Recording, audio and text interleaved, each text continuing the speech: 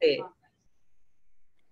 ਹਾਂਜੀ, ਤੇ ਹਰ ਵਾਰ ਦੀ ਤਰ੍ਹਾਂ ਇਸ ਪੰਜਾਬੀ ਸੰਗਤ ਦੇ ਵਿੱਚ ਵੀ ਅਸੀਂ ਆਪਣੇ ਪ੍ਰਾਹੁਣਿਆਂ ਦਾ ਇੱਕ ਗੁਲਦਸਤਾ ਲਿਆਏ ਨੇ ਤੇ ਜਿਹਦੀ ਖੁਸ਼ਬੂ ਸਾਡੇ ਆਸੇ-ਪਾਸੇ ਖਿਲ ਰਹੀ ਹੋਈ ਹੈ ਤੇ ਅੱਜ ਦੀ ਸੰਗਤ ਦੀ ਸਦਾਰਤ, ਯਾਨੀ ਉਹਦੀ ਪ੍ਰਧਾਨ ਜਿਹੜੇ ਨੇ, ਉਹ ਨੇ ਜਨਾਬ ਸਰਮਤ ਸਬਾਈ ਜੀ। ਤੇ ਸਰਮਤ ਸਬਾਈ ਜੀ, ਤੁਹਾਨੂੰ ਮੈਂ ਜੀ ਆਇਆਂ ਨੂੰ ਕਹਿੰਦੀ ਹੈ ਤੇ ਬੜੀ ਸਾਨੂੰ ਖੁਸ਼ੀ ਹੋਈ ਹੈ ਜੀ ਤੁਹਾਡੀ ਇਸ ਪੰਜਾਬੀ ਸੰਗਤ ਦੇ ਵਿੱਚ ਰਲਤ ਕਰਨ ਤੇ ਸਾਨੂੰ ਸਾਰਿਆਂ ਨੂੰ ਬੜੀ ਖੁਸ਼ੀ ਹੋਈ ਹੈ ਤੇ ਮੈਂ ਸਾਰਿਆਂ ਵੱਲੋਂ ਆਪਣੇ ਸਾਰੇ ਦੋਸਤਾਂ ਮਿੱਤਰਾਂ ਵੱਲੋਂ ਤੁਹਾਡਾ ਬੜਾ ਸ਼ੁਕਰੀਆ ਅਦਾ ਕਰਨੀ ਹੈ ਤੇ ਜਨਾਬ ਸਰਮਦ ਸਬਾਈ ਜੀ ਕਿਸੇ ਵੀ ਤਾਰਫ ਦੇ ਮੁਤਾਜ ਨਹੀਂ ਹੈਗੇ। ਉਹ ਇੱਕ ਮੰਨੇ ਪਰਮੰਨੇ ਸ਼ਾਇਰ ਨੇ। ਤੇ ਉਹਨਾਂ ਨੇ ਇਹ ਉਰਦੂ ਤੇ ਪੰਜਾਬੀ ਦੇ ਇੱਕ ਵੱਡੇ ਲਖਾਰੀ ਨੇ। ਔਰ ਇਹਨਾਂ ਦੀ ਜਿਹੜੀ, ਇਹਨਾਂ ਦੀ ਫੈਮਿਲੀ ਬੈਕਗ੍ਰਾਉਂਡ ਥੋੜਾ ਜਿਹਾ ਦੱਸਾਂ ਇਹਨਾਂ ਦੇ ਵਾਲਦ ਜਿਹੜੇ ਵੱਡੇ ਸ਼ਾਇਰ ਸੀ। ਤੇ ਇਹ ਇਹਨਾਂ ਦੀ ਫੈਮਿਲੀ ਵੱਲੋਂ ਹੀ ਸ਼ਾਇਰੀ ਜਿਹੜੀ ਹੈ ਇਹਨਾਂ ਦੀ ਸਮਝ ਲਓ ਕਿ ਆਪਣਾ ਸ਼ਾਇਰੀ ਦਾ ਘਰ ਹੀ ਹੈ ਇਹਨਾਂ ਦਾ ਘਰ ਜਿਹੜਾ ਸੀ। ਇਹਨਾਂ ਦੀ ਪੰਜਾਬੀ ਦੇ ਵਿੱਚ ਜਿਹੜਾ ਇਹਨਾਂ ਨੇ ਕੰਮ ਕੀਤਾ ਹੈ, ਉਹ ਡਰਾਮਿਆਂ ਦੀ ਇਹਨਾਂ ਦੀ ਕਿਤਾਬ ਹੈ, ਸ਼ੱਕ ਸ਼ੁਬੇ ਦਾ ਵੇਲਾ। ਤੇ ਇਹ 89 ਤੋਂ ਟੀਵੀ ਡਰਾਮਾ ਲਈ ਬੜਾ ਇਹਨਾਂ ਨੇ ਕੰਮ ਕੀਤਾ ਹੈ। ਇਹਦੇ ਬਾਅਦ ਇਹ ਥੀਏਟਰ ਵਿੱਚ ਆਏ 71 ਦੇ ਵਿੱਚ, ਔਰ ਉਹਦੇ ਵਿੱਚ ਵੀ ਇਹਨਾਂ ਨੇ ਬੜਾ ਨਾਂ ਕਮਾਇਆ। ਇਹਦੇ ਇਲਾਵਾ ਇਹਨਾਂ ਦੀ ਉਰਦੂ ਦੇ ਵਿੱਚ, ਉਰਦੂ ਸ਼ਾਇਰੀ ਦੇ ਵਿੱਚ, ਜਿੱਥੋਂ ਤੱਕ ਮੈਨੂੰ ਯਾਦ ਪੈਂਦਾ ਹੈ, ਇਹਨਾਂ ਦੀ ਕਿਤਾਬ ਸੀ ਨੀਲੀ ਕੇਸੋ ਰੰਗ ਜਿਹੜੀ ਕਿ ਬੜੀ ਮਸ਼ਹੂਰ ਹੋਈ ਸੀ। ਔਰ ਇਹਦੇ ਬਾਅਦ ਇੱਕ ਹੋਰ ਕਿਤਾਬ ਸੀ ਪਲ ਭਰ ਕੀ ਬਹਿਸ਼ਤ। ਤੇ ਬਹੁਤ ਸੋਹਣੇ ਉਰਦੂ ਦੇ ਸ਼ਾਇਰ ਨੇ ਤੇ ਪੰਜਾਬੀ ਵਿੱਚ ਪਤਾ ਨਹੀਂ ਕਿਉਂ ਨਹੀਂ ਸ਼ਾਇਰੀ ਕੀਤੀ। ਮਨਜ਼ੂਰ ਜੋ ਕਰ ਰਿਹਾ। ਪੰਜਾਬੀ ਦੀ ਕਿਤਾਬ ਦਾ ਨਾਮ ਹੈ ਦੱਸਦਾ ਸ਼ੱਕ ਸ਼ੁਬੇ ਦਾ ਵੇਲਾ। ਡਰਾਮੇ ਦੀ ਕਿਹਾ ਮਨਜ਼ੂਰ ਮਨਜ਼ੂਰ ਸਾਹਿਬ ਸ਼ਾਇਰੀ ਕਰਦੇ ਨੇ ਸਾਡੀ ਕਿਸ ਤਰ੍ਹਾਂ ਜ਼ਰੂਰਤ ਹੋ ਸਕਦੀ ਪੰਜਾਬੀ ਸ਼ਾਇਰੀ ਕਰਨ ਮਨਜ਼ੂਰ ਤੇ ਹੋਣੇ ਨਹੀਂ ਕਰ ਸਕਦੇ। ਹਾਂਜੀ। ਤੇ ਐਸੀ ਵੈਸੇ ਕੋਈ ਗੱਲ ਨਹੀਂ ਐ ਤੁਸੀਂ ਪੱਲਾ ਫੜਾ ਰਿਹਾ ਹੈ। ਤੇ ਅੱਜ ਕੱਲ ਜਨਾਬ ਅਮਰੀਕਾ ਵਿੱਚ ਰਿਹਾਇਸ਼ ਵਜ਼ੀਰ ਨੇ। ਤੇ ਇਹਨਾਂ ਨੂੰ ਅਸੀਂ ਜੀ ਆਇਆਂ ਨੂੰ ਕਹਿੰਦੇ ਵੇ ਤੇ ਆਪਣੀ ਇਹਨਾਂ ਦੀ ਇਜਾਜ਼ਤ ਦੇ ਨਾਲ ਆਪਣੀ ਸੰਗਤ ਦੀ ਕਾਰਵਾਈ ਜਿਹੜੀ ਹੈ ਬਾਕੀ ਸ਼ੁਰੂ ਕਰਨੇ ਮੈਂ ਕਿਉਂ ਇਜਾਜ਼ਤ ਹੈ ਜੀ ਇਜਾਜ਼ਤ ਜਨਾਬ ਬਿਲਕੁਲ ਇੱਕ ਕਹਾਣੀ ਅੱਜ ਪਹਿਲੇ ਤੇ ਨਜ਼ਮ ਹੀ ਸਾਡੀ ਸੰਗਤ ਵਿੱਚ ਨਜ਼ਮ ਹੁੰਦੀ ਹੈ ਲੇਕਿਨ ਅਜੇ ਹਸਨ ਮੁਸਤਫਾ ਸਾਹਿਬ ਨਹੀਂ ਆਏ ਕਿਉਂਕਿ ਉਹਨਾਂ ਨੇ ਆਪਣੀ ਨਜ਼ਮ ਪੜ੍ਹਨੀ ਸੀ ਤੇ ਅਸੀਂ ਇਸ ਲਈ ਸ਼ਾਇਰੀ ਅਸੀਂ ਕਹਾਣੀ ਤੋਂ ਸ਼ੁਰੂ ਕਰਨਾ ਹੈ ਤੇ ਅੱਜ ਜਿਹੜੀ ਕਹਾਣੀ ਪੜ੍ਹ ਰਹੇ ਨੇ ਉਹ ਨੇ ਅਮਰਜੀਤ ਪੁੰਨੂ ਅਮਰਜੀਤ ਪੁੰਨੂ ਜਿਹੜੇ ਨੇ ਇਹ ਕਹਾਣੀ ਪੜਨਗੇ ਅਮਰਜੀਤ ਪੁੰਨੂ ਜਿਹੜੇ ਨੇ ਬੇਸਿਕਲੀ ਬਾਇਓਟੈਕ ਸਾਇੰਟਿਸਟ ਨੇ। ਤੇ ਲੇਕਿਨ ਇਹ ਪੰਜਾਬੀ ਤੇ ਅੰਗਰੇਜ਼ੀ ਦੇ ਵਿੱਚ ਲਿਖਦੇ ਨੇ। ਤੇ ਪੰਜਾਬੀ ਦੇ ਵਿੱਚ ਇਹਨਾਂ ਦੀਆਂ ਕਹਾਣੀਆਂ ਜਿਹੜੀਆਂ ਨੇ ਉਹ ਰਸਾਲਿਆਂ 'ਚ ਛਪ ਚੁੱਕੀਆਂ ਨੇ ਨਾਗਮੁਨੇ 'ਚ ਛਪੀ। ਜੀ ਜੀ। ਸੂਚਨਾ ਦੇ ਵਿੱਚ ਵੀ ਛਪੀਆਂ ਨੇ। ਤੇ ਜਿਹੜੀਆਂ ਕਹਾਣੀਆਂ ਦੀ ਇਹਨਾਂ ਦੀ ਕਿਤਾਬਾਂ ਨੇ ਉਹ ਅਧੂਰੀਆਂ ਕਹਾਣੀਆਂ ਦੇ ਪਾਤਰ। ਇਹਦੇ ਇਲਾਵਾ ਇੱਕ ਕਿਤਾਬ ਸੁੱਚਾ ਗੁਲਾਬ। ਵਾਹ। ਇਹਦੇ ਇਲਾਵਾ ਅੰਗਰੇਜ਼ੀ ਦੇ ਦੋ ਨਾਵਲ ਵੀ ਇਹਨਾਂ ਨੇ ਲਿਖੇ ਨੇ। ਤੇ ਜਿਹੜਾ ਲੇਟੈਸਟ ਇਹਨਾਂ ਦਾ ਨਾਵਲ ਹੈ ਉਹ I tell this tale to the river. ਇਹਨਾਂ ਦਾ ਇੱਕ ਨਾਵਲ ਹੈ ਜਿਹੜਾ ਰੀਸੈਂਟਲੀ ਆਇਆ ਹੈ ਤੇ ਇਹ ਕੈਲੀਫੋਰਨੀਆ ਦੇ ਵਿੱਚ 40 ਸਾਲ ਤੋਂ ਰਹਿ ਰਹੀਆਂ ਨੇ। ਤੇ ਵੈਸੇ ਅੰਮ੍ਰਿਤਸਰ ਦੇ ਨੇ। ਇਹਨਾਂ ਨੂੰ ਅਸੀਂ ਜੀਆਂ ਇਹਨੂੰ ਕਹਿੰਦੇ ਨੇ ਔਰ ਬੜੀ ਖੁਸ਼ੀ ਹੈ ਕਿ ਇਹ ਅੱਜ ਕਹਾਣੀ ਪੜ੍ਹ ਰਹੇ ਨੇ। ਜੀ ਸ਼ੁਕਰੀਆ। ਬਹੁਤ ਬਹੁਤ ਮਿਹਰਬਾਨੀ ਮੈਨੂੰ ਇਨਵਾਈਟ ਕਰਕੇ। ਮੈਂ ਇੱਕ ਦੱਸਣਾ ਚਾਹੁੰਦੀ ਹਾਂ ਕਿ ਮੇਰਾ ਲਾਸਟ ਨੇਮ ਪੰਨੂ ਹੈ। ਪੀ ਏ ਐਨ ਐਨ ਯੂ ਪੰਨੂ ਦੀ ਬਜਾਏ। ਵੈਸੇ ਪੰਨੂ ਜ਼ਿਆਦਾ ਮਸ਼ਹੂਰ ਹੁੰਦਾ ਹੈ ਸਾਰੇ ਪੰਨੂ ਲੱਗਦਾ ਬਟ ਇਟਸ ਇਟਸ ਪੰਨੂ। ਠੀਕ ਹੈ ਠੀਕ ਹੈ। ਕਹਾਣੀ ਜਿਹੜੀ ਪੜ ਰਹੀ ਆ ਉਹ ਅਧੂਰੀਆਂ ਕਹਾਣੀਆਂ ਦੇ ਪਾਤਰ ਮੇਰੀ ਕਿਤਾਬ ਹੈ ਤੇ ਉਸੇ ਦੇ ਨਾਂ ਹੇਠ ਇੱਕ ਕਹਾਣੀ ਮੈਂ ਪੜ ਰਹੀ ਹਾਂ। ਇਹ ਜਦੋਂ ਮੈਂ ਯੂਨੀਵਰਸਿਟੀ 'ਚ ਕੰਮ ਕਰਦੀ ਸੀ ਤੇ ਉਹਨਾਂ ਦਿਨਾਂ ਦੇ ਵਿੱਚ ਅਸੀਂ ਏਡਸ ਦੀ ਵੈਕਸੀਨ ਬਣਾਉਣ ਦੀ ਕੋਸ਼ਿਸ਼ ਕਰ ਰਹੇ ਸੀ, ਜਿਹੜੀ ਕਿ ਬਣ ਨਹੀਂ ਸਕੀ। ਬਿਲਕੁਲ ਉਹਦੇ ਕਈ ਕਾਰਨ ਨੇ, ਪਰ ਚਲੋ that's not the point here ਤੇ ਉਹਨਾਂ ਦਿਨਾਂ ਵਿੱਚ ਹੀ ਕਿਸੇ ਬਾਰੇ ਸੁਣਿਆ। ਇਹ ਥੋੜੀ ਜੀ ਮਤਲਬ ਕਿ ਯਥਾਰਥ ਦੇ ਉੱਤੇ ਲਿਖੀ ਹੋਈ ਕਹਾਣੀ ਹੈਗੀ ਆ। ਅਧੂਰੀਆਂ ਕਹਾਣੀਆਂ ਦੇ ਪਾਤਰ। 15 ਨੰਬਰ ਬੈੱਡ ਤੇ ਆਏ ਨਵੇਂ ਮਰੀਜ਼ ਵੱਲ ਵੇਖਦਿਆਂ ਹੀ ਰਾਜੀ ਦੇ ਪੈਰ ਠਠੰਬਰ ਕੇ ਖਲੋ ਗਏ। ਤੇ ਉਸ ਦੇ ਪੈਰਾਂ ਵਾਂਗਰ ਹੀ ਵਕਤ ਵੀ ਜਿਵੇਂ ਠਠੰਬਰ ਕੇ ਖਲੋ ਗਿਆ ਸੀ ਉਹੀ ਮੱਥਾ ਉਹੀ ਮਹੱਲਾ। ਤਾਂ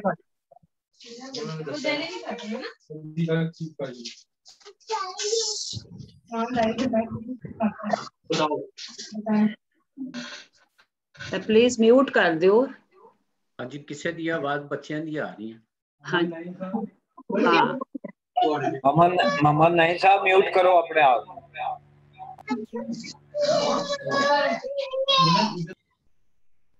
ਹਾਂ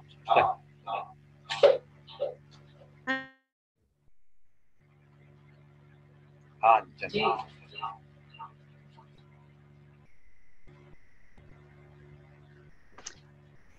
Okay, uh, I'll continue. ਤੇ ਉਸ ਪੈਰਾਂ ਵਾਂਗਰ ਵੀ ਵਕਤ ਵੀ ਜਿਵੇਂ ਠਠੰਬਰ ਕੇ ਖਲੋ ਗਿਆ ਸੀ ਉਹੀ ਮਹਾਂਦਰਾ ਉਹੀ ਮੱਥਾ ਤੇ ਉਸ ਵਰਗੀਆਂ ਹੀ ਡੋਰ ਭੌਰੀਆਂ ਕਿਧਰੇ ਵੀ ਨਾ ਤੱਕ ਰਹੀਆਂ ਸਖਣੀਆਂ ਜਿਹੀਆਂ ਅੱਖਾਂ ਰਾਜੀ ਦੇ ਅੰਦਰੋਂ ਇੱਕੋ ਝਮੱਕੇ ਨਾਲ ਕੁਝ ਬੁੱਝ ਜਿਆ ਗਿਆ ਤੇ ਬੈੱਡ ਤੇ ਪਿਆ ਮਨੁੱਖੀ ਪਿੰਜਰ ਕਦੇ ਉਸ ਨੂੰ ਦਿਸ ਨੂੰ ਹਟ ਜਾਂਦਾ ਤੇ ਕਦੇ ਫੇਰ ਦਿਸਣ ਲੱਗ ਪੈਂਦਾ ਰਾਜੀ ਨੂੰ ਜਾਪਿਆ ਉਸਦੇ ਪੈਰਾਂ ਨਾਲ ਜੁੜ ਕੇ ਖਲੋਤਾ ਵਕਤ ਜਿਵੇਂ ਪਿਛਾਂ ਵੱਲ ਨੂੰ ਭੱਜ ਤੁਰਿਆ ਹੋਵੇ ਤੇ ਇੱਕ ਵਾਵ ਰੋਲੇ ਵਾਂਗ ਦਸਾਂ ਵਰਿਆਂ ਦਾ ਚੱਕਰ ਕੱਢ ਕੇ ਫੇਰ ਉਸਦੇ ਸਾਹਮਣੇ ਆ ਖਲੋਤਾ ਸੀ। ਇੱਕ ਦਬੀ ਹੋਈ ਚੀਕ ਉਸਦੇ ਕਾਲਜੇ 'ਚ ਉੱਠੀ, ਪਰ ਬਾਹਰ ਨਿਕਲਣ ਤੋਂ ਪਹਿਲਾਂ ਹੀ ਦਫਨ ਹੋ ਗਈ। ਪਰ ਉਹ ਚੀਕ ਇਸ ਹਸਪਤਾਲ ਦੀਆਂ ਕੰਧਾਂ ਨੇ ਸੁਣ ਲਈ ਸੀ। ਉਸ ਚੀਕ ਦੀ ਮਦਮ ਜਿਹੀ ਆਵਾਜ਼ ਸ਼ਾਇਦ ਬੈੱਡ ਤੇ ਪਏ ਪਿੰਜਰ ਤੱਕ ਵੀ ਪਹੁੰਚ ਗਈ ਹੋਵੇ, ਪਰ ਉਹ ਖਾਲੀ ਖਾਲੀ ਅੱਖਾਂ ਨਾਲ ਛੱਤ ਵੱਲ ਤੱਕਦਾ ਹੋਇਆ ਵੀ ਸ਼ਾਇਦ ਕਿਧਰੇ ਵੀ ਨਾ ਤੱਕਦਾ ਰਿਹਾ। ਹਰਪਾਲ ਨੂੰ ਤਾਂ ਰਾਜੀ ਨੇ ਆਪਣੇ ਹੱਥੀਂ ਤੋਰਿਆ ਸੀ। ਉਸ ਦੀਆਂ ਅਸਥੀਆਂ ਤਾਂ ਉਸ ਆਪ ਜਲ ਪ੍ਰਵਾਹ ਕੀਤੀਆਂ ਸਨ। ਉਹ ਤੀਲਾ ਤੀਲਾ ਹੋਈ ਕੁਝ ਪਲ ਉਸ ਵੱਲ ਵੇਖਦੀ ਰਹੀ ਤੇ ਫਿਰ ਆਪਣੇ ਆਪ ਨੂੰ ਹੂੰਜ ਕੇ ਇਕੱਠੀਆਂ ਕਰਦੀ ਉਸ ਦੇ ਮੰਜੇ ਦੀ ਬਾਹੀ ਲਾਗੇ ਪਿਆ ਚਾਰਟ ਵੇਖਣ ਲੱਗੀ। ਨਾਮ ਬੈਂਜਾਮਿਨ ਸਮਿਥ, ਉਮਰ 38 ਸਾਲ ਤੇ ਬਿਮਾਰੀ ਐਡਵਾਂਸ ਸਟੇਜ ਆਫ ਏਡਸ ਪਰ ਪਾਲ ਨੇ ਤਾਂ ਹੁਣ ਨੂੰ 47ਵਾਂ ਬਰਾ ਟੱਪ ਜਾਣਾ ਸੀ। ਨਾਲੇ ਇਹ ਤਾਂ ਹੈ ਵੀ ਕੋਈ ਅਮਰੀਕਨ ਗੋਰਾ, ਪਰ ਕਿੰਨਾ ਪਾਲ ਵਰਗਾ ਲੱਗਦਾ ਸੀ। ਕੀ ਮੈਂ ਮੌਤ ਦਾ ਮੁਹਾਂਦਰਾ ਵੇਖ ਰਹੀ ਹਾਂ? ਕਿ ਮੌਤ ਦੀ ਕੋਈ ਨੁਹਾਰ ਹੁੰਦੀ ਹੈ? ਕੋਈ ਰੰਗ ਹੁੰਦਾ ਹੈ? ਮੌਤ ਦੇ ਕੋਈ ਨਕਸ਼ ਹੁੰਦੇ ਹਨ? ਕਿ ਮੌਤ ਦੀ ਕੋਈ ਜਾਤ ਹੁੰਦੀ ਹੈ? ਮੌਤ ਤਾਂ ਸਾਰਿਆਂ ਨੂੰ ਇੱਕੋ ਜਿਹੀ ਆਉਂਦੀ ਹੈ। ਨਹੀਂ, ਮੌਤ ਸਾਰਿਆਂ ਨੂੰ ਇੱਕੋ ਜਿਹਾ ਕਰ ਦਿੰਦੀ ਹੈ। ਹਰਪਾਲ ਵੀ ਮਰਨ ਤੋਂ ਪਹਿਲਾਂ ਕਿੰਨਾ ਬੈਂਜਮਿਨ ਵਰਗਾ ਲੱਗਦਾ ਸੀ। ਨਹੀਂ, ਬੈਂਜਮਿਨ ਕਿੰਨਾ ਪਾਲ ਵਰਗਾ ਲੱਗਦਾ ਹੈ। ਰਾਜੀ ਦੀਆਂ ਸੋਚਾਂ ਦੀ ਸ਼ਕਤੀ ਘੁੰਮਣ ਘੇਰੀਆਂ ਖਾਂਦੀ, ਕਦੇ 10 ਵਰੇ ਪਛਾਂ ਪਰ ਜਾਂਦੀ ਤੇ ਕਦੇ 10 ਵਰੇ ਅਗਾਂ ਬੈੱਡ ਤੇ ਪਿਆ ਮਨੁੱਖੀ ਪਿੰਜਰ, ਕਦੇ ਪਾਲ ਬਣ ਜਾਂਦਾ ਤੇ ਕਦੇ ਬੈਂਜਮਨ ਤੇ ਕਦੇ ਫੇਰ ਪਾਲ। ਰਾਜੀ ਨੇ ਅੱਗੇ ਵੀ ਕਈ ਏਡਸ ਦੇ ਮਰੀਜ਼ ਵੇਖੇ ਸਨ, ਕੈਂਸਰ ਦੇ ਮਰੀਜ਼ ਤੇ ਬੁਢੇਪੇ ਦੀਆਂ ਬਿਮਾਰੀਆਂ ਦੇ ਮਰੀਜ਼ ਵੇਖੇ ਸਨ। ਇਸ ਛੋਟੇ ਜਿਹੇ ਹਸਪਤਾਲ ਦੇ ਇੱਕ ਪਾਸੇ ਬਿਮਾਰ ਬੁੱਢਿਆਂ ਦਾ ਵਾਰਡ, ਵਰਿਆਂ ਦੇ ਵਰੇ ਹੰਡਾ ਚੁੱਕੇ ਅਧ ਅਧ ਮਰੇ ਜੇ ਹੱਡ ਪੈਰ ਜਗ ਤਮਾਸ਼ਾ ਤੱਕ ਤੱਕ ਹਾਰੀਆਂ ਹੋਈਆਂ ਅੱਖਾਂ ਦੀਆਂ ਪੁਤਲੀਆਂ, ਪਰ ਕੁਝ ਚਿਰ ਹਾਲੀ ਹੋਰ ਜਿਉਣ ਲਈ ਤਰਸਦੇ ਜਿਹੇ ਦਿਲ। ਹਸਪਤਾਲ ਦੇ ਦੂਜੇ ਪਾਸੇ ਏਡਸ ਤੇ ਕੈਂਸਰ ਨਾਲ ਘੁਲ ਰਹੀਆਂ, ਘੁਲਦੀਆਂ ਗਲ ਸਰ ਰਹੀਆਂ ਜਵਾਨੀਆਂ ਤੇ ਚਫੇਰੇ ਪਸਰੀ ਹੋਈ ਮਾਤਮੀ ਚੁੱਪ। ਚੁੱਪ ਜੋ ਕਿਸੇ ਦਾ ਪਾਸਾ ਪਰਤਣ ਲੱਗਿਆ, ਨਿਕਲੀ ਕਰਾਹਟ ਨਾਲ ਪਲ ਪਰ ਲਈ ਟੁੱਟਦੀ ਤੇ ਫੇਰ ਉਹੀ ਮਾਤਮੀ ਚੁੱਪ ਤੇ ਉਹੀ ਮੁਰਝਾਏ ਹੋਏ ਚਿਹਰੇ। ਪਰ ਹਰ ਬੁੱਧਵਾਰ ਹਸਪਤਾਲ ਦੇ ਇਸ ਮਰੇ ਜਿਹੇ ਵਾਤਾਵਰਣ ਵਿੱਚ ਜਿਵੇਂ ਕਿਸੇ ਨੇ ਜ਼ਿੰਦਗੀ ਦਾ ਛੱਟਾ ਦੇ ਦਿੱਤਾ ਹੋਵੇ, ਸੋਗੀ ਚਿਹਰਿਆਂ ਤੇ ਰੰਗਤ ਜਿਹੀ ਆ ਜਾਂਦੀ, ਜਿਉਣ ਤੋਂ ਮੁਨਕਰ ਹੋ ਰਹੀਆਂ ਅੱਖਾਂ ਵਿੱਚ ਆਸ ਦੀ ਆਸ ਦੀ ਜੋਤ ਜਗ ਪੈਂਦੀ, ਹਸਪਤਾਲ ਦੀ ਕੁੱਬੀ ਹੋ ਚੁੱਕੀ ਹਵਾ ਵੀ ਮਿੰਨੀ ਮਿੰਨੀ ਖੁਸ਼ਬੂ ਭਰੀ ਪਾਉਣ ਵਾਂਗ ਰੁਮਕਣ ਲੱਗ ਪੈਂਦੀ, ਹਰ ਬੁੱਧਵਾਰ ਰਾਜੀ ਇੱਕ ਪੋਲੇ ਜਿਹੇ ਹਵਾ ਦੇ ਝੋਂਕੇ ਵਾਂਗਰ ਆਉਂਦੀ, ਕਿਸੇ ਦੇ ਪੈਰਾਂ ਦੀਆਂ ਤਲੀਆਂ ਝੱਸਦੀ, ਹੱਸਦੀ ਹੋਈ ਕਿਸੇ ਦੇ ਵਾਲ ਸਵਾਰਦੀ ਕਿਸੇ ਨੂੰ ਸਹਾਰਾ ਦੇ ਕੇ ਬਿਠਾ ਦਿੰਦੀ। ਸਾਰਾ ਦਿਨ ਉਹਨਾਂ ਨਾਲ ਨਿੱਕੀਆਂ ਨਿੱਕੀਆਂ ਗੱਲਾਂ ਕਰਦੀ। ਸਾਰਾ ਦਿਨ ਉਹਨਾਂ ਦੀਆਂ ਨਿੱਕੀਆਂ ਨਿੱਕੀਆਂ ਗੱਲਾਂ ਸੁਣਦੀ। ਪਤਾ ਨਹੀਂ ਕੀ ਖਿੱਚ ਸੀ ਰਾਜੀ ਦੇ ਹੱਥਾਂ ਦੇ ਛੋਹ ਵਿੱਚ, ਜਾਂ ਉਸ ਦੇ ਚਿਹਰੇ ਤੇ ਫੈਲੀ ਹੋਈ ਰੋਹਾਨੀ ਰੰਗਤ ਵਿੱਚ। ਕਈਆਂ ਨੂੰ ਤਾਂ ਵਹਿਮ ਜਿਹਾ ਹੋ ਗਿਆ ਸੀ ਕਿ ਉਸ ਦੇ ਹੱਥਾਂ ਦੀ ਛੋਹ ਨਾਲ ਪੀੜ ਵੀ ਹਰ ਹੋ ਜਾਂਦੀ ਹੈ। ਪਰ ਅੱਜ ਬੈਂਜਮਿਨ ਨੂੰ ਤੱਕਦਿਆਂ ਹੀ ਰਾਜੀ ਦੀ ਰੂਹ ਵਿਲਕ ਉੱਠੀ ਸੀ। ਪੀੜਾ ਚੁਗਣ ਵਾਲੀ ਰਾਜੀ ਅੱਜ ਆਪ ਪੀੜ ਨਾਲ ਵਰੁੰਨੀ ਗਏ ਸੀ। ਉਹ ਕੁਝ ਪਲਾਂ ਤੋਂ ਵੱਧ ਉੱਥੇ ਖਲੋ ਨਾ ਸਕੀ ਤੇ ਪੈਰ ਘਸੀਟ ਜਿਹੀ ਘਰ ਨੂੰ ਮੁੜ ਪਈ। ਸਾਰੀ ਰਾਤ ਉਹ ਸੌ ਨਾ ਸਕੀ। ਪਲਕ ਅੱਖ ਲੱਗਦੀ ਤਾਂ ਪਾਲ ਉਸ ਦੇ ਸਾਹਮਣੇ ਹੁੰਦਾ, ਪਰ ਉਸ ਦੇ ਕੋਈ ਗੱਲ ਕਰਨ ਤੋਂ ਪਹਿਲਾਂ ਹੀ ਰਾਜੀ ਦੀ ਤਰਬ ਕੇ ਜਾ ਖੁੱਲ ਜਾਂਦੀ। ਜਿਉਂਦੇ ਜੀ ਵੀ ਤਾਂ ਪਾਲ ਨੇ ਰਾਜੀ ਨਾਲ ਗਿਣਤੀ ਦੇ ਬੋਲ ਹੀ ਸਾਂਝੇ ਕੀਤੇ ਸਨ ਤੇ ਉਹਨਾਂ ਗਿਣਤੀ ਦੇ ਬੋਲਾਂ ਵਿੱਚੋਂ ਪਿਆਰ ਦੇ ਬੋਲ ਸਿਰਫ ਉਹ ਸਨ ਜੋ 10 ਦਿਨ ਉਹਨਾਂ ਇਕੱਠਿਆਂ ਬਿਤਾਏ ਸਨ ਤੇ ਕੁਝ ਉਹ ਸਨ ਜੋ ਉਸ ਚਿੱਠੀ ਵਿੱਚ ਲਿਖ ਕੇ ਬੋਲੇ ਸਨ ਬਾਕੀ ਦੇ ਰਹਿੰਦੇ ਬੋਲਾਂ ਵਿੱਚ ਮਜਬੂਰੀਆਂ ਸਨ, ਪਛਤਾਵੇ ਸਨ, ਉਦਾਸੀਆਂ ਤੇ ਲਾਚਾਰੀਆਂ ਸਨ ਤੇ ਸਭ ਤੋਂ ਵੱਧ ਖਾਮੋਸ਼ੀਆਂ ਸਨ। ਅੱਜ ਫੇਰ ਕਈ ਵਰਿਆਂ ਪਿੱਛੋਂ ਰਾਜੀ ਇਹਨਾਂ ਮੋਏ ਹੋਏ ਪਲਾਂ ਦੇ ਮਲਬੇ ਵਿੱਚੋਂ ਕੁਝ ਸਹਿਕਦੇ ਜਿਹੇ ਪਲਾਂ ਨੂੰ ਫਰੋਲਣ ਲੱਗ ਪਈ ਸੀ, ਜਿਵੇਂ ਰਾਖ ਦੇ ਢੇਰ ਚੋਂ ਕੋਈ ਚੰਗਿਆੜੀ ਲੱਭ ਰਿਹਾ ਹੋਵੇ। ਸੋਚਾਂ ਸੋਚਦਿਆਂ ਤੇ ਆਪਣੇ ਆਪ ਨਾਲ ਗੱਲਾਂ ਕਰਦਿਆਂ ਉਸ ਸਾਰੀ ਰਾਤ ਲੰਘਾ ਲਈ। ਇਹ ਕਿਹੋ ਜਿਹਾ ਪਿਆਰ ਸੀ ਤੇਰਾ ਜੋ ਤੈਨੂੰ ਮੌਤ ਵੱਲ ਲੈ ਤੁਰਿਆ। ਮੌਤ ਨੂੰ ਸਿੱਖਣਾ ਨਹੀਂ ਪੈਂਦਾ, ਇਹ ਤਾਂ ਆਪ ਹੀ ਆ ਜਾਂਦੀ ਏ। ਸਿੱਖਣਾ ਤਾਂ ਜ਼ਿੰਦਗੀ ਨੂੰ ਪੈਂਦਾ ਏ ਤੇ ਪਿਆਰ ਜ਼ਿੰਦਗੀ ਸਿਖਾਉਂਦਾ ਏ, ਪਰ ਤੇਰਾ ਪਿਆਰ ਤਾਂ ਸ਼ਾਇਦ ਕਦੇ ਵੀ ਪਿਆਰ ਨਹੀਂ ਸੀ। ਜਦ ਤੂੰ ਚਿੱਠੀ ਵਿੱਚ ਲਿਖਿਆ ਸੀ, ਧਰਤੀ ਤੇ ਅਸਮਾਨ ਵੀ ਦਿਸ ਹੱਦੇ ਤੇ ਮਿਲ ਪੈਂਦੇ ਨੇ ਰਾਜੀਏ, ਤੇਰੀ ਨੁਹਾਰ ਨੂੰ ਲੱਭਦਾ ਮੈਂ ਤਾਂ ਬਹੁਤ ਦੂਰ ਨਿਕਲ ਗਿਆ ਹਾਂ, ਬਹੁਤ ਦੂਰ। ਤੇ ਮੈਨੂੰ ਜਾਪਿਆ ਸੀ, ਸ਼ਾਇਦ ਤੂੰ ਕਵੀ ਹੋ ਗਿਆ ਹੈ ਪਰ ਮੇਰੇ ਖਤਾਂ ਦਾ ਜਵਾਬ ਸਿਰਫ ਇੰਨਾ ਕੁ ਹੀ ਆਇਆ ਸੀ, ਮੈਂ ਉਖੜ ਗਿਆ ਹਾਂ ਰਾਜੀਏ ਮੈਂ ਭਟਕ ਗਿਆ ਹਾਂ। ਤੇ ਉਸ ਤੋਂ ਬਾਅਦ ਉਮਰਾਂ ਜੇਡੀ ਲੰਮੀ ਚੁੱਪ। ਤੇਰੀ ਚਿੱਠੀ ਦੇ ਨਾਲ ਹੀ ਦਿੱਲੀ ਵਾਲੀ ਚਿੱਠੀ ਨੇ ਵੀ ਚੁੱਪ ਧਾਰ ਲਈ ਸੀ। ਉਹਨਾਂ ਵੀ ਸਿਰਫ ਇੱਕ ਵਾਰ ਇੰਨਾ ਕੁ ਹੀ ਲਿਖਿਆ ਸੀ ਕਿ ਤੁਹਾਡੇ ਫਾਈਲ ਕਿਤੇ ਕਾਗਜ਼ ਅੰਬੈਸੀ ਨੂੰ ਪਹੁੰਚ ਗਏ ਹਨ। ਬਾਕੀ ਦੀ ਇਨਫੋਰਮੇਸ਼ਨ ਉਹ ਬਾਅਦ ਚ ਭੇਜਣਗੇ। ਤੇ ਉਸ ਤੋਂ ਬਾਅਦ ਸਿਰਫ ਚੁੱਪ ਸੀ। ਨਾ ਮੈਨੂੰ ਤੇਰੀ ਚੁੱਪ ਦਾ ਕਾਰਨ ਪਤਾ ਸੀ ਤੇ ਨਾ ਦਿੱਲੀ ਵਾਲੀ ਚਿੱਠੀ ਦੀ ਚੁੱਪ ਦਾ। ਪਰ ਇਸ ਚੁੱਪ ਦਾ ਚੀਕ ਚਿਹਾੜਾ ਬਿਜਲੀ ਵਾਂਗਰ ਕੜਕਦਾ ਮੇਰੀਆਂ ਹੱਡੀਆਂ ਕੜਕਾ ਜਾਂਦਾ। ਫੇਰ ਤਾਂ ਤੂੰ ਕਦੇ ਆਪਣੀ ਬੱਚੀ ਦਾ ਹਾਲ ਵੀ ਨਾ ਪੁੱਛਿਆ। ਪੰਗੂੜੇ 'ਚ ਪਈ ਨੂੰ ਤੇਰੀਆਂ ਚਿੱਠੀਆਂ ਪੜ੍ਹ ਕੇ ਸੁਣਾਇਆ ਕਰਦੀ ਸਾਂ। ਤੇ ਫੇਰ ਉਸ ਮਲਕੜੇ ਜਿਹੇ ਪੰਗੂਰੇ 'ਚ ਪੰਗੂੜੇ 'ਚ ਆਪਣਾ ਪੱਬ ਧਰਤੀ ਤੇ ਰੱਖ ਲਿਆ ਸੀ। ਤੇ ਨਿੱਕਾ ਜਿਹਾ ਬਸਤਾ ਗਾਲ ਵਿੱਚ ਪਾਈ ਉਹ ਸਕੂਲ ਵੀ ਜਾਣ ਲੱਗ ਪਈ। ਪਰ ਹੁਣ ਉਸ ਨੂੰ ਸੁਣਾਉਣ ਲਈ ਮੇਰੇ ਕੋਲ ਕੋਈ ਚਿੱਠੀ ਨਹੀਂ ਸੀ ਪਹੁੰਚਦੀ। ਆਪਣੀ ਧੀ ਨੂੰ ਗੱਲ ਨਾਲ ਲਾਈ ਚੁੱਪ ਚਪੀਤੀ ਜਿਹੀ ਟਿਕ ਕੇ ਬੈਠ ਗਈ ਸਾਂ। ਪਰ ਸੋਚਾਂ ਦੇ ਪੰਛੀਆਂ ਦਾ ਕੀ ਕਰਦੀ? ਜੋ ਕੁਤਰੇ ਹੋਏ ਖੰਭਾਂ ਨਾਲ ਵੀ ਉਡਾਰੀ ਮਾਰਨ ਨੂੰ ਨਾ ਹਟਦੇ। ਬੰਦ ਦਰਵਾਜ਼ਿਆਂ ਤੇ ਉੱਚੀਆਂ ਕੰਧਾਂ ਨਾਲ ਟਕਰਾ ਕੇ ਲਹੂ ਲੁਹਾਨ ਹੋਈ ਜਾਂਦੇ। ਅੱਜ ਦਾਦੀ ਮਾਂ ਦੀ ਗੱਲ ਪਤਾ ਨਹੀਂ ਕਿਉਂ ਚੇਤੇ ਆ ਗਈ ਏ। ਆਖਦੀ ਹੁੰਦੀ ਸੀ, ਆਖਦੀ ਹੁੰਦੀ ਸੀ, ਕਰਮਾਂ ਵਾਲੀ ਹੋਵੇਂ ਧੀਏ, ਤੇ ਮੈਂ ਹੱਸ ਕੇ ਆਖ ਦੇਣਾ ਕਿਹੜੇ ਕਰਮਾਂ ਵਾਲੀ? ਕਰਮ ਤਾਂ ਚੰਗੇ ਵੀ ਹੁੰਦੇ ਨੇ ਤੇ ਮਾੜੇ ਵੀ, ਪਰ ਮੇਰੀ ਗੱਲ ਪੂਰੀ ਹੋਣ ਤੋਂ ਪਹਿਲਾਂ ਹੀ ਮਾਂ ਨੇ ਝਿੜਕ ਦੇਣਾ। ਐਵੇਂ ਨਹੀਂ ਚੰਦਰੀ ਜ਼ਬਾਨ ਬੋਲੀ ਦੀ ਕਰਮਾਂ ਵਾਲੀ ਚੰਗੀਆਂ ਕਰਮਾਂ ਵਾਲੀ ਹੀ ਹੁੰਦੀ ਏ। ਉਦੋਂ ਤਾਂ ਚੰਗੇ ਹੀ ਕਰਮਾਂ ਵਾਲੀ ਸਾਂ। ਪਰ ਝੱਟ ਹੀ ਮਾੜੇ ਕਰਮਾਂ ਵਾਲੀ ਹੋ ਗਈ, ਜਦ ਪਾਪਾ ਦੀ ਲਾਸ਼ ਸੜਕ ਦੇ ਕੰਢੇ ਇੱਕ ਟੋਏ ਵਿੱਚੋਂ ਲੱਭੀ ਸੀ ਤੇ ਕੁਝ ਦਿਨਾਂ ਪਿੱਛੋਂ ਦਾਦੀ ਵੀ ਸਵੇਰੇ ਸੁੱਤੀ ਨਹੀਂ ਸੀ ਉੱਠੀ। ਮਾਂ ਕਿੰਨਾ ਚਿਰ ਗੁੰਮਸਮ ਰਹਿਣ ਪਿੱਛੋਂ ਹੌਲੀ-ਹੌਲੀ ਠੀਕ ਹੋਣ ਲੱਗ ਪਈ ਸੀ। ਇੱਕ ਵਾਰ ਫੇਰ ਮੈਂ ਚੰਗੇ ਕਰਮਾਂ ਵਾਲੀ ਹੋ ਗਈ ਸਾਂ, ਜਦ ਤੂੰ ਮੱਥੇ ਤੇ ਸਿਹਰਾ ਬੰਨ ਕੇ ਆਇਆ ਸੈਂ।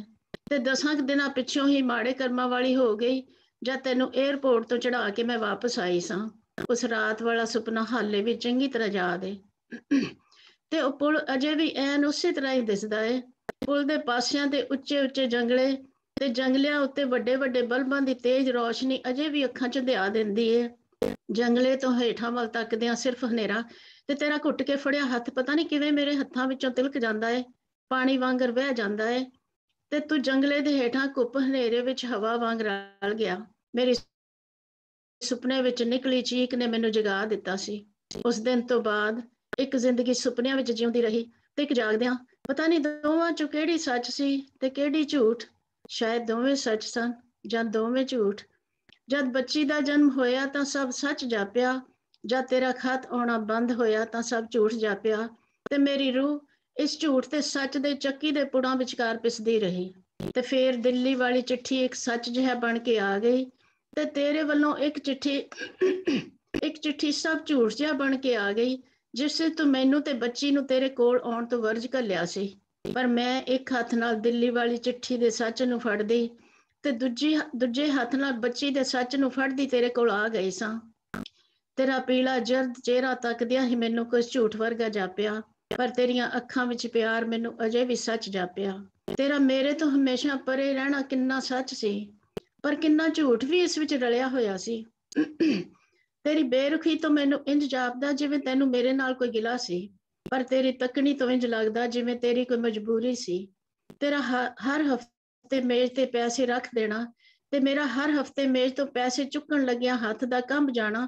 ਤੁਰ ਅੰਦਰ ਤੀਕ ਮੇਰੀ ਰੂਹ ਦਾ ਕੰਬ ਜਾਣਾ। ਪਤਾ ਨਹੀਂ ਝੂਠ ਸੀ ਜਾਂ ਸੱਚ, ਪਰ ਅੰਦਰਾਂ ਦੀ ਭੁੱਖ ਤਾਂ ਸੱਚ ਸੀ ਜੋ ਮੇਜ਼ ਤੋਂ ਪੈਸੇ ਚੁੱਕ ਕੇ ਗਰੋਸਰੀ ਸਟੋਰ ਵੱਲ ਮੇਰੇ ਪੈਰਾਂ ਨੂੰ ਤੋੜ ਦਿੰਦੀ। ਤੇ ਫੇਰ ਇੱਕ ਦਿਨ ਇਸ ਝੂਠ ਤੇ ਸੱਚ ਦੇ ਛਲਾਵਿਆਂ ਤੋਂ ਮੈਂ ਅੱਕ ਗਈ ਸਾਂ। ਮੇਰਾ ਆਪਾ ਪ੍ਰਸ਼ਨ ਚਿੰਨਾਂ ਨਾਲ ਵਿੰਨਿਆ ਗਿਆ ਸੀ, ਮੈਂ ਕੌਣ ਹਾਂ? ਇੱਥੇ ਕਿਉਂ ਆਈ ਆ? ਕਿਉਂ ਰਹਿਨੀ ਆ? ਕਿਉਂ ਜੀਨੀ ਆ? ਤੇ ਇਸ ਕਿਉਂ ਵਿੱਚੋਂ ਗੁੱਸਾ ਭੜਕ ਉੱਠਿਆ ਸੀ। ਗੁੱਸੇ ਤੇ ਪੀੜ ਦੀ ਅੱਗ ਨਾਲ ਮੇਰੇ ਸਾਥ ਧਮਾਕੇ ਗਏ। ਮੇਰਾ ਜ਼ਿਹਨ ਭੁੱਬੜ ਵਰਗਾ ਹੋ ਗਿਆ ਸੀ। ਮੇਰੇ ਆਪਣੇ ਹੀ ਅੰਦਰੋਂ ਨਿਕਲੀ ਅੱਗ ਨੇ ਮੈਨੂੰ ਸਾਰੀ ਦੀ ਸਾਰੀ ਨੂੰ ਨਿਗਲ ਲਿਆ ਤੇ ਮੈਂ ਭਾਂਬੜ ਵਾਂਗਰ ਮੱਚ ਉੱਠੀ ਸਾਂ। ਉਸ ਦਿਨ ਧਰਤੀ ਤੇ ਅਸਮਾਨ ਸਾਰਾ ਕੁਝ ਫੂਕ ਦੇਣ ਨੂੰ ਜੀ ਕਰ ਉੱਠਿਆ ਸੀ, ਪਰ ਤੂੰ ਸ਼ਾਂਤ ਬੈਠਾ, ਸਭ ਕੁਝ ਸੁਣਦਾ ਰਿਹਾ। ਤੇਰੇ ਚਿਹਰੇ ਦੀ ਪਲਿੱਤਣ ਹੋਰ ਵੀ ਗੂੜੀ ਹੋ ਗਈ। ਤੇਰੀਆਂ ਅੱਖਾਂ ਵਿੱਚ ਅਥਰੂ ਮੈਂ ਉਸ ਦਿਨ ਪਹਿਲੀ ਵਾਰ ਵੇਖੇ ਸਨ। ਉਦੋਂ ਤਾਂ ਮੈਨੂੰ ਏਡਸ ਦੇ ਨਾਂ ਦਾ ਵੀ ਨਹੀਂ ਸੀ ਪਤਾ। ਤੂੰ ਕਿੰਨਾ ਚਿਰ ਮੈਨੂੰ ਸਮਝਾਉਂਦਾ ਰਿਹਾ। ਹੰਝੂਆਂ ਦੀ ਅੱਗ ਤੇ ਗੁੱਸੇ ਦੀ ਅੱਗ ਹੰਝੂਆਂ ਦੇ ਹੜ ਵਿੱਚ ਡੁੱਬਦੀ ਤਰਦੀ ਬੁਝ ਗਈ। ਤੇ ਫਿਰ ਅਗਲੇ ਦਿਨ ਹੀ ਤੂੰ ਮੈਨੂੰ ਕੰਮ ਤੇ ਛੱਡ ਆਇਆ ਸੈਂ। ਆਪ ਤੂੰ ਕਿੰਨੇ ਦਿਨ ਕੰਮ ਤੇ ਨਹੀਂ ਸਜਾ ਸਕਿਆ ਤੇ ਫਿਰ ਕੰਮ ਕਰਨਾ ਤੇਰੇ ਵੱਸ ਵਿੱਚ ਨਹੀਂ ਸੀ ਰਹਿ ਗਿਆ। ਕੰਮ ਦਾ ਧਿਆਨ ਆਉਂਦਿਆਂ ਹੀ ਰਾਜੀ ਜਿਵੇਂ ਕਿਸੇ ਦੂਸਰੀ ਦੁਨੀਆ ਵਿੱਚੋਂ ਵਾਪਸ ਪਰਤ ਆਈ ਹੋਵੇ, ਵੀਰਵਾਰ ਦੀ ਸਵੇਰ ਹੋ ਗਈ ਸੀ। ਅੱਜ ਉਸਨੇ ਹਸਪਤਾਲ ਨਹੀਂ ਸੀ ਜਾਣਾ। ਜਦ ਦੀ ਤਾਸ਼ਾ ਦੀ ਕੰਪਨੀ 2-3 ਸਾਲਾਂ ਵਿੱਚ ਹੀ ਕਾਫੀ ਤਰੱਕੀ ਕਰ ਗਈ, ਤਾਂ ਉਸ ਰਾਜੀ ਨੂੰ ਕੰਮ ਕਰਨ ਤੋਂ ਰੋਕ ਦਿੱਤਾ ਸੀ। ਪਰ ਉਹ ਫੇਰ ਵੀ ਹਰ ਬੁੱਧਵਾਰ ਮਰੀਜ਼ਾਂ ਦੀ ਸੇਵਾ ਕਰਨ ਲਈ ਹਸਪਤਾਲ ਜਾਂਦੀ ਰਹੀ। ਰਾਜੀ ਦੀ ਧੀ ਤਾਸ਼ਾ ਰਾਜੀ ਦਾ ਸਰਵਣ ਪੁੱਤਰ ਸੀ। ਰਾਜੀ ਨੇ ਅੱਜ ਹਸਪਤਾਲ ਨਹੀਂ ਸੀ ਜਾਣਾ, ਪਰ ਪਤਾ ਨਹੀਂ ਕਿਉਂ ਉਸਦੇ ਪੈਰ ਆਪ ਮੁਹਾਰੇ ਹਸਪਤਾਲ ਵੱਲ ਉੱਠ ਤੁਰੇ। ਅਜੇ ਕੱਲ ਹੀ ਬਜ਼ੁਰਗਾਂ ਦੀ ਵਾਰਡ ਵਿੱਚ ਜਦ ਉਸ ਇੱਕ ਨਵੇਂ ਆਏ ਬੁੱਢੇ ਡੇਵਿਡ ਦੇ ਹੱਥਾਂ ਪੈਰਾਂ ਦੀ ਮਾਲਿਸ਼ ਕੀਤੀ ਤਾਂ ਉਸ ਪੁੱਛਿਆ ਸੀ, ਕਿ ਤੂੰ ਕੱਲ ਨੂੰ ਫੇਰ ਆਵੇਂਗੀ? ਜਦ ਰਾਜੀ ਨੇ ਉਸ ਨੂੰ ਦੱਸਿਆ ਕਿ ਉਹ ਤਾਂ ਸਿਰਫ ਬੁੱਧਵਾਰ ਹੀ ਮਰੀਜ਼ਾਂ ਦੀ ਸੇਵਾ ਕਰ ਆਉਂਦੀ ਹੈ ਤਾਂ ਬੁੱਢਾ ਡੇਵਿਡ ਜੇ ਮਨ ਦੇ ਪੋਟਿਆਂ ਤੇ ਅੱਜ ਤੋਂ ਲੈ ਕੇ ਅਗਲੇ ਬੁੱਧਵਾਰ ਤੱਕ ਦੇ ਦਿਨ ਗਿਣਾ ਲੱਗ ਪਿਆ ਸੀ। ਰਾਜੀ ਇੱਕ ਸੁਪਨੇ ਵਾਂਗ ਹੀ ਬੈਂਜਮਿਨ ਦੇ ਬੈੱਡ ਕੋਲ ਆ ਖਲੋਤੀ ਅੱਜ ਬੈਂਜਮਿਨ ਨੇ ਉਸ ਨੂੰ ਆਉਂਦਿਆਂ ਵੇਖ ਲਿਆ ਸੀ। ਵੇਖਿਆ ਤਾਂ ਸ਼ਾਇਦ ਕੱਲ ਵੀ ਹੋਵੇ, ਪਰ ਰਾਜੀ ਉਥੋਂ ਪਿਛਲੇ ਪੈਰ ਹੀ ਪਰਤ ਆਈ ਸੀ। ਬੈਂਜਮਿਨ ਨੇ ਪੂਰਾ ਤਾਣ ਲਾ ਕੇ ਆਪਣਾ ਕਮਜ਼ੋਰ ਜਿਹਾ ਹੱਥ ਕੰਬਲ ਵਿੱਚੋਂ ਖਿੱਚ, ਬਾਹਰ ਕੱਢਿਆ। ਉਸਦੇ ਮੈਦੇ ਰੰਗੇ ਹੱਥ ਨੂੰ ਰਾਜੀ ਦੇ ਕਣਕ ਰੰਗੇ ਹੱਥਾਂ ਵਿੱਚੋਂ ਜਿਵੇਂ ਕੋਈ ਤਾਕਤ ਮਿਲ ਗਈ ਹੋਵੇ ਉਸ ਦੀਆਂ ਬੁਝੂ ਬੁਝੂ ਕਰਦੀਆਂ ਅੱਖਾਂ ਇੱਕ ਵਾਰ ਫੇਰ ਚਮਕ ਪਈਆਂ। ਤੂੰ ਬਿਲਕੁਲ ਠੀਕ ਹੋ ਜਾਵੇਂਗਾ ਬੈਂਜਮਿਨ। ਕਿੰਨੇ ਝੂਠ ਗੱਲ ਆਖੀ ਸੀ ਰਾਜੀ ਨੇ। ਤੇ ਉਸ ਝੂਠ ਦਾ ਪਤਾ ਰਾਜੀ ਨੂੰ ਵੀ ਸੀ ਤੇ ਬੈਂਜਮਿਨ ਨੂੰ ਵੀ। ਪਰ ਉਹ ਫੇਰ ਵੀ ਹੱਸ ਪਿਆ ਤੇ ਉਸ ਨਿੱਕੇ ਜਿਹੇ ਹਾਸੇ ਨਾਲ ਹੀ ਕਿੰਨਾ ਥੱਕ ਗਿਆ ਸੀ, ਹੌਂਕਣ ਲੱਗ ਪਿਆ ਸੀ। ਪਾਲ ਵੀ ਕਿੰਨੀ ਛੇਤੀ ਥੱਕ ਜਾਇਆ ਕਰਦਾ ਸੀ। ਰਾਜੀ ਫੇਰ ਸੋਚਾਂ ਵਿੱਚ ਆਪਣੇ ਆਪ ਨਾਲ ਗੱਲਾਂ ਕਰਨ ਲੱਗ ਪਈ। ਉਹ ਕਈ ਕਈ ਦਿਨ ਇੱਕ ਲਫ਼ਜ਼ ਵੀ ਨਾ ਬੋਲਦਾ। ਤੇ ਇੱਕ ਵਾਰੀ ਕਿੰਨੇ ਹੀ ਦਿਨਾਂ ਦੀ ਇਕੱਠੀ ਕੀਤੀ ਤਾਕਤ ਨਾਲ ਉਸ ਆਖਿਆ ਸੀ, ਜਦ ਇਨਸਾਨ ਰਸਤਾ ਭੁੱਲ ਜਾਂਦਾ ਏ ਗਵਾਚ ਜਾਂਦਾ ਏ, ਤਾਂ ਉਹ ਹੋਰ ਵੀ ਤੇਜ਼ ਦੌੜਨ ਲੱਗਦਾ ਏ। ਮੈਂ ਤਾਂ ਦੌੜਦਾ ਦੌੜਦਾ ਬਹੁਤ ਦੂਰ ਨਿਕਲ ਗਿਆ। ਪਤਾ ਨਹੀਂ ਕਿਹੜੀ ਪਗ ਡੰਡੀ ਕਿੱਥੋਂ ਨਿਖੜਦੀ ਤੇ ਕਿੱਥੇ ਜਾ ਕੇ ਕਿਹੜੀ ਸੜਕ ਨੂੰ ਮਿਲਦੀ ਸੀ। ਮੈਨੂੰ ਕਦੇ ਮਾਫ ਨਾ ਕਰੀ ਰਾਜੀ, ਮੈਂ ਤੇਰਾ ਵੱਡਾ ਗੁਨਾਹਗਾਰ ਹਾਂ। ਬੋਲਦੇ ਬੋਲਦੇ ਪਾਲ ਨੂੰ ਸਾਹ ਚੜ ਗਿਆ ਤੇ ਰਾਜੀ ਨੇ ਆਪਣਾ ਹੱਥ ਉਸਦੇ ਮੂੰਹ ਉੱਤੇ ਰੱਖ ਦਿੱਤਾ ਸੀ। ਰਾਜੀ ਨੇ ਵੇਖਿਆ ਬੈਂਜਮਿਨ ਦਾ ਸਾਹ ਕਾਲਾ ਕਾਲਾ ਚੱਲ ਰਿਹਾ ਸੀ ਤੇ ਉਹ ਅੱਖਾਂ ਬੰਦ ਕਰਕੇ ਨਿਢਾਲ ਜਿਹਾ ਪਿਆ ਰਿਹਾ। ਰਾਜੀ ਉਸ ਕੋਲ ਬੈਠੀ ਕਦੇ ਬੀਤੇ ਵਿੱਚ ਪਹੁੰਚ ਜਾਂਦੀ ਤੇ ਕਦੇ ਮੁੜ ਵਰਤਮਾਨ ਵਿੱਚ ਪਰਤ ਆਉਂਦੀ। ਅਗਲੇ ਦਿਨ ਬੈਂਜਮਿਨ ਨੇ ਰਾਜੀ ਨੂੰ ਦੱਸਿਆ, ਕਈ ਵਰੇ ਪਹਿਲਾਂ ਇੱਕ ਕਾਰ ਐਕਸੀਡੈਂਟ ਤੋਂ ਬਾਅਦ ਉਸ ਨੂੰ ਖੂਨ ਦਿੱਤਾ ਗਿਆ ਸੀ ਤੇ ਉਸ ਖੂਨ ਦੇ ਨਾਲ ਹੀ ਏਡਸ ਜੋ ਕਈ ਵਰੇ ਉਸ ਦੇ ਅੰਦਰ ਚੁੱਪ ਕਰਕੇ ਬੈਠੀ ਰਹੀ। ਵਿਆਹ ਤੋਂ ਕੁਝ ਦਿਨ ਪਹਿਲਾਂ ਉਹ ਬਿਮਾਰ ਰਹਿਣ ਲੱਗ ਪਿਆ ਸੀ ਜਦ ਡਾਕਟਰਾਂ ਨੇ ਉਸ ਨੂੰ ਏਡਸ ਬਾਰੇ ਦੱਸਿਆ ਆਪਣੀ ਮੰਗੇਤਰ ਨੂੰ ਬਿਨਾਂ ਦੱਸੇ ਹੀ ਉਹ ਘਰੋਂ ਨਸ ਆਇਆ ਸੀ। ਬੈਂਜਮਿਨ ਨੇ ਇੱਕ ਮੁਚੜੀ ਜਿਹੀ ਤਸਵੀਰ ਰਾਜੀ ਦੇ ਸਾਹਮਣੇ ਕਰ ਦਿੱਤੀ। ਇੱਕ ਭੋਲੀ ਜਿਹੀ ਬਿੱਲੀਆਂ ਅੱਖਾਂ ਵਾਲੀ ਕੁੜੀ ਡਰੀ ਡਰੀ ਜੀ ਉਸ ਵੱਲ ਤੱਕ ਰਹੀ ਸੀ। ਤਸਵੀਰ ਵੱਲ ਵੇਖਦੇ ਹੀ ਰਾਜੀ ਦੇ ਅੰਦਰੋਂ ਕੁਝ ਬੋਲ ਉੱਠਿਆ, ਮੈਂ ਵੀ ਕਿੰਨਾ ਡਰ ਗਈ ਸਾਂ ਪਾਲ ਵੱਲ ਵੇਖ ਕੇ। ਜਦ ਇੱਕ ਸਵੇਰ ਚਮਚ ਨਾਲ ਚਾਹ ਦਾ ਘੁੱਟ ਉਸਦੇ ਮੂੰਹ ਵਿੱਚ ਪਾਉਣ ਲੱਗੀ ਤਾਂ ਉਸ ਪੁੱਛਿਆ ਸੀ, ਕਿੱਥੇ ਆ ਤੂੰ ਰਾਜੀ? ਆ ਵੇਖਾਂ ਮੈਂ ਤਾਂ ਤੇਰੇ ਸਾਹਮਣੇ ਆ। ਪਰ ਰਾਜੀ ਉਸਦੇ ਸਾਹਮਣੇ ਖੜੀ ਵੀ ਹੁਣ ਉਸ ਨੂੰ ਨਹੀਂ ਸੀ ਦਿਸਦੀ। ਪਾਲ ਦੀਆਂ ਖੁੱਲੀਆਂ ਅੱਖਾਂ ਵਿੱਚ ਕੋਈ ਹਰਕਤ ਨਹੀਂ ਸੀ, ਕੋਈ ਜੋਤ ਨਹੀਂ ਸੀ। ਰਾਜੀ ਨੇ ਉਸ ਦਾ ਹੱਥ ਫੜ ਕੇ ਆਪਣੇ ਚਿਹਰੇ ਨਾਲ ਛੁਹਾਇਆ ਤਾਂ ਉਸ ਦੀਆਂ ਉਂਗਲਾਂ ਦੇ ਪੋਟੇ ਢੇਰ ਚਿਰ ਤੱਕ ਰਾਜੀ ਦੇ ਮੂੰਹ ਵੱਲ ਤੱਕਦੇ ਰਹੇ ਸਨ। ਅਗਲੇ ਦਿਨ ਪਾਲ ਦੀਆਂ ਅੱਖ, ਪਾਲ ਦੀਆਂ ਉਂਗਲਾਂ ਦੇ ਪੋਟੇ ਵੀ ਉਸ ਦੀਆਂ ਅੱਖਾਂ ਵਾਂਗ ਹੀ ਨਿਰਜਿੰਦ ਹੋ ਗਏ। ਕਿੰਨੇ ਘੱਟ ਲੋਕ ਆਏ ਸਨ ਉਹਨਾਂ ਦੇ ਘਰ। ਸਾਰਾ ਕਾਰ ਵਿਹਾਰ ਦੋ ਚੋਂ ਦਿਨਾਂ ਵਿੱਚ ਹੀ ਨਿਬੜ ਗਿਆ ਸੀ। ਉਸਦੇ ਤੁਰ ਜਾਣ ਤੋਂ ਬਾਅਦ ਨੌਕਰੀ ਕਰਨੀ ਵੀ ਕਿੰਨੀ ਔਖੀ ਹੋ ਗਈ ਸੀ। ਜਿੱਥੇ ਵੀ ਜਾਂਦੀ, ਕੁਝ ਚਿਰ ਪਿੱਛੋਂ ਉੱਥੇ ਕੁਸਰ ਮੁਸਰ ਹੋਣ ਲੱਗ ਪੈਂਦੀ। ਕਈ ਪੰਜਾਬੀ ਔਰਤਾਂ ਦਾ ਤੁਰੀ ਆਉਂਦੀ ਨੂੰ ਵੇਖ ਕੇ ਲਾਂਭੇ ਹੋ ਜਾਂਦੀਆਂ। ਜਿਵੇਂ ਜਿਵੇਂ ਉਸਦੇ ਪਰਛਾਵੇਂ ਤੋਂ ਹੀ ਉਹਨਾਂ ਨੂੰ ਏਡਸ ਹੋ ਜਾਵੇਗੀ ਤੇ ਕਈ ਆਪਣੇ ਸਵਾਲਾਂ ਦੇ ਤੀਲਿਆਂ ਨਾਲ ਉਸਦੀ ਹਿੱਕ ਦੇ ਜ਼ਖਮਾਂ ਨੂੰ ਖੁਰਚ-ਖੁਰਚ ਕੇ ਛਿਛੜੇ ਲਾ ਦਿੰਦੀਆਂ। ਕਿੰਨੀ ਥਾਈਂ ਕੰਮ ਬਦਲਣਾ ਪਿਆ ਸੀ ਰਾਜੀ ਨੂੰ। ਕੰਪਿਊਟਰਾਂ ਦੇ ਪੁਰਜੇ ਬਣਾਉਣ ਵਾਲੀ ਫੈਕਟਰੀ ਬੱਚਿਆਂ ਦੇ ਖਿਡੌਣੇ ਪੈਕ ਕਰਨ ਵਾਲੀ ਥਾਂ ਤੇ ਹੋਰ ਕਿੰਨੇ ਹੀ ਸਟੋਰ ਤੇ ਅਖੀਰ ਵਿੱਚ ਇਹ ਹਸਪਤਾਲ ਬੀਤ ਚੁੱਕਿਆ ਵੇਲਾ ਪਤਾ ਨਹੀਂ ਕਿਉਂ ਉਸਦੇ ਨਾਲ ਚੰਬੜ ਕੇ ਬੈਠ ਗਿਆ ਸੀ ਜਾਂ ਰਾਜੀ ਹੀ ਪਿਛਾਂ ਪਰਤ ਕੇ ਬੀਤੇ ਨੂੰ ਫੜ ਬੈਠੀ ਸੀ, ਉਸਦੀ ਉਸਦੀ ਸੋਚ ਫੇਰ ਕੰਬ ਉੱਠੀ ਕਿੰਨਾ ਹਨੇਰਾ ਪਸਣ ਲੱਗ ਪਿਆ ਸੀ ਮੇਰੇ ਅੰਦਰ। ਹਨੇਰਾ ਮੇਰੀਆਂ ਬਰੂਹਾਂ ਦੀਆਂ ਚੀਤਾਂ ਥਾਣੀ ਸਰਕਦਾ ਮੇਰੇ ਵਿਹੜੇ ਵਿੱਚ ਸਮਾ ਗਿਆ ਸੀ। ਹਨੇਰਾ ਮੇਰੇ ਕੱਪੜਿਆਂ ਤੇ ਮੇਰੇ ਜਿਸਮ ਵਿੱਚ ਸਮਾ ਗਿਆ। ਮੈਂ ਚਾਨਣ ਦੀ ਕੰਨੀ ਖਿੱਚ ਖਿੱਚ ਹਾਰ ਗਈ ਸਾਂ। ਰਾਤ ਮੁੱਕ ਜਾਇਆ ਕਰਦੀ, ਪਰ ਕਦੇ ਦਿਨ ਨਹੀਂ ਸੀ ਚੜਦਾ ਦਿਲ ਤੇ ਪਈਆਂ ਰਾਤਾਂ ਦੀ ਸ਼ਾਇਦ ਕੋਈ ਸਵੇਰ ਨਹੀਂ ਹੁੰਦੀ। ਪਰ ਇੱਕ ਚਿੱਪਰ ਜੀ ਚਾਨਣ ਦੀ ਮੈਂ ਹਨੇਰਿਆਂ ਤੋਂ ਲੁਕੋ ਲਈ ਸੀ, ਆਪਣੇ ਜ਼ਿਹਨ ਦੀ ਅੰਦਰਲੀ ਡੂੰਗੀ ਗੁਫਾ ਵਿੱਚ। ਰਾਜੀ ਦੀਆਂ ਸੋਚਾਂ ਦੀ ਲੜੀ ਟੁੱਟੀ। ਬੈਂਜਮਿਨ ਆਖ ਰਿਹਾ ਸੀ, ਕਿੱਥੇ ਚਲੀ ਗਈ ਹੈ ਤੂੰ ਰਾਜੀ? ਇੰਨਾ ਕੰਬਦੀ ਕਿਉਂ ਪਈ ਹੈ ਰਾਜੀ ਅਜੇ ਵੀ ਉਸ ਕੁੜੀ ਦੀ ਤਸਵੀਰ ਵੱਲ ਵੇਖ ਰਹੀ ਸੀ। ਨਹੀਂ, ਉਹ ਤਾਂ ਸ਼ਾਇਦ ਆਪਣੇ ਆਪ ਵੱਲ ਹੀ ਵੇਖ ਰਹੀ ਸੀ। ਮੈਂ ਕੱਲ ਫੇਰ ਆਵਾਂਗੀ ਬੈਂਜਮਿਨ। ਆਖ ਕੇ ਰਾਜੀ ਉੱਥੋਂ ਤੁਰ ਆਈ ਪਰ ਸੋਚਾਂ ਦਾ ਪਰਾਗਾ ਭਰ ਕੇ ਆਪਣੇ ਨਾਲ ਹੀ ਲੈ ਆਈ ਸੀ। ਅਗਲੇ ਦਿਨ ਰਾਜੀ ਦੇ ਪਹੁੰਚਣ ਤੋਂ ਪਹਿਲਾਂ ਹੀ ਬੈਂਜਮਿਨ ਇੱਕ ਅਧੂਰੀ ਕਹਾਣੀ ਦੇ ਪਾਤਰ ਵਾਂਗ ਤੁਰ ਗਿਆ ਸੀ ਤੇ ਰਾਜੀ ਇੱਕ ਵਾਰ ਫੇਰ ਹਨੇਰੇ ਨੂੰ ਟਟੋਲਦੀ ਹੋਈ ਘਰ ਨੂੰ ਮੁੜ ਆਈ ਕਮਰੇ ਵਿੱਚ ਤਾਸ਼ਾ ਦੀ ਨਿੱਕੀ ਹੁੰਦੀ ਤਸਵੀਰ ਤੇ ਨਜ਼ਰ ਪੈਂਦਿਆਂ ਹੀ ਰਾਜੀ ਦੀ ਰੂਹ ਬੋਲ ਉੱਠੀ, ਤੂੰ ਹੀ ਮੇਰੀ ਉਹ ਚਾਨਣ ਦੀ ਚਿੱਪਨ ਹੈ ਤਾਸ਼ਾ, ਜੋ ਮੈਂ ਹਨੇਰਿਆਂ ਤੋਂ ਲੁਕੋ ਲਈ ਸੀ। ਜਦ ਫਿਕਰਾਂ ਤੇ ਉਦਾਸੀ ਭਰਿਆ ਸਿਰ ਮੈਂ ਤੇਰੇ ਨਿੱਕੇ ਜਿਹੇ ਮੋਢੇ ਤੇ ਰੱਖ ਲੈਂਦੀ, ਤਾਂ ਮੈਨੂੰ ਰੱਬ ਵਰਗਾ ਆਸਰਾ ਮਿਲਦਾ। ਤੇਰੀਆਂ ਨਿੱਕੀਆਂ ਨਿੱਕੀਆਂ ਗੱਲਾਂ ਜੁਗਨੂਆਂ ਵਾਂਗ ਜਗਦੀਆਂ, ਮੇਰੇ ਅੰਦਰ ਪਸਰੇ ਹਨੇਰੇ ਨੂੰ ਰੁਸ਼ਨਾ ਦਿੰਦੀਆਂ। ਤੇ ਇਹ ਨਿੱਕੇ ਨਿੱਕੇ ਜੁਗਨੂਆਂ ਦੀ ਰੋਸ਼ਨੀ ਮੇਰਾ ਮੇਰਾ ਸੂਰਜ ਬਣਦੀ ਗਈ ਤੇ ਮੇਰੀ ਰੂਹ ਰਸ਼ਨਾਉਂਦੀ ਗਈ।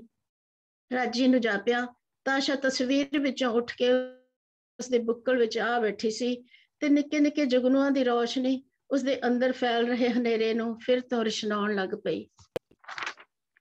ਹਾਂਜੀ ਦੈਟਸ ਇਟ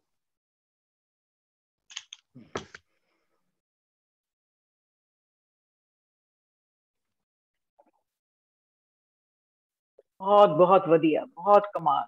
ਦਿਲ ਨੂੰ ਛੂ ਗਈ। ਥੈਂਕ ਯੂ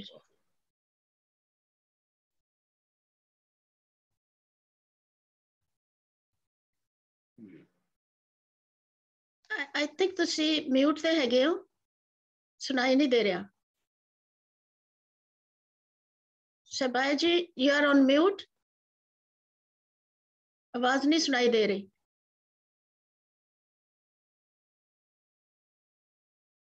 ਮਿਊਟ ਹੋ ਗਏ ਮੇਰੇ ਖਿਆਲ ਹੈ ਸਾਰੇ ਮਿਊਟ ਤੇ ਨੇ ਸ਼ਾਇਦ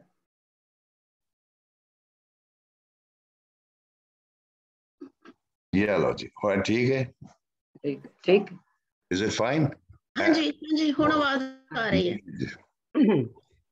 ਚਲੋ ਆਵਾਜ਼ ਆ ਰਹੀ ਹੈ ਤਾਂ ਮੈਂ ਤੇ ਉਹ ਗੱਲ ਕਰ ਚੁੱਕਿਆ ਜਿਹੜੀ। ਬੜਾ ਇੰਟਰਸਟਿੰਗ ਬਹੁਤ ਬਹੁਤ ਤੇ ਮੇਰਾ ਖਿਆਲ ਹੈ ਬਾਕੀ ਲੋਕ ਨਾ ਦੇ ਬਾਰੇ ਗੱਲ ਕਰਨ। ਬੜੀ ਖੂਬਸੂਰਤ ਉਹਨਾਂ ਨੇ ਜ਼ਾਹਿਰ ਹੈ ਬੜੀ ਅੱਛੀ ਤਰ੍ਹਾਂ ਉਹਨਾਂ ਨੂੰ ਸੁਣਿਆ ਤੇ ਅਬਜ਼ਰਵ ਕੀਤਾ ਤੇ ਉਹ ਆਪਣੀ ਆਪਣੀ ਕੋਈ ਗੱਲ ਰਾਏ ਕੋਈ ਓਪੀਨੀਅਨ ਕੋਈ ਇੰਪ੍ਰੈਸ਼ਨ ਹਾਂਜੀ ਤ੍ਰਿਪਤਾ ਜੀ। ਤ੍ਰਿਪਤਾ ਜੀ ਤੁਸੀਂ ਗੱਲ ਕਰੋ।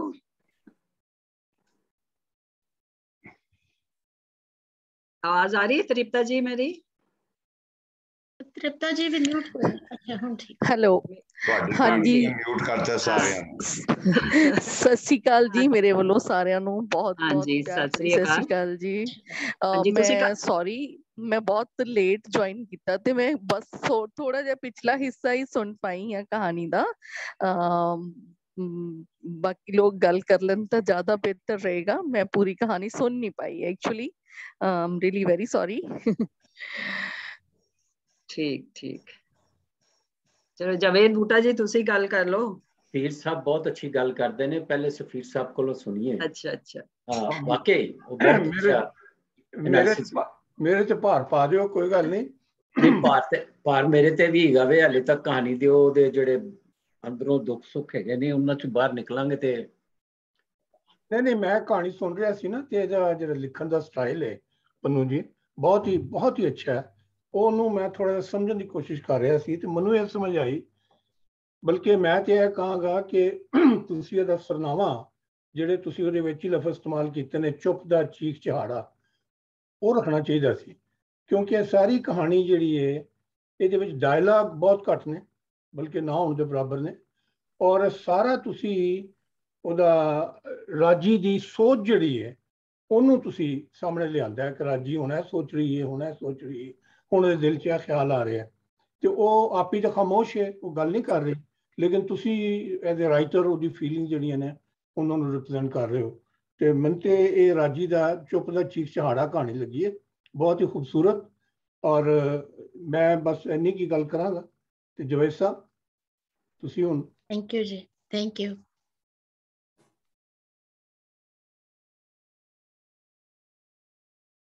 ਕਹਾਣੀ ਜਿਹੜੀ ਹੈ ਪਹਿਲੀ ਗੱਲ ਤੇ ਇਹ ਹੈ ਕਿ ਉਹਨੂੰ ਜਿਸ ਤਰ੍ਹਾਂ ਬੁਣਿਆ ਗਿਆ ਹੈ, ਉਹ ਬਹੁਤ ਹੀ ਖੂਬਸੂਰਤ ਹੈ। ਪਹਿਲੀ ਗੱਲ ਇਹਦੇ ਵਿੱਚ ਜਿਹੜੀ ਬੋਲੀ ਵਰਤੀ ਗਈ ਹੈ ਉਹ ਵੀ ਬਹੁਤ ਜ਼ਬਰਦਸਤ ਹੈ। ਔਰ ਜਿਸ ਤਰ੍ਹਾਂ ਉਹਨਾਂ ਨੇ ਪੰਜਮੈਨ ਨੂੰ ਸਾਹਮਣੇ ਬੈਠੇ ਨੂੰ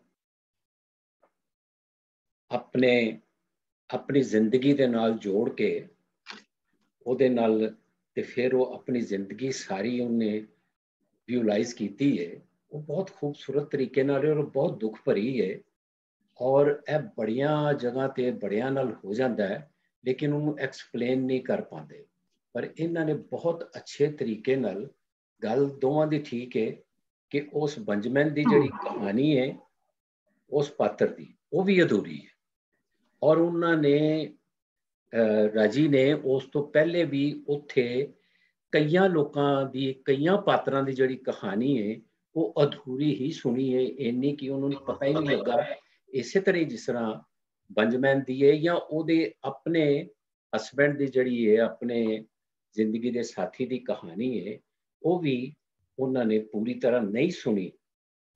ਥੋੜਾ ਜਿਹਾ ਹਿੱਸਾ ਉਹਨਾਂ ਨੇ ਉਹਦੀ ਕਹਾਣੀ ਦਾ ਪਤਾ ਹੈ। ਬਾਕੀ ਜਦੋਂ ਉਹ ਗਿਆ ਉਹਦੇ ਬਾਅਦ ਸਿਰਫ ਉਹਨਾਂ ਨੇ ਉਹ ਥੋੜਾ ਥੋੜਾ ਥੋੜਾ ਥੋੜਾ ਹਿੱਸਾ ਜਿਹੜਾ ਹੈ ਉਹ ਵੀ ਬਿਆਨ ਕੀਤਾ ਵੇ। ਲੇਕਿਨ ਜਿਹੜੇ ਉੱਥੇ ਹਸਪਤਾਲ ਵਿੱਚ ਜਾ ਕੇ ਇਸ ਤਰ੍ਹਾਂ ਦੇ ਕਈ ਪਾਤਰ ਨੇ ਜਿਨ੍ਹਾਂ ਦੀਆਂ ਕਹਾਣੀਆਂ ਅਧੂਰੀਆਂ ਹੀ ਨੇ ਔਰ ਬੜੀਆਂ ਦੁੱਖ ਭਰੀਆਂ ਨੇ ਬੜੀਆਂ ਖੂਬਸੂਰਤ ਵੀ ਹੋਣਗੀਆਂ। ਲੇਕਿਨ ਉੱਥੇ ਸਾਰਾ ਕੁਝ ਜੋ ਕੁਝ ਹੈ, ਉਹ ਦੁੱਖਾਂ ਦਾ ਹੀ ਭਰਿਆ ਹੈ। ਔਰ ਬੜੇ ਅੱਛੇ ਤਰੀਕੇ ਨਾਲ ਇਹਨਾਂ ਨੇ ਐਕਸਪਲੇਨ ਕੀਤਾ ਜੀ। ਬਹੁਤ ਹੀ ਅੱਛੇ ਤਰੀਕੇ ਨਾਲ ਕਿ ਬੰਦੇ ਨੂੰ ਉਹ ਕਹਾਣੀ, ਹਾਲਾਂਕਿ ਬਹੁਤ ਲੰਬੀ ਕਹਾਣੀ ਹੈ, ਲੇਕਿਨ ਹਿੱਲਣ ਨਹੀਂ ਦਿੰਦੀ। ਬਹੁਤ ਉਹਨੂੰ ਜਿਸ ਤਰ੍ਹਾਂ ਕੁੰਡੀ ਪਾਈ ਹੁੰਦੀ ਹੈ ਨਾ, ਉਸ ਤਰ੍ਹਾਂ ਟੁੰਬ ਕੇ ਰੱਖਦੀ ਹੈ ਕਿ ਹਿੱਲਣਾ ਨਹੀਂ। ਧਿਆਨ ਇੱਧਰ ਹੀ ਰਹਿਣਾ ਚਾਹੀਦਾ। ਇਹ ਇਹਦੀ ਖੂਬਸੂਰਤੀ ਜਿਹੜੀ ਜ਼ੁਬੈਰ ਜੀ ਜ਼ੁਬੈਰ ਜੀ ਕੀ ਗੱਲ ਕਰਨ ਆਪਣੀ ਆਵਾਜ਼ ਬੰਦ ਆਪਣਾ ਸਰਮੋ ਸਬਾਈ ਜੀ ਕੀ ਹਾਲ ਹੈ ਠੀਕ ਠਾਕ ਤੁਸੀਂ ਸੁਣਾਓ ਬੜੇ ਅਰਸੇ ਬਾਅਦ ਦਰਸ਼ਨ ਹੋਏ ਨੇ ਤੁਹਾਡੇ ਮੁਸਤਫਾ ਭਾਈ ਉਹ ਕਹਾਣੀ ਤੇ ਰੋ ਬਾਅਦ ਵਿੱਚ ਗੱਲਾਂ ਕਰਾਂਗੇ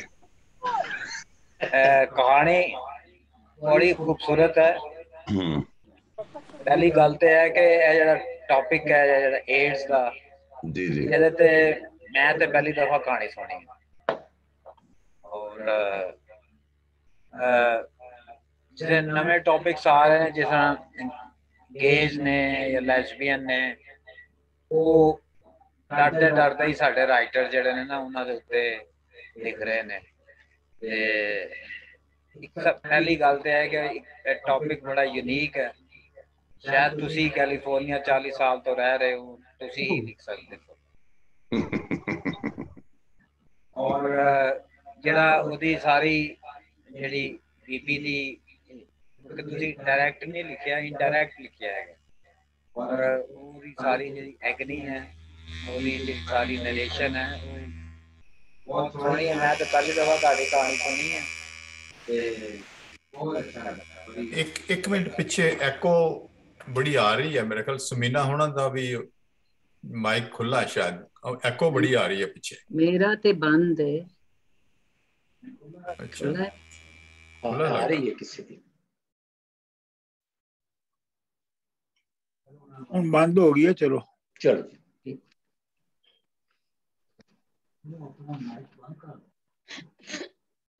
ਇਹ ਮੈਨੂੰ ਲੱਗਦਾ ਕਿ ਜ਼ਬੈਰ ਹੋਣਾ ਨੇ ਦੋ ਅਕਾਊਂਟ ਖੋਲੇ ਨੇ ਤੇ ਉਹਦੀ ਗੂੰਜ ਆ ਰਹੀ ਆ ਇਹੋ ਹੀ ਇਹੋ ਹੀ ਗੱਲ ਹਾਂ। ਉਹ ਇਸ ਤਰ੍ਹਾਂ ਹੁੰਦਾ ਹੈ ਵੀ ਜੇ ਬਿਲਕੁਲ। ਦੋ ਕਾਉਂਟਾਂ ਤੋਂ ਲਾਗਇਨ ਕਰੋ ਨਾ ਹਾਂਜੀ। ਵੀ ਇੱਕ ਵਕਤ ਤੇ ਫਿਰ ਉਹਦੇ ਵਿੱਚ ਗੂੰਦ ਆਉਂਦੀ ਹੈ। ਹੂੰ। ਬਿਲਕੁਲ ਇਸ ਤਰ੍ਹਾਂ। ਕਾਉਂਟ ਸੁਣਾ ਇੱਕ ਅਕਾਊਂਟ ਸੋ ਤੇ ਇੱਕ ਡਿਸਕਾਊਂਟ ਸੋ ਹਾਂਜੀ। ਮੈਂ ਛੋਟੀ ਛੋਟੀ ਜੀ ਬਸ ਇਸ ਕਹਾਣੀ ਦੇ ਬਾਰੇ ਚ ਗੱਲ ਕਰਨਾ ਚਾਹੁੰਦਾ। ਜੀ। ਉਹ ਇਹ ਹੈ ਕਿ ਮੈਨੂੰ ਜਿਹੜੀ ਇਹਦੀ ਮੁੱਢ ਮੁੱਢਲੀ ਕੁੰਡੀ ਜਿਹੜੀ ਨਜ਼ਰ ਆਈ ਹੈ ਇਸ ਕਹਾਣੀ ਦੀ ਉਹ ਮੌਤ ਹੈ।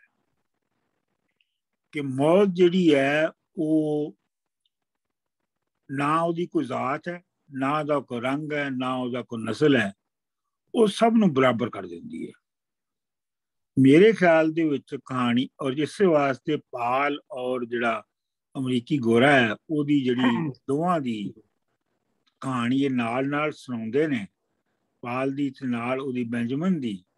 ਤੇ ਉਹਦੇ ਵਿੱਚ ਬੇਸਿਕਲੀ ਜਿਹੜੀ ਇਹਨਾਂ ਨੇ ਸ਼ੁਰੂ ਚ ਹੀ ਕਿਹਾ ਸੀ ਕਿ ਜੀ, ਮੌਤ ਦਾ ਕੋਈ ਰੰਗ ਨਹੀਂ ਹੁੰਦਾ। ਉਹ ਗੋਰਾ ਹੈ, ਉਹ ਹਿੰਦੁਸਤਾਨੀ ਬੰਦਾ ਹੈ ਦੂਜਾ। ਤੇ ਇਹ ਉਹਨਾਂ ਦੇ ਦੋਵਾਂ ਦੀ ਸਾਂਝ ਔਰ ਆਪਣੀ ਜਿਹੜੀ ਦੁਖਾਂਤ ਹੈ, ਉਹ ਬੰਜਮਨ ਲਈ ਵੀ ਉਨੀ ਦੁਖਾਂਤ ਹੈ ਜਿੰਨੀ ਉਹ ਪਾਲ ਲਈ ਸੀ। ਕਿਉਂਕਿ ਬੰਜਮਨ ਵੀ ਪਾਲ ਹੀ ਹੋ ਗਿਆ ਹੈ ਹੁਣ। ਤੇ ਇਹ ਮੇਰਾ ਛੋਟਾ ਜਿਹਾ ਕਮੈਂਟ ਹੈ ਬਾਕੀ ਤੇ ਦੋਸਤ ਗੱਲ ਕਰਨਗੇ। ਜੀ ਕੁਝ ਮੈਂ ਗੱਲ ਕਰ ਸਕਦੀ ਹਾਂ ਜੀ ਇਜਾਜ਼ਤ ਨਾਲ? ਜੀ ਜੀ ਜ਼ਰੂਰ ਜਨਾਬ ਹਾਂਜੀ। ਜੀ ਅੱਜ ਦੇ ਪ੍ਰਧਾਨ ਜਿਹੜੇ ਹੈਗੇ ਸਰਮਤ ਸਾਹਿਬ ਤੁਹਾਡੀ ਇਜਾਜ਼ਤ ਦੇ ਨਾਲ ਬਾਕੀ ਦੋਸਤ ਜਿੰਨੇ ਵੀ ਸੀਨੀਅਰਸ ਬੈਠੇ ਉਹਨਾਂ ਸਭ ਦੀ ਵੀ ਇਜਾਜ਼ਤ ਦੇ ਨਾਲ ਮੈਂ ਆਪਣੀ ਅਮ, ਰਾਏ ਦੇਣ ਅਹ, ਦੀ ਕੋਸ਼ਿਸ਼ ਕਰਾਂਗੀ। ਅਮਰਜੀਤ ਜੀ ਪਹਿਲੀ ਗੱਲ ਤੇ ਬਹੁਤ ਜ਼ਿਆਦਾ ਮੁਬਾਰਕਬਾਦ ਹੈ ਤੁਸੀਂ ਮੁਸਤਕ ਹੈਗੀਆਂ ਹੋ ਕਿ ਜਿਨ੍ਹਾਂ ਨੇ ਇੱਕ ਇਹ ਟੌਪਿਕ ਚੁਣਿਆ। ਦੂਸਰੀ ਗੱਲ ਹੈ ਕਿ ਇਸ ਦੇ ਉੱਤੇ ਗੱਲ ਕਰਨਾ ਹੀ ਬੜੀ ਵੱਡੀ ਗੱਲ ਹੈ। ਲੇਕਿਨ ਕਿਉਂਕਿ ਖਾਸ ਤੌਰ ਤੇ ਸਾਡੇ ਜਿਹੜੇ ਆਪਣਾ ਸਾਡੇ ਮਸ਼ਰਕੀ ਮਾਸ਼ਰਿਆਂ ਚ ਤੇ ਇਹ ਬਾਜ਼ੂਕਾਤ ਐਸੀਆਂ ਚੀਜ਼ਾਂ ਨੇ ਜਿਹੜੀਆਂ ਸ਼ਜਰੇ ਮਮਨੂਆ ਕਹੀਆਂ ਜਾਂਦੀਆਂ ਨੇ ਲੇਕਿਨ ਉਹ ਐਗਜ਼ਿਸਟ ਕਰਦੀਆਂ। ਉਹ ਹਰ ਮਾਸ਼ਰੇ ਚ ਐਗਜ਼ਿਸਟ ਕਰਦੀਆਂ। ਤੇ ਇਹ ਜਿਹੜਾ ਟੌਪਿਕ ਅਨਮਾਨ ਹੈ, ਇਹ ਵੀ ਕੋਈ ਨਵਾਂ ਨਹੀਂ ਹੈ। ਇਹ ਇਹ ਵੇ ਕਿ ਇਹਦਾ ਪਤਾ ਬਾਅਦ ਚ ਚੱਲਿਆ। ਹੁੰਦਾ ਤੇ ਹੋਵੇਗਾ ਪਹਿਲੇ ਵੀ, ਜਿਸ ਤਰ੍ਹਾਂ ਸਾਡੀ ਵੈਸਟਰਨ ਕੰਟਰੀਜ਼ ਚ ਤੇ ਇਹਦੀ ਬਹੁਤ ਹੀ ਜਾਣਕਾਰੀ ਹੈਗੀ ਹੈ, ਇਹਦੇ ਤੇ ਗੱਲ ਵੀ ਹੁੰਦੀ ਹੈ। ਰਹੀ ਗੱਲ ਕਹਾਣੀ, ਤੁਸੀਂ ਇੰਨੇ ਸੋਹਣੇ ਅੰਦਾਜ਼ ਨਾਲ, ਸੋਹਣਾ ਅੰਦਾਜ਼ ਇਸ ਤਰ੍ਹਾਂ ਕਹਿ- ਮੈਂ ਕਵਾਂਗੀ ਕਿ ਉਹ ਇੰਨਾ ਕਨਵਿੰਸਿੰਗ ਸੀ ਕਿ ਉਹਦੇ ਇੱਕ ਇੱਕ ਲਾਈਨ ਦੇ ਵਿੱਚੋਂ ਇੱਕ ਇੱਕ ਸ਼ਬਦ ਦੇ ਵਿੱਚੋਂ ਆ ਮਤਲਬ ਕਿ ਬੰਦਾ ਲੱਗਦਾ ਕਿ ਬੰਦਾ ਆਪ ਉਹ ਇਹ ਜਿਹੜੀ ਜਗ ਬੀਤੀ ਨਹੀਂ ਹੈ ਇਹ ਆਪ ਬੀਤੀ ਮਹਿਸੂਸ ਹੋਣ ਲੱਗ ਪਈ। ਜਿਹੜਾ ਰਾਜੀ ਦਾ ਦੁੱਖ ਮੈਨੂੰ ਲੱਗਿਆ ਕਿ ਰਾਜੀ ਦਾ ਦੁੱਖ ਕਿਸੇ ਔਰਤ ਦਾ ਦੁੱਖ ਕਿਸੇ ਸਵਾਨੀ ਦਾ ਦੁੱਖ ਨਹੀਂ ਉਹ ਸਾਰੀਆਂ ਹੀ ਔਰਤਾਂ ਦਾ ਦੁੱਖ ਆ। ਤੇ ਉਹਦੇ ਬਾਅਦ ਪਾਲ ਦੀ ਗੱਲ ਤੇ ਕਿਸ ਤਰ੍ਹਾਂ ਉਸ ਬਿਮਾਰੀ ਦੀ ਵਜ੍ਹਾ ਨਾਲ ਕਿੱਥੇ ਕਿੱਥੇ ਉਹ ਦੁੱਖ ਸਹਿਣੇ ਪੈਂਦੇ ਨੇ।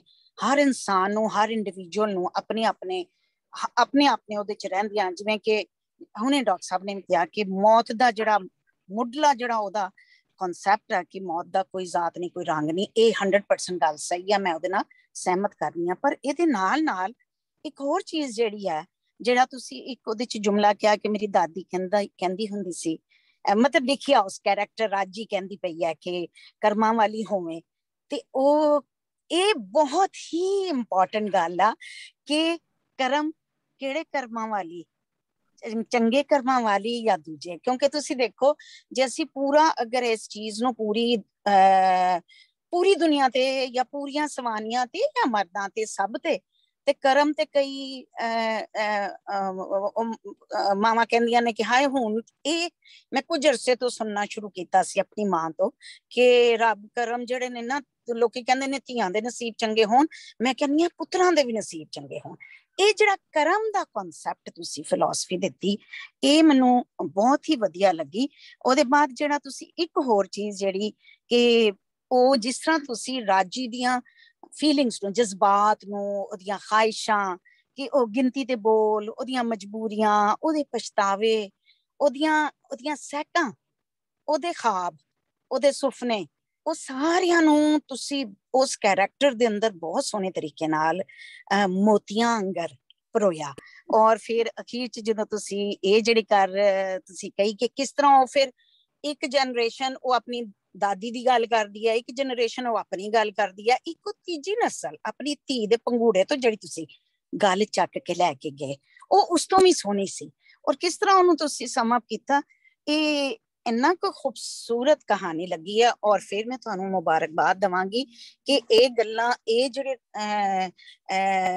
ਜਿਹੜੀਆਂ ਜ਼ਿੰਦਗੀ ਦੀਆਂ ਹਕੀਕਤਾਂ ਨੇ ਜਿਸ ਤਰ੍ਹਾਂ ਹੋਈ ਕੈਂਸਰ ਹੋਇਆ, ਚਲੋ ਕੈਂਸਰ ਬਾਰੇ ਤੇ ਫਿਰ ਵੀ ਗੱਲ ਕਰ ਦਿੰਦੇ ਹੈ ਐਸੀਆਂ ਚੀਜ਼ਾਂ ਜਿਹਦੇ ਨਾਲ ਸਾਡੇ ਮੁਆਸ਼ਰੇ, ਪੂਰੀ ਦੁਨੀਆ ਦੇ ਮੁਆਸ਼ਰਿਆਂ ਦੇ ਵਿੱਚ ਸਟਿਗਮਾ ਸਟਿਗਮਾ ਜੁੜੇ ਹੋਏ ਨੇ, ਉਹਨਾਂ ਦੇ ਉੱਤੇ ਗੱਲ ਕਰਨਾ, ਇੱਕ ਗੱਲ ਕਰਨ ਵਾਲੀ ਜਿਹੜੀ ਮੁਸਨਫਾ ਰਾਈਟਰ ਹੈ ਉਹ ਉਹਨਾਂ ਨੂੰ ਵਾਕਈ ਬਹੁਤ ਜ਼ਿਆਦਾ ਤੁਸੀਂ ਮੁਬਾਰਕਬਾਦ ਦੇ ਮਸਤਕ ਹੋ ਤੇ ਮੇਰੇ ਵੱਲੋਂ ਢੇਰਾਂ ਵਧਾਈਆਂ। ਤੁਸੀਂ ਬਹੁਤ ਸੋਹਣਾ ਬਹੁਤ ਚੰਗੀ ਬਹੁਤ ਵਧੀਆ ਲੱਗੀ।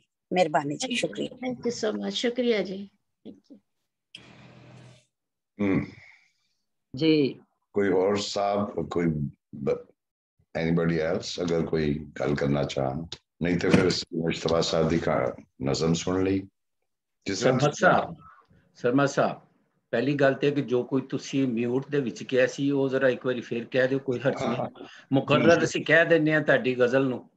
ਨਹੀਂ ਨਹੀਂ ਉਹਨਾਂ ਨੇ ਗਜ਼ਲ ਮੈਂ ਕੋਈ ਅੱਡੀ ਵੱਡੀ ਨਹੀਂ ਨਹੀਂ ਮੈਂ ਗਜ਼ਲ ਨਹੀਂ ਮੈਂ ਇਸ ਤਰ੍ਹਾਂ ਕਰਕੇ ਕਹਿਤਾ ਨਹੀਂ ਨਹੀਂ ਮੈਂ ਸਿਰਫ ਇਹ ਕਹਿ ਰਿਹਾ ਸਾਂ ਕਿ ਜਿਹੜਾ ਉਹਨਾਂ ਦਾ ਸਟਾਈਲ ਲਿਖਣ ਦਾ ਬੜਾ ਪੋਇਟਿਕ ਸੀ ਬੜਾ ਮਤਲਬ ਉਹਦੇ ਚ ਇਮੇਜਰੀ ਦਾ ਬਹੁਤ ਇਸਤੇਮਾਲ ਸੀ ਯਾਨੀ। ਇਮੇजेस ਜੋ ਜ਼ਿਆਦਾਤਰ ਕਹਾਣੀਆਂ 'ਚ ਇੱਕ ਆਦ ਇਮੇਜ ਇਸਤੇਮਾਲ ਹੁੰਦਾ ਹੈ ਜਾਂ ਤਸ਼ਬੀਹਾਂ ਜਾਂ ਜੋ ਵੀ ਹੁੰਦਾ ਹੈ ਇਸ ਤਰ੍ਹਾਂ ਦੇ ਮੈਟਾਫਰਸ ਵਗੈਰਾ ਕਿਉਂਕਿ ਜਿਹੜਾ ਮੇਜਰ ਮੈਟਾਫਰ ਬਣਿਆ ਉਹਦੇ 'ਚ ਉਹ ਤੇ ਲਾਈਫ ਐਂਡ ਡੈਥ ਹੈ ਬੜੀ ਕਲੋਜ਼ਲੀ ਮਤਲਬ ਇਸ ਤਰ੍ਹਾਂ ਕਨੈਕਟਡ ਹੈ ਮਤਲਬ ਕਿ ਕਨਫਰੰਟੇਸ਼ਨ ਜਿਹੜੀ ਹੈ ਜ਼ਿੰਦਗੀ ਤੇ ਮੌਤ ਦੀ ਉਹ ਬੜੀ ਇਮੀਡੀਏਟ ਹੈ यानी ये नहीं है कि कोई रिमोट से कोई चीज है यानी कोई डिस्टेंस है कोई कुछ है वो रोज मतलब एक डेथ बेड ਦੇ ਉੱਤੇ ਖਾਤੂਨ ਦੇਖ ਰਹੀ ਹੈ ਨਾ ਆਪਣਾ ਰਾਜੀ ਜੜੀ ਹੈ ਔਰ ਜਿਹਦੀ ਤਰਫ ਇਸ਼ਾਰਾ ਇਹਨੇ ਵੀ ਕੀਤਾ ਮਨਜ਼ੂਰ ਨੇ ਕਿ ਭਾਈ ਉਹ ਡੈਥ ਦਾ ਜਿਹੜਾ ਐਕਸਪੀਰੀਅੰਸ ਹੈ ਉਹਦੇ ਬਾਰੇ ਚ ਉਹਨੇ ਗੱਲ ਕੀਤੀ ਨਾ ਮਨਜ਼ੂਰ ਤੇ ਬੇਸਿਕਲੀ ਤੇ ਹੈ ਕਿ ਉਹ ਜਿਹੜੀ ਇਮੀਡੀਏਸੀ ਹੈ ਯਾਨੀ ਕਿ ਇੱਕ ਤੇ ਨਾ ਤੁਸੀਂ ਮੌਤ ਨੂੰ पोस्टपोन्ड एक चीज़ है मतलब कि भाई आएगी जिस दिन आ जाएगी या किसी ने कोई फौत हो गया तो यू आर रिमाइंडेड कि जी मौत भी कोई चीज़ है। लेकिन ऐसे तो रोज़ाना मौत का सामना है यानी। और हम्म। फिर वो पर्सनलाइज यानी कि इंटरनलाइज होंगी वो अपनी स्टोरी शुरू होती है वो पैरल बनना जाता है और जिस तरह और फिर वो डॉटर जी बेटी के ज़रिए तो एक साइकिल भी एक ਉਹਦੇ ਔਰ ਬਰਥ ਤੇ ਰੀਬਰਥ ਦਾ ਵੀ ਮਤਲਬ ਮੈਟਾਫਰਸ ਵਾਰ ਚੱਲਦਾ ਉਹ ਐਵੇਂ ਛੋਟੀ ਜੀ ਗੱਲ ਸੀ ਲੇਕਿਨ ਤੁਸੀਂ ਹੁਣ ਵਧਾ ਦਿੱਤੀ ਗੱਲ ਮੈਂ ਥੋੜੀ ਜੀ ਵੱਧ ਕੇ ਵਧਾ ਕੇ ਕਰ ਦਿੱਤੀ ਹੈ ਤੇ ਲੇਕਿਨ ਇਹ ਵੀ ਹੈ ਕਿ ਏਡਸ ਜਿਹੜੀ ਹੈ ਉਹ ਮੇਰਾ ਨਹੀਂ ਖਿਆਲ ਕਿ ਜਿਸ ਤਰ੍ਹਾਂ ਅਸੀਂ ਵੇਖ ਰਹੇ ਹਾਂ ਕਿ ਜੀ ਉਹ ਫੋਰਬਿਡਨ ਔਰ ਬੜਾ ਇੱਕ ਮਮਨੂਆ ਚੀਜ਼ ਹੈ ਏਡਸ ਦੇ ਜਿਹੜੇ ਐਸ ਸਟੋਰੀ ਚ ਵੀ ਜਿਹੜੀ ਉਹਨਾਂ ਨੇ ਰੀਜ਼ਨ ਦੱਸੀ ਉਹ ਤੇ ਬਲੱਡ ਟ੍ਰਾਂਸਫਿਊਜ਼ਨ ਹੈ ਸੋ ਉਹਦੇ ਚ ਕੋਈ ਮੋਰਲ ਇਸ਼ੂਜ਼ ਨਹੀਂ ਬਲਕਿ ਉਹ ਵਿਕਟਮ ਹੈ ਵਿਚਾਰਾ ਜਿਹੜਾ ਬੰਦਾ ਹੈ ਕਿ ਇੱਕ ਵਿਦਆਊਟ ਐਨੀ ਰੀਜ਼ਨ ਉਹਦੀ ਆਪਣੀ ਤਾਂ ਕੋਈ ਯਾਨੀ ਰੀਜ਼ਨ ਨਹੀਂ ਹੈ ਕੋਈ ਆਪਣੀ ਉਹਦੀ ਕੋਈ ਐਸੀ ਐਕਟੀਵਿਟੀ ਨਹੀਂ ਹੈ ਤੇ ਉਸ ਤਰ੍ਹਾਂ ਮੇਰਾ ਖਿਆਲ ਹੈ ਕਿ ਕੋਈ ਉਹ ਉਹਦੇ ਚ ਇਹੋ ਜਿਹਾ ਕੋਈ ਨੁਆਂਸ ਨਹੀਂ ਹੈ ਮਤਲਬ ਸੈਕਸ਼ੂਅਲ ਨਹੀਂ ਹੈ ਉਹ ਬਲੱਡ ਟ੍ਰਾਂਸਫਿਊਜ਼ਨ ਰੀਜ਼ਨ ਐਨੀਵੇ ਛੋਟਾ ਮਗਰ ਤੁਸੀਂ ਗੱਲ ਕਰੋ ਹੋਰ ਕੋਈ ਕਰੋ ਮੈਨੂੰ ਕਿਉਂ ਕਰਾਈ ਜਾ ਰਹੇ ਹੋ ਪ੍ਰਧਾਨ ਹੋ ਨਾ ਤੁਹਾਡੀ ਚਲੋ ਅੱਛਾ ਸੁਨੀਤਾ ਜੀ ਨੇ ਕਿਹਾ ਸੁਣਨਾ ਵੀ ਜ਼ਰੂਰੀ ਹੈ ਨਾ ਬਹੁਤ। ਨਹੀਂ ਬੜਾ ਅੱਛਾ ਹਾਂਜੀ ਕੋਈ ਹੋਰ ਮਿੱਤਰ ਗੱਲ ਕਰਨਾ ਚਾਹੁੰਦੇ ਨੇ? ਨਹੀਂ ਤੇ ਅਸੀਂ ਫਿਰ ਅੱਗੇ ਚਲੀਏ। ਹਾਂਜੀ ਮੁਸਤਫਾ ਕੋਲੋਂ ਨਜ਼ਮ ਸੁਣੋ। ਹਾਂ ਅੱਛਾ। ਅੱਛਾ ਜੀ, ਅਮਰਜੀਤ ਕੌਰ ਜੀ, ਤੁਹਾਨੂੰ ਮੁਬਾਰਕਬਾਦ ਕਿ ਬਹੁਤ ਸੋਹਣੀ ਤੁਹਾਡੀ ਕਹਾਣੀ, ਬਹੁਤ ਗ੍ਰਿਪ ਸੀ, ਬਹੁਤ ਖੂਬਸੂਰਤ ਲਫ਼ਾਜ਼ੀ ਸੀ, ਉਹ ਸਰਮਤ ਜੀ ਨੇ ਬਿਲਕੁਲ ਸਹੀ ਕਿਹਾ ਕਿ ਪੋਇਟਿਕ ਸੀ, ਤੁਹਾਡਾ ਜਿਹੜਾ ਅੰਦਾਜ਼ ਸੀ ਤੇ ਲਿਖਦੇ ਰਹੋ ਹੋਰ ਔਰ ਮੁਬਾਰਕ ਹੋਏ ਤੁਹਾਨੂੰ ਤੇ ਹੁਣ ਅਸੀਂ ਅੱਗੇ ਚੱਲਨੇ ਵੇਂ ਤੇ ਅੱਜ ਦੇ ਨਜ਼ਮ ਜਿਹੜੀ ਹੈ ਉਹ ਹਸਨ ਮੁਜਤਬਾ ਜੀ ਦੀ ਨਜ਼ਮ ਹੈ ਤੇ ਜੀ ਆਇਆਂ ਨੂੰ ਹਸਨ ਮੁਜਤਬਾ ਸਾਹਿਬ। ਤੇ ਹਸਨ ਸਾਹਿਬ ਜੀ ਹਸਨ ਜੀ ਜਿਹੜੇ ਨੇ ਸਹਾਫੀ ਸਾਰੇ ਜਾਣਦੇ ਨੇ ਇਹਨਾਂ ਨੂੰ ਮੇਰੇ ਖਿਆਲ 'ਚ ਜ਼ਿਆਦਾਤਰ। ਇਹ ਸਹਾਫੀ ਨੇ ਲਖਾਰੀ ਨੇ ਔਰ ਸ਼ਾਇਰ ਨੇ ਤੇ ਇਨਸਾਨੀ ਹੱਕਾਂ ਦੇ ਲਈ ਹਰ ਵੇਲੇ ਲੜਨ ਲਈ ਤਿਆਰ ਨੇ। ਤੇ ਸਿੰਧੀ ਉਰਦੂ ਤੇ ਪੰਜਾਬੀ ਵਿੱਚ ਸ਼ਾਇਰੀ ਕਰਦੇ ਨੇ। ਕਮਾਲ ਤਿੰਨੋਂ ਜ਼ਬਾਨਾਂ ਦੇ ਵਿੱਚ ਬੜੀ ਖੂਬਸੂਰਤ ਇਹਨਾਂ ਦੀ ਸ਼ਾਇਰੀ ਹੈ। ਤੇ ਉਰਦੂ ਤੇ ਪੰਜਾਬੀ ਵਿੱਚ ਜਿਹੜੀ ਸ਼ਾਇਰੀ ਦੇ ਇਹਨਾਂ ਦੀ ਕਿਤਾਬ ਰੀਸੈਂਟਲੀ ਆਈ ਹੈ ਤੁਮ ਧਨਕ ਓੜ ਲੈਣਾ ਬਹੁਤ ਖੂਬਸੂਰਤ ਸ਼ਾਇਰੀ ਔਰ ਜਿਹੜੀ ਮੈਂ ਵੀ ਦੋ ਵਾਰੀ ਪੜ ਚੁੱਕੀ ਹਾਂ ਤੇ ਇਹਦੇ ਇਲਾਵਾ ਇਹਨਾਂ ਨੇ ਸ਼ਾਹ ਅਬਦੁਲ ਲਤੀਫ ਭਟਾਈ ਦੀ ਤਕਰੀਬਨ 100 ਜਿਹੜੇ ਬੈਤਾਂ ਨੇ 100 ਬੈਤਾਂ ਨੇ ਉਹਦਾ ਤਰਜਮਾ ਵੀ ਇਹਨਾਂ ਨੇ ਅੰਗਰੇਜ਼ੀ ਵਿੱਚ ਕੀਤਾ ਹੈ ਪੰਜਾਬੀ ਪਿਆਰੇ ਵੀ ਨੇ ਸਿੰਧੀ ਪਿਆਰੇ ਵੀ ਨੇ ਸਾਰੀਆਂ ਜ਼ਬਾਨਾਂ ਨਾਲ ਸਾਰੇ ਲੋਕਾਂ ਨਾਲ ਪਿਆਰ ਕਰਨ ਵਾਲੇ ਤੇ ਪੰਜਾਬੀ ਪਿਆਰੇ ਤੇ ਇਹਨਾਂ ਦੀ ਨਜ਼ਮ ਜਿਹੜੀ ਹੈ ਉਹ ਹੁਣ ਇਹਨਾਂ ਨੂੰ ਰਿਕਵੈਸਟ ਕਰਨੇ ਮੈਂ ਇਜਾਜ਼ਤ ਦੇ ਨਾਲ ਸ਼ਰਮਾ ਜੀ ਦੇ ਜਾ ਸਰਮਦ ਦੀ ਪ੍ਰਧਾਨ ਨੇ ਸਾਹਿਬ ਨੂੰ ਦਰਖਾਸਤ ਹੈ ਜਨਾਬ ਕਿ ਸਾਨੂੰ ਨਜ਼ਮ ਸੁਣਾਣ ਸਭ ਤੋਂ ਪਹਿਲਾਂ ਤੇ ਬੜੀ ਮਿਹਰਬਾਨੀ ਲੱਖਾਂ ਇੱਜ਼ਤਾਂ ਤੁਸੀਂ ਮੈਨੂੰ ਦਿੱਤੀਆਂ ਨੇ ਮੈਨੂੰ ਬੁਲਾ ਕੇ ਇੱਥੇ ਤੇ ਮੇਰੀ ਨਜ਼ਮ ਹੈ ਅਮਰਤਾ ਪ੍ਰੀਤਮ ਦਾ ਕਰ ਵਿੱਚ ਜਾਣ ਤੇ ਇੱਕ ਨਜ਼ਮ ਅਰਜ਼ ਕੀਤਾ ਜੇ ਤੇ ਕੀ ਕੀ ਵਿਕਦਾ ਤੇ ਵਿੱਚ ਬਾਜ਼ਾਰ ਵਾਰਿਸ ਸ਼ਾਹ ਇੱਥੇ ਕੀ ਕੀ ਵਿਕਦਾ ਤੇ ਵਿਕਦਾ ਵਿੱਚ ਬਾਜ਼ਾਰ। ਕਬਰਾਂ ਵਿਕਦੀਆਂ, ਕਬਰਾਂ ਵਿੱਚੋਂ ਬੋਲ ਵੀ ਵਿਕਦੇ, ਯਾਰ ਵੀ ਵਿਕਦਾ, ਉਹਦੇ ਗਲ ਦਾ ਹਾਰ ਵੀ ਵਿਕਦਾ, ਇਸ਼ਕ ਦਾ ਵਰਕਾ ਵਰਕਾ ਵਿਕਦਾ, ਵਿਕਦੇ ਕੋਲ ਕਰਾਰ ਵਾਰਿਸ ਸ਼ਾਹ ਇੱਥੇ ਕੀ ਕੀ ਵਿਕਦਾ ਵਿਕਦਾ ਵਿੱਚ ਬਾਜ਼ਾਰ। ਹਟੀਆਂ ਵਿਕਦੀਆਂ, ਜਟੀਆਂ ਵਿਕਦੀਆਂ, ਰੰਗ ਵੀ ਵਿਕਦਾ। ਹਟੀਆਂ ਵਿਕਦੀਆਂ, ਜੱਟੀਆਂ ਵਿਕਦੀਆਂ, ਰੰਗ ਵੀ ਵਿਕਦਾ ਚੰਗ ਵੀ ਵਿਕਦਾ, ਹੀਰਾ ਵਿਕਦੀਆਂ, ਰਾਂਝੇ ਵਿਕਦੇ, ਵਿਕਦਾ ਤਖਤ ਬਾਜ਼ਾਰ, ਵਾਰਿਸ਼ਾ ਇੱਥੇ ਕੀ ਕੀ ਵਿਕਦਾ ਵਿਕਦਾ ਵਿੱਚ ਬਾਜ਼ਾਰ। ਖੇੜੇ ਵਿਕਦੇ, ਗੇੜੇ ਵਿਕਦੇ। ਖੇੜੇ ਵਿਕਦੇ, ਗੇੜੇ ਵਿਕਦੇ, ਸਾਵਾਂ ਵਿਕਦੀਆਂ, ਰੁੱਖ ਰੁੱਖ ਤੇ ਛਾਵਾਂ ਵਿਕਦੀਆਂ, ਮੱਝਾਂ ਵਿਕਦੀਆਂ, ਗਾਵਾਂ ਵਿਕਦੀਆਂ, ਵਿਕਦੇ ਸਾਰੇ ਖੂ ਵਾਰਿਸ਼ਾ ਇੱਥੇ ਤੂੰ ਲੱਭਦੀ ਫਿਰੇ ਬਾਜ਼ਾਰ ਕੁੜੇ ਇੱਥੇ ਕਿਹੜੀ ਸ਼ੈ ਜੋ ਵਿਕਦੀ ਨਹੀਂ ਤੇਰੇ ਦਿਲ ਦਾ ਜਾਨੀ ਵਿਕਦਾ ਰਾਵੀ ਦਾ ਸਭ ਪਾਣੀ ਵਿਕਦਾ ਅੱਖਾਂ ਦੇ ਸਭ ਅਥਰੂ ਵਿਕਦੇ ਬਾਰਿਸ਼ਾ ਇੱਥੇ। ਇੱਥੇ ਸ਼ਿਕਰ ਦੁਪਹਿਰੀ ਵਿਕਦੀ, ਸ਼ਾਮਾਂ ਵਿਕਦੀਆਂ ਨੇ। ਦਿਨ ਵੀ ਵਿਕਦੇ, ਰਾਤਾਂ ਵਿਕਦੀਆਂ, ਇੱਥੇ ਜਗਰ, ਜਗਰਾਤੇ ਵਿਕਦੇ, ਨਿੰਦਰਾਂ ਵਿਕਦੀਆਂ, ਸੁਪਨੇ ਵਿਕਦੀ ਸੁਪਨਿਆਂ ਦੇ ਵਿੱਚ ਸੱਜਣ ਵਿਕਦੇ ਬਾਰਿਸ਼ਾ ਇੱਥੇ। ਇੱਥੇ ਜੰਗਲ ਬੇਲੇ ਵਿਕ ਇੱਥੇ ਜੰਗਲ ਬੇਲੇ ਵਿਕਦੇ, ਮੰਗਲ ਵਿਕਦੇ, ਮੇਲੇ ਵਿਕਦੇ, ਇੱਥੇ ਚੰਨ ਚਨਾ ਵੀ ਵਿਕਦੇ, ਸੋਨੀ ਵਿਕਦੀ ਮਾਈ ਤੇ ਮਹਿਵਾਲ ਵੀ ਵਿਕਦਾ, ਇੱਥੇ ਮੋਜਾਂ ਮੋਜਾਂ ਵਿਕਦੀਆਂ, ਬੇਲੇ ਵਿਛੀਆਂ, ਲਾਸ਼ਾਂ ਵਿਕਦੀਆਂ, ਫੌਜਾਂ ਵਿਕਦੀਆਂ ਵਾਰਿਸ਼ਾਂ ਤੇ ਉਹਦੇ ਗਲ ਦੀ ਗਾਨੀ ਵਿਕਦੀ, ਉਹਦੇ ਗਲ ਦੀ ਗਾਨੀ ਵਿਕਦੀ ਹਰ ਇੱਕ ਪਿਆਰ ਨਿਸ਼ਾਨੀ ਵਿਕਦੀ ਵਾਰਿਸ਼ਾਂ ਤੇ ਗੌਰ ਪਿਆ ਕੋਈ ਹੋਰ ਵੀ ਵਿਕਦਾ, ਬੁੱਕਲ ਦੇ ਵਿੱਚ ਚੋਰ ਵੀ ਵਿਕਦਾ, ਇੱਥੇ ਤਖਤ ਲਾਹੌਰ ਵੀ ਵਿਕਦਾ ਕੀ ਜਾਣਾ ਮੈਂ ਕੌਣ ਵੀ ਵਿਕਦਾ ਵਾਰਿਸ਼ਾ ਇੱਥੇ ਤੂੰ ਲਿਖ ਲਿਖ ਮਾਰੇ ਵੈਨ ਵਾਰਿਸ਼ਾ ਇੱਥੇ ਲੱਖਾਂ ਰੋਂਦੀਆਂ ਤੀਆਂ ਵਿਕਦੀਆਂ ਇੱਥੇ ਜਿਉਂਦੀਆਂ ਮਾਵਾਂ ਵਿਕਦੀਆਂ ਨੀ ਮਾਏ ਮੈਂ ਕਿਨੂੰ ਦੱਸਾਂ ਇੱਥੇ ਮਰ ਗਿਆ ਮਾਵਾਂ ਵਿਕਦੀਆਂ ਵਾਰਿਸ਼ਾ ਇੱਥੇ ਵਾਰਿਸ਼ਾ ਮੈਂ ਤੈਨੂੰ ਆਖਾਂ ਹਾਈਵੇ ਮੈਂ ਵੀ ਮਰ ਗਿਆ ਫੇਰ ਵੀ ਮਰ ਗਈ ਹਾਂ ਸੂਫੀ ਤੂੰ ਕਿਵੇਂ ਕਹਿੰਦਾ ਸੀ ਪੁੱਤਰ ਹਟਾਂ ਤੇ ਨਹੀਂ ਵਿਕਦੇ ਸੂਫੀ ਤੂੰ ਕਿਵੇਂ ਕਹਿੰਦਾ ਸੀ ਪੁੱਤਰ ਹਟਾਂ ਤੇ ਨਹੀਂ ਵਿਕਦੇ, ਪਰ ਇੱਥੇ ਪਾਲ ਤੇ ਪਾਲ ਨੇ ਵਿਕੇ, ਪੰਛੀ ਤੇ ਫਿਰ ਆਲ ਨੇ ਵਿਕੇ, ਇੱਥੇ ਘਰ ਘਰੋਂਦੇ ਵਿਕੇ, ਇੱਥੇ ਬੰਦ ਤੇ ਬੂਹੇ ਵਿਕੇ, ਇੱਥੇ ਮੇਰਾ ਕਮਰਾ ਵਿਕਿਆ। ਇੱਥੇ ਮੇਰਾ ਕਮਰਾ ਵਿਕਿਆ, ਕਿ ਕੀ ਵਿਕਿਆ ਨਹੀਂ? ਕੰਨਾ ਸੁਨਿਆ ਬੋਲ ਨਹੀਂ ਵਿਕਿਆ, ਅੱਖਾਂ ਵੇਖੇ ਵੇਖ ਨਹੀਂ ਵਿਕੇ, ਹਰ ਇੱਕ ਦਿਲ ਦਾ ਮੰਦਰ ਵਿਕਿਆ, ਅੰਦਰ ਵਿਕਿਆ, ਬਾਹਰ ਵਿਕਿਆ, ਕੇ ਕੇ ਰੰਗ ਰਤੋਲ ਨਹੀਂ ਵਿਕੇ, ਉਹਦਾ ਬੁਰਸ਼ ਕਨੋਸ ਵਿਕਿਆ ਹਰ ਇੱਕ ਰੁੱਤ ਦੀ ਲੇਖਾ ਵਿਕੀ ਤੇਰੀ ਪਿਆਰ ਭੁਲੇਖਾ ਵਿਕੀ ਤੇਰੀ ਸਭ ਉਡੀਕ ਵੀ ਵਿਕੀ ਉਹਦੇ ਮੇਰੇ ਹਾਸੇ ਵਿਕੇ ਉਹਦੇ ਮੇਰੇ ਅਥਰੂ ਵਿਕੇ ਉਹਦਾ ਹਰ ਇੱਕ ਚਿੱਤਰ ਵਿਕਿਆ ਮੇਰਾ ਹਰ ਇੱਕ ਅੱਖਰ ਵਿਕਿਆ ਮਿੱਟੀ ਦਾ ਹਰ ਜ਼ਰਾ ਜ਼ਰਾ ਮੇਰੇ ਘਰ ਦੀ ਇੱਟ ਇੱਟ ਵਿਕੀ ਮੇਰੀ ਰਾਤ ਤੇ ਦਿਨ ਵੀ ਵਿਕਿਆ ਮੇਰਾ ਅਜ ਅਜੋਕਾ ਵਿਕਿਆ ਤੇ ਇੱਕ ਮੇਰਾ ਸੂਰਜ ਵਿਕਿਆ ਐਸ਼ ਟਰੇ ਤੂੰ ਸਾਂਭੇ ਹੋਏ ਸਿਗਰਟ ਟੋਟੇ ਵਿਕੇ ਐਸ਼ਟਰੇ ਤੋਂ ਸਾਂਭੇ ਹੋਏ ਸਿਗਰਟ ਦੇ ਉਹ ਟੋਟੇ ਵਿਕੇ ਸਾਹਿਰ ਦੀ ਉਹ ਖੁਸ਼ਬੂ ਵਿਕੀ, ਉਹਦੀ ਕੋਈ ਰਸੀਦ ਨਾ ਮੰਗੀ, ਅੰਦਰ ਦਾ ਬਸ ਭਾਂਬਣ ਵੇਖਿਆ। ਉਹ ਕਹਿੰਦੀ ਸੀ ਨਾ ਕਿ ਅੰਦਰ ਦੇ ਭਾਂਬਣ ਦਾ ਕੋਈ ਪਰਛਾਵਾਂ ਨਹੀਂ ਹੁੰਦਾ। ਉਹ ਕਹਿੰਦੀ, ਅੰਦਰ ਦਾ ਬਸ ਭਾਂਬਣ ਵੇਖਿਆ, ਉਹਦਾ ਪਰਛਾਵਾਂ ਵੇਖਿਆ ਤੇ ਮੇਰਾ ਅਕਲਾਪਾ ਵਿਕਿਆ ਹਰ ਇੱਕ ਮਿਲਣ ਵਾਲਾ ਵਿਕਿਆ ਨਾਲੇ ਵਿਛੜਨ ਵਾਲਾ ਵਿਕਿਆ ਹਰ ਇੱਕ ਨਜ਼ਮ ਕਹਾਣੀ ਵਿਕੀ, ਮੇਰੀ ਨਾਗਮਨੀ ਵੀ ਵਿਕੀ, ਵੈਸਾ ਕੀਤੇ ਹੋਲੀ ਵਿਕੀ, ਮਾਂ ਵਿਕੀ, ਮਾਂ ਬੋਲੀ ਵਿਕੀ ਸਾਰੇ ਫੁੱਲ ਖੜਨ ਵੀ ਵਿਕੇ, ਰੁੱਖ ਵਿਕੇ ਤੇ ਬੂਟੇ ਵਿਕੇ, ਵਾਹ ਦੇ ਸਾਰੇ ਝੂਟੇ ਵਿਕੇ, ਮੇਰੀਆਂ ਸਾਰੀਆਂ ਹੋਕਾਂ ਵਿਕੀਆਂ, ਉਹ ਕੋਇਲ ਦੀ ਕੂਕਾਂ ਵਿਕੀਆਂ, ਉਹ ਮੇਰਾ ਟੁਰਨਾ ਵੀ ਵਿਕਿਆ, ਮੇਰਾ ਅੱਜ ਅਖੀਰ ਵੀ ਵਿਕੀ, ਮੇਰਾ ਹਰ ਇੱਕ ਦੇਸ਼ ਵੀ ਵਿਕਿਆ, ਵੇਸ ਵੀ ਵਿਕਿਆ, ਦਿੱਲੀ ਵਿਕਿਆ, ਦੇਸ਼ ਵੀ ਵਿਕਿਆ ਹਾਈ ਨਹੀਂ ਮੈਂ ਲੋੜੇ ਲੁੱਟੀ, ਮੇਰਾ ਵਾਰਿਸ ਵਾਰਿਸ ਸ਼ਾਹ ਵੀ ਵਿਕਿਆ ਵਾਰਿਸ ਦਾ ਪੰਜਾਬ ਕੀ ਤਕਣਾ ਤੱਕ ਆਪਣਾ ਪੰਜਾਬ ਦੀ ਮਾਏ ਤੱਕ ਆਪਣਾ ਪੰਜਾਬ ਵਾਰਿਸ ਸ਼ਾਹ ਤੇ ਕੀ ਕੀ ਵਿਕਦਾ ਤੇ ਵਿਕਦਾ ਵਿੱਚ ਬਦਾ ਮਿਹਰਬਾਨੀ ਵਾਹ ਜੀ ਵਾਹ ਬਹੁਤ ਅੱਛਾ लो जी मुश्तबा साहब ने तो बड़ी पूरी एक चार्ज शीट कर दी थी सारे कंज्यूमर सोसाइटी थे ਤੇ ਮਨਜ਼ੂਰ ਸਾਹਿਬ ਤੁਸੀਂ ਗੱਲ ਕਰੋ ਇਹਦੇ ਤੇ ਇੱਕ ਲੋਕਾਂ ਨੂੰ ਗੱਲ ਕਰਨ ਦਿਓ ਨਾ। ਉਹ ਯਾਰ ਤੂੰ ਗੱਲ ਛੇੜੇਗਾ ਤੇ ਗੱਲ ਗੱਲ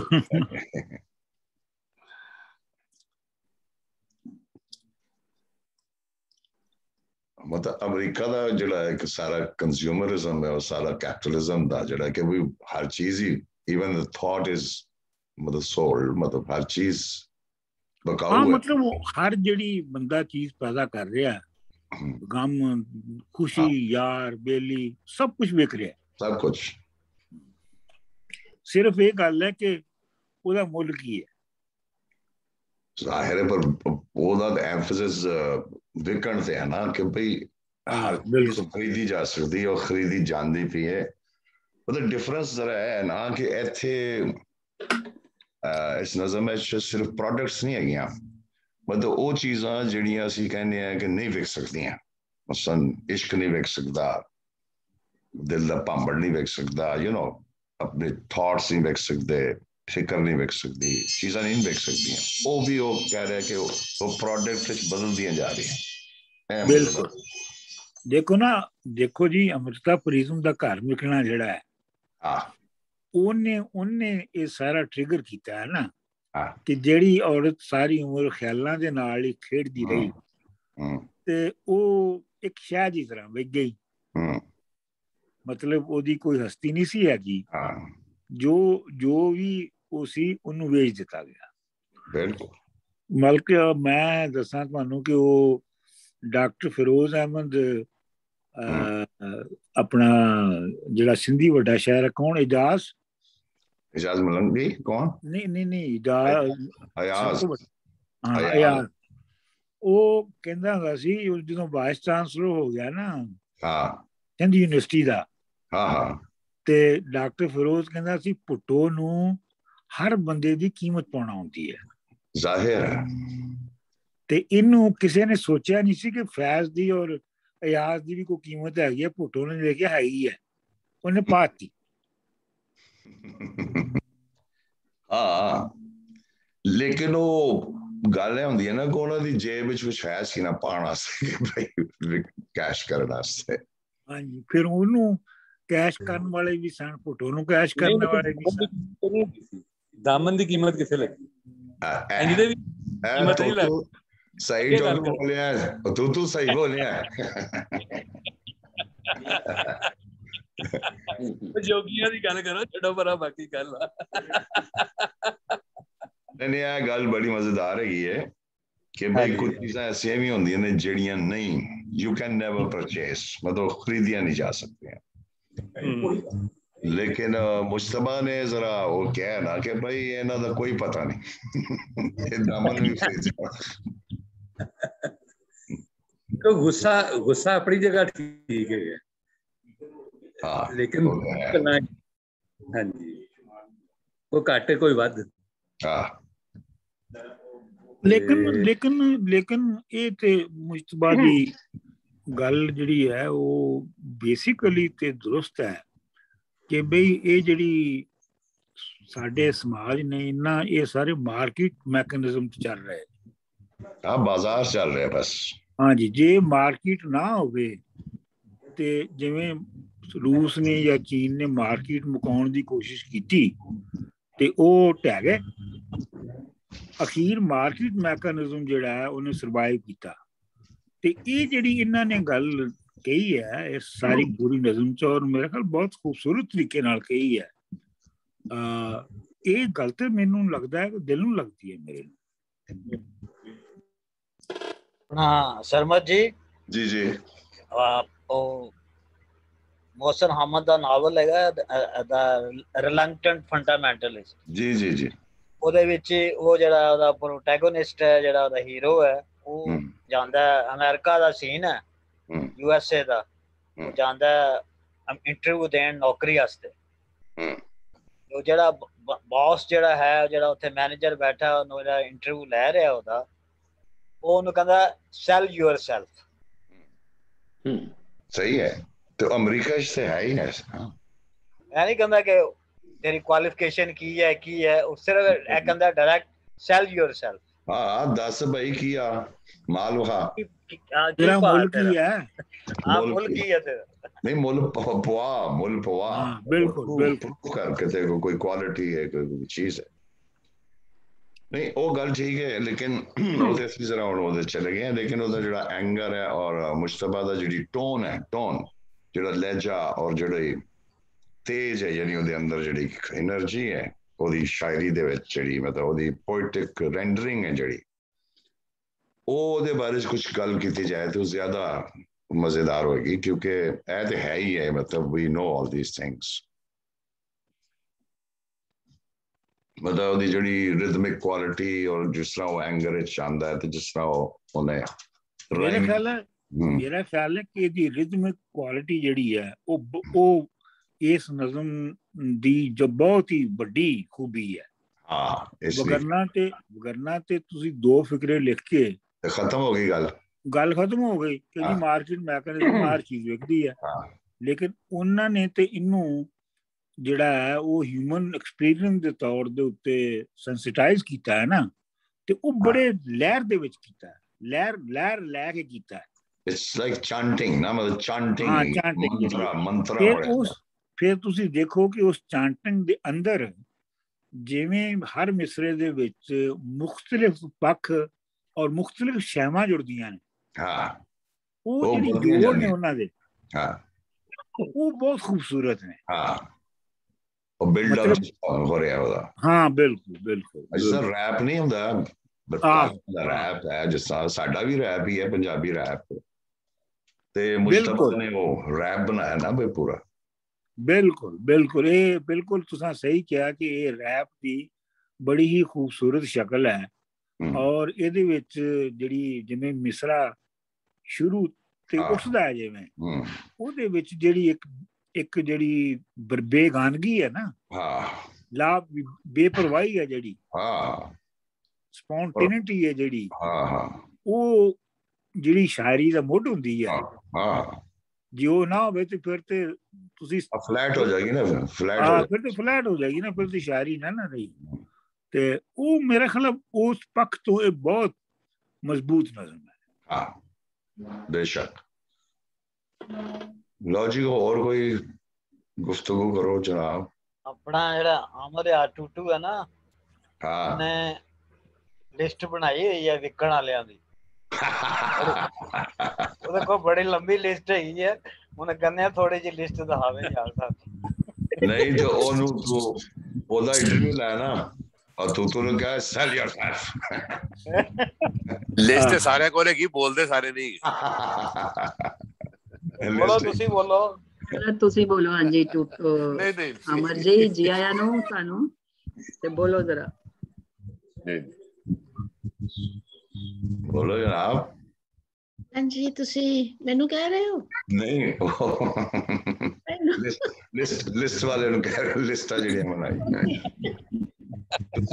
ਅਮਰ ਇਹ ਵੈਸੇ ਅਮਰ- ਵੀ ਵੈਸੇ ਵੀ ਆਮਰ ਹਾਸਾ ਬੜੇ ਚਿਰ ਬਾਅਦ ਆਏ ਨੇ ਇਹਨਾਂ ਦਾ ਬੋਲਣਾ ਬਹੁਤ ਜ਼ਰੂਰੀ ਆ ਅੱਛਾ ਦੌੜੇ ਰਹਿੰਦੇ ਨੇ ਅਦਬੀ ਸੰਗਤ ਤੋਂ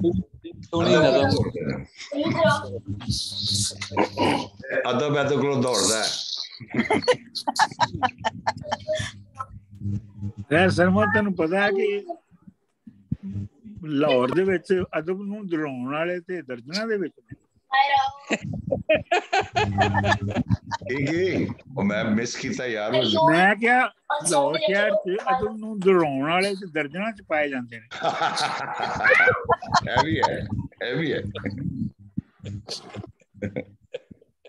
ਅੱਛਾ ਜੀ ਨਜ਼ਮਲ ਵਾਪਸ ਆਓ। ਇਹ ਹਾਂਜੀ ਵਾਪਸ ਨਜ਼ਮ ਗੱਲ ਲਾਓ ਬਾਅਦ ਚ ਹੁੰਦੀ ਰਹੇਗੀ। ਅਦਬ ਨੂੰ ਦੌੜਾਉਣ ਦੀਆਂ ਗੱਲਾਂ ਨਾ ਕਰੋ ਅਦਬ ਤੋਂ ਦੌੜਾਉਣ ਦੀਆਂ।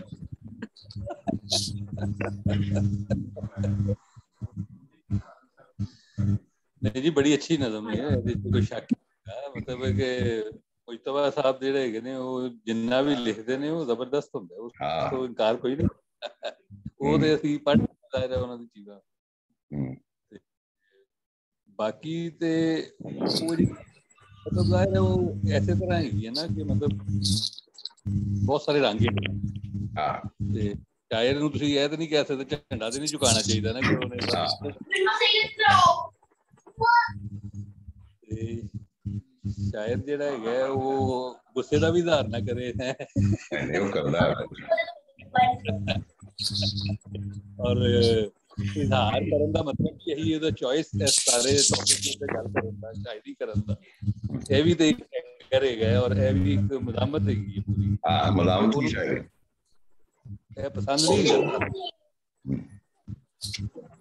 ਬਰਨਾ ਤੋਂ ਬਿਲਕੁਲ ਬੇਸ਼ੁਮਾਰ ਟੋਕੇ ਗਏ ਨੇ ਉਸੇ ਤਰ੍ਹਾਂ ਰਹੇ ਹੋ ਤੇ ਕੰਮ ਤੇ ਵੱਡਾ ਹੈਗਾ ਜੀ ਇਹਦੇ ਤੇ ਕੋਈ ਸ਼ੱਕ ਨਹੀਂ ਠੀਕ ਬਸ ਕੰਮ ਹਾਂਜੀ ਵੈਸੇ ਉਹਨਾਂ ਦੇ ਜਿਹੜੇ ਰਿਦਮ ਚਿਦਮਸ ਨੇ ਇਸ ਤਰੀਕਾ ਕਾਰ ਜਿਹੜਾ ਹੈ ਉਹ ਕਾਫੀ ਇੰਸਪਾਇਰਡ ਹੈ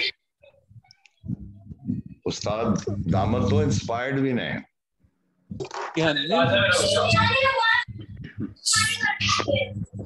ਇਹ ਕੋ ਬੱਚਾ ਹੈ ਜਿਹੜਾ ਹੂਟ ਕਰ ਰਿਹਾ ਤੁਹਾਨੂੰ ਸਾਰਿਆਂ ਨੂੰ अब कह रहे हैं कि बकवास कर ही जा रहे हैं बंदे बैठे ਜਬਰਿਆ ਦੇ सही गल ਸਾਹਮਣੇ ਨਹੀਂ ਆ ਰਿਹਾ। ਪਿੱਛੋਂ ਵਾਰ ਕਰ। ਅੱਛਾ ਜੀ। ਇਸ ਦੇਖੋ ਬੜੀ ਬੁਰੀ ਗੱਲ ਹੈ। ਅਸੀਂ ਆਪਸ ਤਿੰਨ ਲਾਹੌਰੀਏ ਬਹਿ ਕੇ ਬਕਵਾਸ ਕਰ ਰਹੇ ਹਾਂ। ਬਾਕੀ ਲੋਕ ਬੈਠੇ ਨੇ ਉਹਨਾਂ ਨੂੰ ਅਸੀਂ ਉਹ ਨਜ਼ਮ ਤੇ ਗੱਲ ਕਰ ਰਹੇ ਹਾਂ। ਹੋਰ ਵੀ ਲਾਹੌਰੀਏ ਨੇ। ਉਹ ਲਾਹੌਰੀਏ ਹੋਣਗੇ ਪਰ ਉਹ ਨਹੀਂ ਮੈਨੂੰ ਤੇ ਜਿਹੜੀ ਨਜ਼ਮ ਸੁਣਦੇ ਆ ਨਾ ਇਹ ਇੱਕ ਖਾਜਾ ਫਰੀਦ ਰਾਂ ਦੀ ਯਾਦ ਆ ਗਈ ਹੈ ਮੇਰਾ ਇਸ਼ਕ ਵੀ ਤੂੰ ਮੇਰਾ ਦੀਨ ਵੀ ਤੂੰ ਈਮਾਨ ਵੀ ਤੂੰ ਹੈ ਜੀ ਉਹਦੇ ਨਾਲ ਬਹੁਤ ਇਸੇ ਤਰ੍ਹਾਂ ਹੀ ਬਿਰਦ ਹੈਗਾ ਮੇਰਾ ਕਾਬਾ ਕਿਬਲਾ ਈਮਾਨ ਵੀ ਤੂੰ ਹੈ ਜੀ ਬਿਰਦ ਹੈਗਾ ਮੇਰਾ ਬਿਰਦ। ਬੀੜਾ ਪਾਨ ਵਾਹ ਮੈਂ ਸੁਣਦਾ ਜਾ ਰਿਹਾ ਸੀ ਤੇ ਮੈਂ ਕਿਹਾ ਵਾਹ ਜੀ ਵਾਹ ਮੁਸਤਫਾ ਸਾਹਿਬ ਬਹੁਤ ਅੱਛਾ ਬਸ ਤੇ ਅਗਰ ਇਜਾਜ਼ਤ ਦਿਓ ਤੇ ਫਿਰ ਉਹਨਾਂ ਨੂੰ ਵਾਈਂਡ ਅਪ ਕਰੀਏ ਤਾਂ ਕਿ ਰਿਕਾਰਡਿੰਗ ਬੰਦ ਕਰਕੇ ਤੇ ਫਿਰ ਤੁਸੀਂ ਬੋਲ ਪਵੋ। ਨਹੀਂ ਨਹੀਂ ਨਹੀਂ, ਫਿਰ ਕੀ ਬੋਲ ਤੁਸੀਂ ਉਹ ਦੂਰ ਭੱਜ ਗਏ ਉਹ ਨੇੜੇ ਨਹੀਂ ਲੱਗਦੇ ਨਾ। ਪਤਾ ਨਹੀਂ। ਅ, ਅਗਰ ਇਜਾਜ਼ਤ ਹੋਏ ਤਾਂ ਮੈਂ ਦੋ ਲਫ਼ਜ਼ ਜ਼ਰੂਰ ਕਹਿਣਾ ਚਾਹਾਂਗੀ। ਜੀ ਜੀ ਪਲੀਜ਼ ਪਲੀਜ਼ ਕਿਉਂਕਿ ਤੁਸੀਂ ਸ਼ਿਕਾਇਤ ਨਹੀਂ ਹੁਣ ਕਰ ਸਕਦੇ ਕਿ ਤੁਸੀਂ ਪੂਰੀ ਨਜ਼ਮ ਨਹੀਂ ਸੁਣੀ। ਨਹੀਂ ਮੈਂ ਪੂਰੀ ਨਜ਼ਮ ਸੁਣੀ ਹੈ ਔਰ ਮੈਂ ਸ਼ੌਕਡ ਹਾਂ ਕਿ ਅ, ਬਹੁਤ ਹੀ ਖੂਬਸੂਰਤ ਇਹ ਨਜ਼ਮ ਜਿਹੜੀ ਉਹਨਾਂ ਨੇ ਪੜ੍ਹ ਕੇ ਸੁਣਾਈ ਹੈ ਤੇ ਅੰਮ੍ਰਿਤਾ ਪ੍ਰੀਤਮ ਜੀ ਦੇ ਹਵਾਲੇ ਦੇ ਨਾਲ ਇਹ ਸਾਰੀ ਜਿਹੜੀ ਨਜ਼ਮ ਹੈਗੀ ਆ ਉਹ ਲਿਖੀ ਗਈ ਹੈ ਤੇ ਕੱਲਾ ਕੱਲਾ ਅਲਫਾਜ਼ ਜਿਹੜਾ ਹੈਗਾ ਆ ਉਹ ਉਹਨਾਂ ਦੀ ਜ਼ਿੰਦਗੀ ਚੋਂ ਲੈ ਕੇ ਅਜੋਕੇ ਮਨੁੱਖ ਜੋ ਸਾਡੀ ਸੁਸਾਇਟੀ ਦੇ ਵਿੱਚ ਜੋ ਕੁਝ ਹੋ ਰਿਹਾ ਆ ਉਹ ਸਭ ਚੀਜ਼ ਹਰ ਇੱਕ ਚੀਜ਼ ਵਿਕਾਊ ਹੋ ਰਹੀ ਹੈ। ਉਹ ਜਿਸ ਤਰ੍ਹਾਂ ਪਹਿਲਾਂ ਕਿਸੇ ਨੇ ਕਿਹਾ ਆ ਕਿ ਉਹ ਵੀ ਚੀਜ਼ਾਂ ਵਿਕਣ ਤੇ ਆ ਗਈਆਂ ਜਿਨ੍ਹਾਂ ਦਾ ਅਸੀਂ ਕਦੀ ਸੋਚ ਵੀ ਨਹੀਂ ਸਕਦੇ ਕਿ ਇਹ ਵੀ ਚੀਜ਼ ਕਦੀ ਵਿਕ ਸਕਦੀ ਹੈ। ਅੰਮ੍ਰਿਤਾ। ਪ੍ਰੀਤਮ ਦੀ ਨਜ਼ਮ ਦੇ ਵਿੱਚ ਆਂਦਾ ਆ ਇੱਕ ਕਿ ਸੀਨੇ ਵਿੱਚ ਬਲਦੀ ਅੱਗ ਦਾ ਪਰਛਾਵਾਂ ਨਹੀਂ ਹੁੰਦਾ ਜਾਂ ਉਹਦੀ ਸੀਨੇ 'ਚ ਬਲਦੇ ਜਿਹੜੇ ਭਾਂਬੜ ਹੈਗੇ ਆ ਉਹ ਜਿਹੜੀ ਭਾਵਨਾ ਆ ਉਹ ਜਿਹੜੀ ਫੀਲਿੰਗ ਆ ਅੱਜ ਉਹ ਵੀ ਵਿਕਾਊ ਹੋ ਗਈ ਹੈ। ਉਹ ਇੱਕ ਇੱਕ ਉਹਨਾਂ ਨੇ ਵਿੱਚ ਲਿਆ ਕਿ ਸਾਹਿਰ ਦੇ ਟੋਟੇ ਜਦੋਂ ਬਾਅਦ ਵਿੱਚ ਉਹ ਪੀਂਦੀ ਸੀ ਤੇ ਜਿਹੜੀ ਉਹ ਫੀਲਿੰਗ ਲੈਂਦੀ ਸੀਗੀ ਉਹ ਫੀਲਿੰਗ ਮੁਹੱਬਤ ਵਾਲੀ ਜਿਹੜੀ ਸੀਗੀ ਉਹ ਉਹ ਉਹ ਫੀਲਿੰਗ ਵੀ ਹੁਣ ਉਹ ਵਿਕਾਊ ਹੈ ਇਸ਼ਕ ਵਿਕਾਊ ਹੈ ਹਰ ਇੱਕ ਚੀਜ਼ ਵਿਕਾਊ ਹੋ ਗਈ ਆ ਅੱਜ ਦੇ ਜ਼ਮਾਨੇ ਦੇ ਵਿੱਚ ਇਸ ਸੰਦਰਭ ਦੇ ਵਿੱਚ। ਅਮ੍ਰਿਤਾ ਪ੍ਰੀਤਮ ਦੀ ਜੀਵਨ ਦੇ ਵਿੱਚੋਂ ਲੈ ਕੇ ਉਹ ਇੱਕ ਮਹਿਜ਼ ਇੱਕ ਉਹਨਾਂ ਨੇ ਉਹਨੂੰ ਬਣਾਇਆ ਹਵਾਲਾ ਦੇਣ ਲਈ। ਪਰ ਅਜੋਕੀ ਜੋ ਸਾਡੇ ਸਮਾਜ ਦੀ ਕਹਾਣੀ ਹੈ ਜੋ ਸਾਡੇ ਸਮਾਜ ਦੇ ਵਿੱਚ ਸਾਡੀ ਸੁਸਾਇਟੀ ਦੇ ਵਿੱਚ ਜੋ ਹੋ ਰਿਹਾ ਹੈ ਉਹਨੂੰ ਬਹੁਤ ਹੀ ਖੂਬਸੂਰਤ ਤਰੀਕੇ ਦੇ ਨਾਲ ਇਸ ਨਜ਼ਮ ਦੇ ਵਿੱਚ ਪੇਸ਼ ਕੀਤਾ ਗਿਆ ਆ ਕਿ ਇੰਨੀ ਰਵਾਨਗੀ ਨਾਲ ਇਹ ਨਜ਼ਮ ਉਹਨਾਂ ਨੇ ਸੁਣਾਈ ਹੈ ਤੇ ਮੈਨੂੰ ਬਹੁਤ ਬਹੁਤ ਖੂਬਸੂਰਤ ਲੱਗੀ ਹੈ ਬਹੁਤ ਹੀ ਜ਼ਿਆਦਾ ਸੁੰਦਰ ਔਰ ਮੈਂ ਬਹੁਤ ਬਹੁਤ ਮੁਬਾਰਕਬਾਦ ਦੇਣਾ ਚਾਹਨੀ ਆ ਉਹਨਾਂ ਨੂੰ ਕਿ ਖੂਬਸੂਰਤ ਨਜ਼ਮ ਲਈ ਬਹੁਤ ਬਹੁਤ ਵਧਾਈ ਹੋਵੇ ਉਹਨਾਂ ਨੂੰ ਬਹੁਤ ਅੱਛੀ ਲੱਗੀ ਬਹੁਤ ਹੀ ਵਧੀਆ ਥੈਂਕ ਯੂ ਸ਼ੁਕਰੀਆ ਜਨਾਬ ਥੈਂਕ ਯੂ ਕੋਈ ਹੋਰ ਮਿੱਤਰ ਕੋਈ ਦੋਸਤ ਕੋਈ ਯਾਰ ਕੁਝ ਕਹਿਣਾ ਚਾਹੇ ਨਹੀਂ ਤੇ ਫਿਰ ਤੁਹਾਡੀ ਇਜਾਜ਼ਤ ਨਾਲ ਮੈਨੂੰ ਅੱਗੇ ਟੋਰੀਏ ਅੱਗੇ ਵੀ ਜਾਣਾ ਹੈ? ਜੀ ਜੀ ਅਜੇ ਅੱਗੇ ਜਾਣਾ ਹੈ। ਹਾਂਜੀ। ਓਹੋ। ਤੁਸੀਂ ਪਰੇਸ਼ਾਨ ਹੋ ਗਏ ਹੋ। ਨਹੀਂ ਨਹੀਂ। ਨੇੜੇ ਨਹੀਂ ਆਲੀ ਓਹੋ। ਮੇਰੇ ਖਿਆਲ ਨਹੀਂ ਮੈਨੂੰ ਪਤਾ ਨਹੀਂ ਪ੍ਰੋਗਰਾਮ ਦਾ। ਇਹ ਮੁਸ਼ਤਬਾ ਦਾ ਪਤਾ ਸੀ ਕਹਾਣੀ ਦਾ ਵੀ ਪਤਾ ਸੀ ਮਗਰ ਇੱਕ ਹੋਰ ਚੀਜ਼ ਵੀ ਹੈ ਕੋਈ ਆਰਟੀਕਲ ਹੈ। ਹਾਂਜੀ। ਇੱਕ ਹੋਰ ਹਾਂਜੀ ਆਰਟੀਕਲ ਹੈ ਇੱਕ। ਤੇ ਮੇਰੇ ਖਿਆਲ ਫਿਰ ਕਰੀਏ ਇਹਨੂੰ ਵਾਈਂਡ ਅਪ ਤੇ ਚਲੀ ਅੱਗੇ। ਜੀ ਹਾਂ ਜੀ ਹਾਂ। ਹਾਂਜੀ ਹਸਨ ਮੁਸ਼ਤਬਾ ਸਾਹਿਬ ਤੁਸੀਂ ਮੁਬਾਰਕਬਾਦ ਦੇ ਮੁਸਤਕ ਹੋ। ਬਹੁਤ ਸੋਹਣੀ ਤੁਹਾਡੀ ਨਜ਼ਮ ਔਰ ਬੜਾ ਉਹਦੇ ਤੇ ਦਿਲ ਖੋਲ ਕੇ ਗੱਲਾਂ ਹੋਈਆਂ। ਬਹੁਤ ਜ਼ਬਰਦਸਤ ਨਜ਼ਮ ਤੁਹਾਡੀ ਸੀ। ਤੇ ਹੁਣ ਅਸੀਂ ਅੱਗੇ ਚੱਲਨੇ में ਤੇ ਆਰਟੀਕਲ ਜਿਹੜਾ ਹੈ ਉਹ ਸਫੀਰ ਰਾਮਾ ਜੀ ਪੜਨਗੇ ਤੇ ਸਫੀਰ ਰਾਮਾ ਜੀ ਵੀ ਜਿਹੜੇ ਨੇ ਉਹ ਸਾਰੇ ਜਾਣਦੇ ਨੇ। ਕਿਸੇ ਤਾਰਫ ਦੇ ਮੁਹਤਾਜ ਨਹੀਂ ਹੈ। ਉਹਨਾਂ ਦੀ ਜਿਹੜੀ ਸਭ ਤੋਂ ਜ਼ਿਆਦਾ ਜਿਹੜੀ ਉਹਨਾਂ ਦੀ ਸ਼ੋਹਰਤ ਦਾ ਬਾਇਸ ਹੈ ਉਹ ਉਹਨਾਂ ਦੀ ਆਪਣਾ ਦੀ ਪੰਜਾਬੀ ਵੈਬਸਾਈਟ ਹੈ ਜਿਹਦੇ ਤੋਂ ਸਾਰੇ ਹੀ ਕਿਤਾਬਾਂ ਲੈਂਦੇ ਨੇ ਤੇ ਪੜ੍ਹਦੇ ਨੇ ਤੇ ਸਾਰਾ ਕੁਝ ਕਰਦੇ ਨੇ। ਤੇ ਇਹਨਾਂ ਦਾ ਇੱਕ ਬਹੁਤ ਵੱਡਾ ਕੰਮ ਹੈ। ਇਹਦੇ ਇਲਾਵਾ ਸਾਂਝ ਰਸਾਲਾ ਵੀ ਕੱਢ ਰਹੇ ਨੇ। ਤੇ ਪੰਜਾਬੀ ਪਿਆਰੇ ਨੇ। ਤੇ ਜੀ ਹੁਣ ਪੰਜਾਬੀ ਪਿਆਰੇ ਜਿਹੜੇ ਨੇ ਉਹ ਹੁਣ ਸਾਨੂੰ ਆਪਣਾ ਆਰਟੀਕਲ ਜਿਹੜਾ ਹੈ ਉਹ ਸਰਮਾ ਜੀ ਦੀ ਇਜਾਜ਼ਤ ਦੇ ਨਾਲ ਜਨਾਬ ਜ਼ਰੂਰ। ਜੀ ਪ੍ਰਧਾਨ ਜੀ ਦੀ ਇਜਾਜ਼ਤ ਵੀ ਤੇ ਨਾਲੇ ਮੈਂ ਉਹਨਾਂ ਦੀ ਤਸੱਲੀ ਵਾਸਤੇ ਇਹ ਵੀ ਕਹਿ ਦਿਆਂ ਕਿ ਨਿੱਕੀ ਜਿਹੀ ਲਿਖਤ ਹੈ 15 ਮਿੰਟਾਂ ਵਿੱਚ ਪੜੀ ਜਾਏਗੀ। ਨਹੀਂ ਨਹੀਂ ਕਾਲਾ ਪੈਣ ਦੀ ਲੋੜ ਨਹੀਂ। ਨਹੀਂ ਨਹੀਂ ਔਰ ਡਿਊਰੇਸ਼ਨ ਦਾ ਮਸਲਾ ਨਹੀਂ ਸੀ। ਜੀ। ਉਹ ਸੀ ਕਿ ਉਹ ਇੰਨੀ ਫਿਲਾਸਫੀਕਲ ਔਰ ਡੀਪ ਔਰ ਪ੍ਰੋਫਾਉਂਡ ਹੋਣੀ ਹੈ ਕਿ ਉਹਦਾ ਅਸਰ ਜਿਹੜਾ ਉਹ ਕਈ ਸਾਲਾਂ ਤੱਕ ਰਹਿਣਾ। ਹੈ ਉਹਦੀ ਡਿਊਰੇਸ਼ਨ ਦੀ ਗੱਲ ਕਰਦਾ ਨਹੀਂ ਨਹੀਂ ਛੋਟੀ ਜਿਹੀ ਲਿਖਤ ਹੈ ਐਵੇਂ ਦੋ ਚਾਰ ਗੱਲਾਂ ਵੱਲ ਇਸ਼ਾਰਾ ਕਰਨ ਵਾਸਤੇ ਲਿਖੀ ਗਈ ਹੈ। ਤੇ ਇਹਦਾ ਸਰਨਾਮਾ ਹੈ ਵੰਡ ਦੇ ਬਲਵਿਆਂ ਦਾ ਜ਼ਿੰਮੇਦਾਰ ਕੌਣ? ਵਾਹ। ਪੰਜਾਬ ਜੀ ਪ੍ਰਧਾਨ ਜੀ ਤੋਂ ਇਜਾਜ਼ਤ ਤੋਂ ਮੈਂ ਸ਼ੁਰੂ ਕਰਾਂ। ਜੀ ਜੀ ਜੀ। ਪੰਜਾਬ ਦੇ ਬਟਵਾਰੇ ਵੇਲੇ ਹੋਣ ਵਾਲੇ ਬਲਵਿਆਂ ਤੇ ਜਿਨ੍ਹਾਂ ਵਿੱਚ ਕੋਈ 10 ਲੱਖ ਦੇ ਨੇੜੇ ਪੰਜਾਬੀ ਮਾਰੇ ਗਏ ਤੇ 1.5 ਕਰੋੜ ਘਰੋਂ ਬੇਘਰ ਹੋਏ ਬਹੁਤ ਕੁਝ ਲਿਖਿਆ ਜਾ ਚੁੱਕਿਆ ਹੈ। ਕਾਟ ਕੱਢਣ ਵਾਲਿਆਂ ਰੱਜ ਫੁੱਲਾਪਾਲੀ ਕੀਤੀ ਹੈ ਪਰ ਹਾਲੀ ਤੱਕ ਇਹ ਤੈਅ ਨਹੀਂ ਹੋਇਆ ਕਿ ਪੰਜਾਬ ਦਾ ਅਮਨ ਬਰਬਾਦ ਕਰਨ ਦੇ ਅਸਲ ਮੁਜਰਮ ਕੌਣ ਸਨ। ਕਿ ਐਡੇ ਇੰਨੇ ਵੱਡੇ ਜਾਨੀ ਤੇ ਮਾਲੀ ਨੁਕਸਾਨ ਦਾ ਭਾਰ ਕਿੰਨਾ ਦੇ ਮੋਢਿਆਂ ਤੇ ਹੈ? ਸਨ 45 46 ਦੀਆਂ ਚੋਣਾਂ ਤੱਕ ਪਿਛਲੇ ਸੈਂਕੜਾ ਵਰਿਆਂ ਤੋਂ ਪੰਜਾਬ ਦੇ ਵਸਨੀਕਾਂ ਦੇ ਆਪਸ ਵਿੱਚ ਧਰਮ ਦੇ ਨਾਮ ਤੇ ਦੰਗੇ ਫਸਾਦ ਨਹੀਂ ਸਨ ਹੋਏ।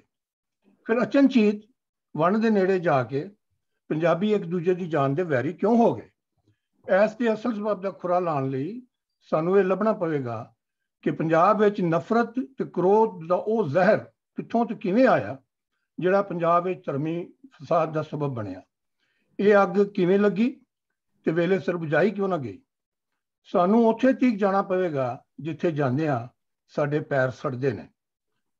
ਲੋੜ ਤੇ ਇਸ ਗੱਲ ਦੀ, ਗੱਲ ਜੀ ਹੈ ਕਿ ਵੰਡ ਵੇਲੇ ਪੰਜਾਬ ਤੇ ਜੋ ਬੀਤੀ ਉਸ ਦੇ ਸਾਰੇ ਖਿਲਾਰ ਨੂੰ ਬੜੇ ਧਿਆਨ ਨਾਲ ਵੇਖਿਆ ਜਾਏ, ਪਰ ਇਸ ਨਿੱਕੀ ਜਿਹੀ ਲਿਖਤ ਵਿੱਚ ਕੁਝ ਮੋਟੀਆਂ-ਮੋਟੀਆਂ ਗੱਲਾਂ ਦਾ ਹੀ ਜ਼ਿਕਰ ਹੋ ਸਕਦਾ ਹੈ। ਸਨ 45-46 ਤੱਕ ਪੰਜਾਬ ਦੇ ਅੰਦਰ ਦੀ ਸਿਆਸਤ ਇੰਜ ਸੀ ਕਿ 1923 ਵਿੱਚ ਮੀਆਂ ਫਜ਼ਲ ਹੁਸੈਨ ਨੇ ਪੰਜਾਬ ਵਿੱਚ ਯੂਨੀਅਨਿਸਟ ਪਾਰਟੀ ਦਾ ਮੁੱਢ ਵੱਜਾ। ਯੂਨੀਅਨਿਸਟ ਪਾਰਟੀ ਦੇ ਝੰਡੇ ਹੇਠ ਪੰਜਾਬ ਦੇ ਤਿੰਨਾਂ ਵੱਡੇ ਧਰਮਾਂ ਦਾ ਏਕਾ ਸੀ। ਮੀਆਂ ਫਜ਼ਲ ਹੁਸੈਨ ਸਰ ਛੋਟੂ ਰਾਮ, ਸਰ ਸਿਕੰਦਰ ਯਾਦ ਖਿਜ਼ਰ ਯਾਤਵਾਣਾ ਤੇ ਯੂਨੀਅਨਿਸਟ ਪਾਰਟੀ ਦੇ ਹੋਰ ਸਾਰੇ ਵੱਡੇ ਆਗੂ ਪੰਜਾਬੀਅਤ ਤੇ ਵੀ ਪੂਰਾ ਵਿਸ਼ਵਾਸ ਰੱਖਦੇ ਸਨ। ਸਨ 23 ਤੋਂ ਲੈ ਕੇ ਸਨ 44 ਤੱਕ ਪੰਜਾਬ ਤੇ ਯੂਨੀਅਨਿਸਟ ਪਾਰਟੀ ਛਾਈ ਰਹੀ। ਇਸ ਸਾਰੇ ਦੌਰ ਵਿੱਚ ਕਾਂਗਰਸ ਤੇ ਮੁਸਲਿਮ ਲੀਗ ਨੂੰ ਪੰਜਾਬ ਵਿੱਚ ਪੈਰ ਟਿਕਾਣ ਦੀ ਬਹੁਤੀ ਥਾਂ ਨਹੀਂ ਮਿਲੀ। ਸਨ 37 ਦੀਆਂ ਚੋਣਾਂ ਤੋਂ ਚੰਦ ਮਹੀਨੇ ਪਹਿਲਾਂ ਪੰਜਾਬ ਨਾਲ ਇੱਕ ਵੱਡਾ ਹਾਦਸਾ ਹੋਇਆ ਕਿ ਮੀਆਂ ਫਜ਼ਲ ਹੁਸੈਨ ਫੌਤ ਹੋ ਗਏ ਨਹੀਂ ਤੇ ਇਸ ਗੱਲ ਦਾ ਪੱਕ ਸੀ ਕਿ ਉਹਨਾਂ ਪੰਜਾਬ ਦਾ ਵਜ਼ੀਰ ਆਲਾ ਬਣਨਾ ਸੀ ਤੇ ਫਿਰ ਸਾਰੀ ਹਿੰਦੁਸਤਾਨ ਦੀ ਸਿਆਸਤ ਦਾ ਕੁਝ ਹੋਰ ਹੀ ਰੁਖ ਹੋਣਾ ਸੀ ਵੰਡ ਵੇਲੇ ਹਿੰਦੁਸਤਾਨ ਦੀ ਸਿਵਲ ਸਰਵਿਸ ਦੇ ਆਲਾ ਅਫਸਰ ਪੈਂਡਰਲ ਮੂਨ ਆਪਣੀ ਕਿਤਾਬ ਡਿਵਾਈਡ ਐਂਡ ਰੂਲ ਵਿੱਚ ਲਿਖਦੇ ਨੇ ਕੋਟ ਜੇ ਤਕਦੀਰ ਵੱਲੋਂ 1936 ਵਿੱਚ ਪੰਜਾਬ ਦੇ ਮਹਾਨ ਮੁਸਲਮਾਨ ਲੀਡਰ ਸਰ ਫਜ਼ਲ ਹੁਸੈਨ ਦੇ ਸਿਰਫ 59 ਸਾਲ ਦੀ ਉਮਰ ਵਿੱਚ ਫੌਤ ਹੋਣ ਦਾ ਹਾਦਸਾ ਨਾ ਹੋ ਜਾਂਦਾ। ਤੇ ਜਿਨ੍ਹਾਂ ਹੋਰਾਂ ਨੂੰ ਕਦੇ ਇਹ ਮੌਕਾ ਨਹੀਂ ਸੀ ਮਿਲਣਾ ਕਿ ਉਹ ਹਿੰਦੁਸਤਾਨ ਦੇ ਸਾਰੇ ਮੁਸਲਮਾਨਾਂ ਦੇ ਪ੍ਰਧਾਨ ਬਣ ਜਾਂਦੇ ਤੇ ਉਹਨਾਂ ਸਭ ਨੂੰ ਪਾਕਿਸਤਾਨ ਬਣਾਉਣ ਦੇ ਮੁੱਦੇ ਤੇ ਇਕੱਠਾ ਕਰ ਲੈਂਦੇ। ਉਹ ਹਿੰਦੁਸਤਾਨ ਦੇ ਸਾਰੇ ਸਰ ਫਜ਼ਲ ਹੁਸੈਨ ਨੇ ਯੂਨੀਅਨਸ ਪਾਰਟੀ ਦੀ ਨੀਂਹ ਰੱਖੀ ਸੀ। ਉਹ ਨਾ ਸਿਰਫ ਇੱਕ ਪੱਕਾ ਮੁਸਲਮਾਨ ਤੇ ਪੱਕਾ ਪੰਜਾਬੀ ਸੀ, ਸਗੋਂ ਉਸ ਨੂੰ ਪੰਜਾਬੀਅਤ ਤੇ ਪੂਰਾ ਮਾਣ ਵੀ ਸੀ। ਜਿਨ੍ਹਾਂ ਵਾਂਗੂ ਉਹ ਵੀ ਖਰਾ ਤੇ ਸੁੱਚਾ ਬੰਦਾ ਸੀ। ਅਤੇ ਆਪਣੀ ਕਾਬਲੀਅਤ ਤਗੜੇ ਕਿਰਦਾਰ ਤੇ ਚੰਗੀ ਸ਼ੋਹਰਤ ਵਿੱਚ, ਜਿਨ੍ਹਾਂ ਨਾਲੋਂ ਵੀ ਇੱਕ ਕਦਮ ਅੱਗੇ ਸੀ। ਜੇ ਉਹ ਆਪਣੇ ਵੇਲੇ ਤੋਂ ਪਹਿਲਾਂ ਫੌਤ ਹੋਣ ਦੀ ਥਾਂ, ਹੋਰ 10 ਸਾਲ ਯੂਨੀਅਨਸ ਪਾਰਟੀ ਦਾ ਪ੍ਰਧਾਨ ਰਹਿੰਦਾ, ਤੇ ਉਸ ਦੀ ਥਾਂ ਉਸ ਤੋਂ ਮਾਠੇ ਆਗੂ ਨਾ ਲੈ ਲੈਂਦੇ। ਤੇ ਜਿਨ੍ਹਾਂ ਨੂੰ ਸਾਰੇ ਪੰਜਾਬੀ ਮੁਸਲਮਾਨਾਂ ਦੀ ਪ੍ਰਧਾਨਗੀ, ਜਿਨ੍ਹਾਂ ਨੂੰ ਨਾ ਸਾਰੇ ਪੰਜਾਬੀ ਮੁਸਲਮਾਨਾਂ ਦੀ ਪ੍ਰਧਾਨਗੀ ਲੱਭਣੀ ਸੀ ਤੇ ਨਾ ਹੀ ਉਸਨੇ ਐਸਾ ਯਤਨ ਕਰਨਾ ਸੀ। ਪੰਜਾਬ ਵਿਦਿਆਰਥੀ ਸੌਰੀ ਪਾਕਿਸਤਾਨ ਵਿਦਿਆਰਥੀਆਂ ਦਾ ਖਾਬ ਬਣ ਕੇ ਰਹਿ ਜਾਣਾ ਸੀ। ਪਰ ਤਕਦੀਰ ਨੇ ਕੋਈ ਹੋਰ ਹੀ ਫੈਸਲਾ ਕੀਤਾ। ਉਸ ਸਰ ਸਰਫਜ਼ਲੇ ਸਾਨੂੰ ਰਾਹ ਚੋਟ ਆ ਕੇ ਜਿਨ੍ਹਾਂ ਨੂੰ ਮੌਕਾ ਦੇ ਦਿੱਤਾ। ਅਨਕੋਟ ਸਨ 37 ਦੀਆਂ ਚੋਣਾਂ ਦੇ, ਚੋਣਾਂ ਵਿੱਚ ਪੰਜਾਬ ਤੋਂ ਯੂਨੀਅਨਸ ਪਾਰਟੀ ਨੂੰ 98 ਤੇ ਮੁਸਲਿਮ ਲੀਗ ਨੂੰ ਸਿਰਫ 2 ਸੀਟਾਂ ਮਿਲੀਆਂ ਸਨ। ਸਰ, ਸਿਕੰਦਰ ਹਯਾਤ ਜਿਹੜੇ ਫਜ਼ਲ ਹੁਸੈਨ ਦੇ ਬਾਅਦ ਯੂਨੀਅਨਸ ਪਾਰਟੀ ਦੇ ਪ੍ਰਧਾਨ ਬਣੇ, ਉਹਨਾਂ ਪੰਜਾਬ ਵਿੱਚ ਯੂਨੀਅਨਸ ਪਾਰਟੀ ਦੀ ਹਕੂਮਤ ਬਣਾਈ। 1942 ਵਿੱਚ ਸਰ ਸਿਕੰਦਰ ਦੇ ਫੌਤ ਹੋਣ ਮਗਰੋਂ ਖਿਜ਼ਰ ਹਯਾਤਵਾਣਾ ਨੇ ਉਹਨਾਂ ਦੀ ਥਾਂ ਸੰਭਾਲ ਲਈ। ਇਹਨਾਂ ਦੋਹਾਂ ਨੇ ਇਹ ਪਾਲਿਸੀ ਅਪਣਾਈ ਕਿ ਪੂਰੇ ਹਿੰਦੁਸਤਾਨ ਦੀ ਪੱਧਰ ਤੇ ਤੇ ਮਰਕਜ਼ ਵਿੱਚ ਯੂਨੀਅਨਸ ਪਾਰਟੀ ਦੇ ਮੁਸਲਮਾਨ ਮੈਂਬਰ ਮੁਸਲਿਮ ਲੀਗ ਦਾ ਹੱਥ ਬਣਾਉਣਗੇ ਪਰ ਪੰਜਾਬ ਵਿੱਚ ਯੂਨੀਅਨਸ ਪਾਰਟੀ ਦੇ ਪ੍ਰੋਗਰਾਮ ਤੇ ਚੱਲਣਗੇ।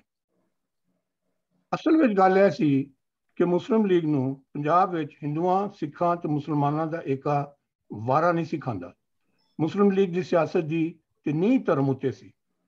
ਪਾਕਿਸਤਾਨ ਦੀ ਮੰਗ ਨੂੰ ਤਗੜਾ ਕਰਨ ਲਈ ਇਸ ਚੀਜ਼ ਦੀ ਲੋੜ ਸੀ ਕਿ ਪੰਜਾਬੀ ਮੁਸਲਮਾਨ ਵੀ ਮੁਸਲਿਮ ਲੀਗ ਵਿੱਚ ਸ਼ਾਮਲ ਹੋ ਜਾਣ ਤਾਂ ਜੇ ਇਸ ਗੱਲ ਵਿੱਚ ਕੋਈ ਸ਼ੱਕ ਬਾਕੀ ਨਾ ਰਹੇ ਕਿ ਹਿੰਦੁਸਤਾਨ ਦੇ ਸਾਰੇ ਮੁਸਲਮਾਨ ਮੁਸਲਿਮ ਲੀਗ ਨਾਲ ਸਹਿਮਤ ਨੇ ਜਿਨ੍ਹਾਂ ਨੇ ਫਜ਼ਲ ਹੁਸੈਨ ਦੇ ਮਰਨ ਤੋਂ ਕੁਝ ਚਿਰ ਪਹਿਲਾਂ ਲਾਹੌਰ ਵਿੱਚ ਉਹਨਾਂ ਨਾਲ ਮੁਲਾਕਾਤ ਕਰਕੇ ਮੁਸਲਿਮ ਲੀਗ ਨਾਲ ਰਲਣ ਦੀ ਦਾਵਤ ਦਿੱਤੀ ਸੀ ਪਰ ਫਜ਼ਲ ਹੁਸੈਨ ਨੇ ਕੋਰਾ ਜਵਾਬ ਦੇ ਦਿੱਤਾ ਸੀ ਸਿਕੰਦਰ ਯਾਦ ਜਿਨ੍ਹਾਂ ਦੇ ਦਬਾਅ ਦਾ ਮੁਕਾਬਲਾ ਕਰਨ ਯੋਗ ਨਹੀਂ ਸੀ ਅਤੇ ਉਹਨੇ ਜਿਨ੍ਹਾਂ ਨਾਲ ਵਾਅਦਾ ਕਰ ਲਿਆ ਕਿ ਉਹ ਹਿੰਦੁਸਤਾਨ ਦੀ ਪੱਧਰ ਦੇ ਮਾਮਲਿਆਂ ਵਿੱਚ ਜਿਨ੍ਹਾਂ ਦੀ ਗੱਲ ਮੰਨਣਗੇ, ਇਸ ਮਾਮਲੇ ਵਿੱਚ ਇਹ ਵੀ ਸ਼ੱਕ ਸ਼ਾਮਿਲ ਸੀ ਕਿ ਜਨਾਬ ਪੰਜਾਬ ਦੇ ਅੰਦਰੂਨੀ ਮਾਮਲਿਆਂ ਵਿੱਚ ਦਖਲਅੰਦਾਜ਼ੀ ਨਹੀਂ ਕਰਨਗੇ।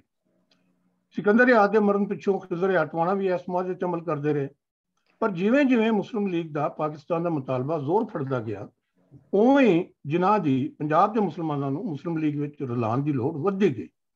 ਸਨ 43 ਤੋਂ ਜਿਨ੍ਹਾਂ ਨੇ ਖਿਜ਼ਰ ਯਾਤਵਾਣਾ ਤੇ ਦਬਾਅ ਪਾਣਾ ਸ਼ੁਰੂ ਕਰ ਦਿੱਤਾ ਕਿ ਪੰਜਾਬ ਅਸੈਂਬਲੀ ਦੇ ਮੁਸਲਮਾਨ ਮੈਂਬਰ ਜੋ ਹੁਣ ਤੱਕ ਮੁਸਲਿਮ ਲੀਗ ਤੇ ਯੂਨੀਅਨਿਸਟ ਦੋਹਾਂ ਪਾਰਟੀਆਂ ਦੇ ਮੈਂਬਰ ਖਵਾਉਂਦੇ ਸੀ ਆਪਣੇ ਆਪ ਨੂੰ ਸਿਰਫ ਮੁਸਲਿਮ ਲੀਗ ਦਾ ਮੈਂਬਰ ਆਖਣ ਤੇ ਖਿਦਰਿਆਤ ਦੀ ਵਜ਼ਾਰਤ ਵੀ ਯੂਨੀਅਨਿਸਟ ਪਾਰਟੀ ਦੀ ਹਕੂਮਤ ਦੀ ਥਾਂ ਨਾ ਬਦਲ ਕੇ ਮੁਸਲਿਮ ਲੀਗ ਕੋਲੀਸ਼ਨ ਹਕੂਮਤ ਪਖਵਾਣਾ ਸ਼ੁਰੂ ਕਰ ਦੇ ਪੰਜਾਬ ਤੇ ਮੁਸਲਿਮ ਲੀਗ ਦੀ ਹਕੂਮਤ ਬਣਾਉਣਾ ਜਿਨ੍ਹਾਂ ਦੀ ਸਿਆਸੀ ਲੋੜ ਸੀ ਪਰ ਖਿਜ਼ਰ ਯਾਰਤਵਾਣਾ ਨੂੰ ਪਤਾ ਸੀ ਕਿ ਇਸ ਦਾ ਮਤਲਬ ਯੂਨੀਅਨਿਸਟ ਪਾਰਟੀ ਦੇ ਸਿੱਖ ਤੇ ਹਿੰਦੂ ਮੈਂਬਰਾਂ ਤੇ ਸਾਰੇ ਗੈਰ ਮੁਸਲਿਮ ਪੰਜਾਬੀਆਂ ਨੂੰ ਨਾਰਾਜ਼ ਕਰਨਾ ਕਿ ਪੰਜਾਬ ਦੇ ਵਿੱਚ ਸਾਰੇ ਧਰਮਾਂ ਦਾ ਏਕਾ ਮੁਕਾਣਾ ਸੀ।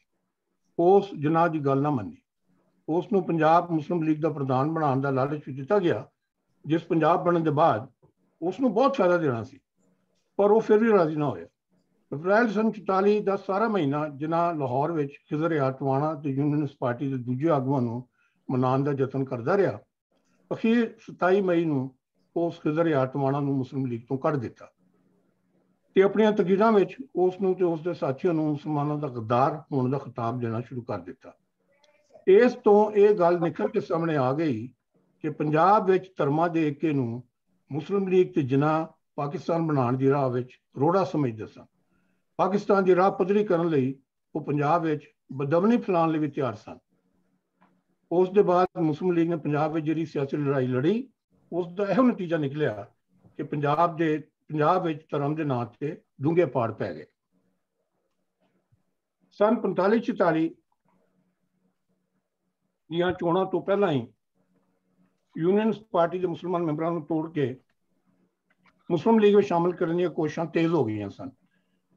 ਯੂਨੀਅਨ ਪਾਰਟੀ ਦੇ ਤਿੰਨ ਆਗੂ ਸਰਦਾਰ ਸ਼ੌਕਤ ਆਤ ਵਸਤਾਰ ਸਨ ਮੰਦੋਰ ਤੇ ਮੁਮਤਾਜ਼ ਦੌਲਤਾਨਾ ਚੋਣਾਂ ਤੋਂ ਪਹਿਲਾਂ ਯੂਨੀਅਨ ਪਾਰਟੀ ਛੱਡ ਕੇ ਮੁਸਲਿਮ ਲੀਗ ਵਿੱਚ ਰਲ ਗਏ ਸਨ।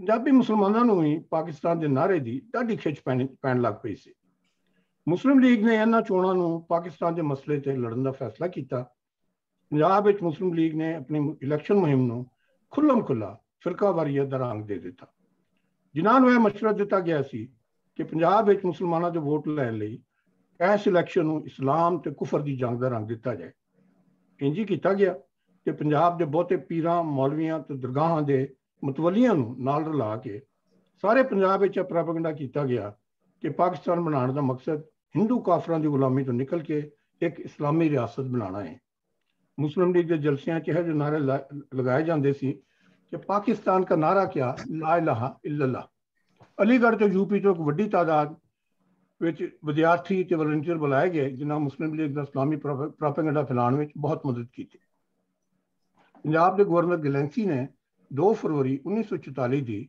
ਵਾਇਸਰਾਏ ਨੂੰ ਆਪਣੀ ਹਫਤਾਵਾਰ ਰਿਪੋਰਟ ਵਿੱਚ ਲਿਖਿਆ ਕੋਟ ਮੁਸਲਿਮ ਲੀਗ ਦੇ ਜਲਸਿਆਂ ਵਿੱਚ ਤਕਰੀਰ ਕਰਨ ਵਾਲੇ ਮਜ਼ਬੀ ਇੰਤਹਾ ਪਸੰਦੀ ਵਿੱਚ ਵਧਦੇ ਜਾ ਰਹੇ ਨੇ ਮੌਲਵੀ ਪੀਰ ਤੇ ਵਿਦਿਆਰਥੀ ਸਾਰੇ ਸੂਬੇ 'ਚ ਇਹ ਪ੍ਰੋਪਗੈਂਡਾ ਕਰ ਰਹੇ ਨੇ ਕਿ ਜਿਹੜਾ ਮੁਸਲਮਾਨ ਮੁਸਲਿਮ ਲੀਗ ਨੂੰ ਵੋਟ ਨਹੀਂ ਦੇਵੇਗਾ ਉਹ ਕਾਫਰ ਹੋ ਜਾਏਗਾ ਉਹਦਾ ਨਕਾਰ ਟੁੱਟ ਜਾਏਗਾ ਤੇ ਉਸ ਦਾ ਬਾਈਕਾਟ ਕਰਤਾ ਜਾਏਗਾ ਇਹਦੇ ਵਿੱਚ ਹੁਣ ਕੋਈ ਸ਼ੱਕ ਨਹੀਂ ਕਿ ਮੁਸਲਿਮ ਲੀਗ ਜਿਸ ਨੇ ਆਪਣੀ ਮੁਹਿੰਮ ਇਸਲਾਮ ਖਤਰੇ ਵਿੱਚ ਹੈ ਦੇ ਨਾਰੇ ਤੇ ਚਲਾਈ ਹੈ ਉਹ ਬਹੁਤੀਆਂ ਮੁਸਲਿਮ ਲੀਗ ਬਹੁਤੀਆਂ ਮੁਸਲਿਮ ਸੀਟਾਂ ਜਿੱਤ ਜਾਏਗੀ ਅਨਕੋਟ ਇਲੈਕਸ਼ਨ ਦਾ ਨਤੀਜਾ ਨਿਕਲਿਆ ਤੇ ਪੰਜਾਬ ਵਿੱਚ ਮੁਸਲਿਮ ਲੀਗ ਤੇ ਮੁਸਲਮਾਨਾਂ ਦੀਆਂ ਮੁਸਲਿਮ ਲੀਗ ਨੇ ਮੁਸਲਮਾਨਾਂ ਦੀਆਂ 86 ਵਿੱਚੋਂ 75 ਸੀਟਾਂ ਜਿੱਤ ਲਈਆਂ ਕਾਂਗਰਸ ਨੂੰ 51 ਤੇ ਯੂਨੀਅਨ ਯੂਨੀਅਨਸ ਨੂੰ ਪਾਰਟੀ ਨੂੰ ਸਿਰਫ 19 ਸੀਟਾਂ ਮਿਲੀਆਂ ਮੁਸਲਿਮ ਲੀਗ ਨੂੰ ਇਸਲਾਮ ਦੇ ਇਸਲਾਮ ਤੇ ਪਾਕਿਸਤਾਨ ਦੇ ਨਾਂ ਤੇ ਬਹੁਤ ਵੱਡੀ ਕਾਮਯਾਬੀ ਮਿਲੀ ਪਰ ਇਹਦੇ ਨਾਲ ਪੰਜਾਬ ਦੀ ਹਵਾ ਵਿੱਚ ਉਹ ਜ਼ਹਿਰ ਵੀ ਭਰ ਗਿਆ ਜਿਸ ਅਖੀਰ ਪੰਜਾਬ ਵਿੱਚ ਖੂਨ ਦੀਆਂ ਨਦੀਆਂ ਵਗਾ ਦਿੱਤੀਆਂ। ਅਮਰਤਾ ਪ੍ਰੀਤਮ ਨੇ ਇਸ ਤੋਂ ਨਕਸ਼ਾ ਇੰਜ ਖਿੱਚਿਆ ਸੀ ਕਿ ਕਿਸੇ ਨੇ ਪੰਜਾਂ ਪਾਣੀਆਂ ਵਿੱਚ ਦਿੱਤੀ ਜ਼ਹਿਰ ਮਿਲਾ ਕਿ ਉਹਨਾਂ ਪਾਣੀਆਂ ਧਰਤ ਨੂੰ ਦਿੱਤਾ ਪਾਣੀ ਲਾ, ਇਸ ਜ਼ਰਖੀਜ਼ ਜ਼ਮੀਨ ਦੇ ਲੂ ਨੂੰ ਫੁੱਟਿਆ ਜ਼ਹਿਰ ਗਿੱਟ ਗਿੱਟ ਚੜੀਆਂ ਲਾਲੀਆਂ ਫੁੱਟ ਫੁੱਟ ਚੜਿਆ ਕਹਿਰ। ਐਨੀ ਤਗੋਦਾ ਦੇ ਬਾਅਦ ਵੀ ਮੁਸਲਿਮ ਲੀਗ ਕੋਲ ਇਤਨੀਆਂ ਸੀਟਾਂ ਨਹੀਂ ਸਨ ਕਿ ਉਹ ਹਕੂਮਤ ਬਣਾ ਸਕਦੀ। ਹਕੂਮਤ ਫਿਰ ਵੀ ਖਿਜ਼ਰ ਆਤਮਾਨਾ ਨਹੀਂ ਕਾਂਗਰਸ ਤੇ ਅਕਾਲੀਆਂ ਨਾਲ ਰਲ ਕੇ ਬਣਾਈ ਐਸ ਤੇ ਮੁਸਲਿਮ ਲੀਗ ਨੇ ਰਫੜ ਪਾਤਾ ਤੇ ਸਾਰੇ ਪੰਜਾਬ ਵਿੱਚ ਖਿਜ਼ਰ ਆਤਮਾਨਾ ਦੀ ਹਕੂਮਤ ਨੂੰ ਢਾਣ ਲਈ ਮੁਹਿੰਮ ਸ਼ੁਰੂ ਕਰ ਦਿੱਤੀ ਸਾਰੇ ਪੰਜਾਬ ਵਿੱਚ ਜਲਸੇ ਜਲੂਸ ਕੱਢੇ ਜਿਨ੍ਹਾਂ ਦੇ ਜਵਾਬ ਵਿੱਚ ਕਈ ਥਾਵਾਂ ਹਿੰਦੂਆਂ ਸਿੱਖਾਂ ਨੇ ਵੀ ਜਲੂਸ ਕੱਢੇ ਤੇ ਕੁਝ ਥਾਵਾਂ ਤੇ ਆਪਸ ਵਿੱਚ ਟਾਕਰਾ ਵੀ ਹੋਇਆ ਜਿਸ ਪੰਜਾਬ ਦੀ ਫਿਜ਼ਾ ਨੂੰ ਵਧੇਰੇ ਖਰਾਬ ਕਰ ਦਿੱਤਾ ਸਿੱਖਾਂ ਨੇ ਹਿੰਦੂਆਂ ਨੂੰ ਸਿੱਖਾਂ ਤੇ ਹਿੰਦੂਆਂ ਨੂੰ ਇਹ ਡਰ ਸੀ ਕਿ ਪਾਕਿਸਤਾਨ ਬਣਿਆ ਤੇ ਉਹਨਾਂ ਨੂੰ ਇਸਲਾਮੀ ਹਕੂਮਤ ਦੀ ਛਾਂ ਥੱਲੇ ਰਹਿਣਾ ਪਵੇਗਾ ਹਰ ਇੱਕ ਨੂੰ ਆਪੋ ਆਪਣੀ ਪੈ ਗਈ ਤਿੰਨਾਂ ਧਰਮਾਂ ਦੇ ਲੋਕਾਂ ਨੇ ਆਪਣੀ ਹਿਫਾਜ਼ਤ ਤੇ ਆਉਣ ਵਾਲੀ ਲੜਾਈ ਦੀਆਂ ਤਿਆਰੀਆਂ ਫੜ ਲਈਆਂ। ਪਹਿਲਾ ਵੱਡਾ ਦੰਗਾ ਮਾਰਚ 1947 ਵਿੱਚ ਰਾਵਲਪਿੰਡੀ ਦੀ ਇਤਿਹਾਸ ਦੇ ਅੱਗੇ ਪਿੱਛੇ ਪਿੰਡਾਂ 'ਚ ਹੋਇਆ ਜਿਹੜਾ ਛੇਤੀ ਜ਼ਿਲ੍ਹਾ, ਮਟਕ ਤੇ ਹੋਰ ਇਲਾਕੇ 'ਚ ਫੈਲ ਗਿਆ। ਇਸ ਦੰਗੇ ਵਿੱਚ ਕੋ 5000 ਸਿੱਖ ਮਾਰੇ ਗਏ ਤੇ 80000 ਤੋਂ ਬਹੁਤੀਆਂ ਨੂੰ ਜਾਨ ਬਚਾਉਣ ਲਈ ਆਪਣੇ ਘਰਾਂ ਨੂੰ ਛੱਡ ਕੇ ਚੜ੍ਹਦੇ ਪੰਜਾਬ ਦੇ ਜ਼ਿਲ੍ਹਿਆਂ ਵਿੱਚ ਜਾ ਕੇ ਪਨਾਹ ਲੈਣੀ ਪਈ। ਇੱਧਰ ਪੰਜਾਬ ਵਿੱਚ ਮੰਗੀਆਂ ਦੀ ਅੱਗ ਪੜਕ ਪਈ ਤੇ ਉਧਰ ਅੰਗਰੇਜ਼ ਹਕੂਮਤ ਨੂੰ ਹਿੰਦੁਸਤਾਨ ਛੱਡਣ ਦੀ ਕਾਲੀ ਪੈ ਗਈ। ਬਹੁਤੀ ਲੰਮੀ ਗੱਲ ਕਰਨ ਦੀ ਲੋੜ ਨਹੀਂ, ਮੋਟੀਆਂ ਗੱਲਾਂ ਇੰਜ ਨੇ ਕਿ ਮਾਰਚ 1944 ਨੂੰ ਬਰਤਾਨੀਆ ਦੇ ਪ੍ਰਾਈਮ ਮਿਨਿਸਟਰ ਨੇ ਐਲਾਨ ਕੀਤਾ ਕਿ ਬਰਤਾਨੀਆ ਨੇ ਹਿੰਦੁਸਤਾਨ ਨੂੰ ਆਜ਼ਾਦ ਕਰਨ ਦਾ ਫੈਸਲਾ ਕਰ ਲਿਆ ਹੈ। ਬਰਤਾਨੀਆ ਤੋਂ ਤਿੰਨ ਵਜ਼ੀਰ ਹਿੰਦੁਸਤਾਨ ਆਏ ਤੇ ਤਿੰਨ ਮਹੀਨਿਆਂ ਤੱਕ ਕਾਂਗਰਸ ਤੇ ਮੁਸਲਿਮ ਲੀਗ ਨਾਲ ਗੱਲਬਾਤ ਕਰਦੇ ਰਹੇ। 16 ਮਈ 1944 ਨੂੰ ਹਿੰਦੁਸਤਾਨ ਦੀ ਆਜ਼ਾਦੀ ਦੇ ਉਸ ਪਲਾਨ ਦਾ ਐਲਾਨ ਕੀਤਾ, ਜਿਸ ਨੂੰ ਕੈਬਨਿਟ ਮਿਸ਼ਨ ਪਲਾਨ ਕਿਹਾ ਜਾਂਦਾ ਹੈ। ਪਰ ਕਾਫੀ ਲੈ ਦੇ ਹੋਣ ਦੇ ਬਾਅਦ ਜੁਲਾਈ ਵਿੱਚ ਇਹ ਪਲਾਨ ਹੀ ਫੇਲ ਹੋ ਗਿਆ।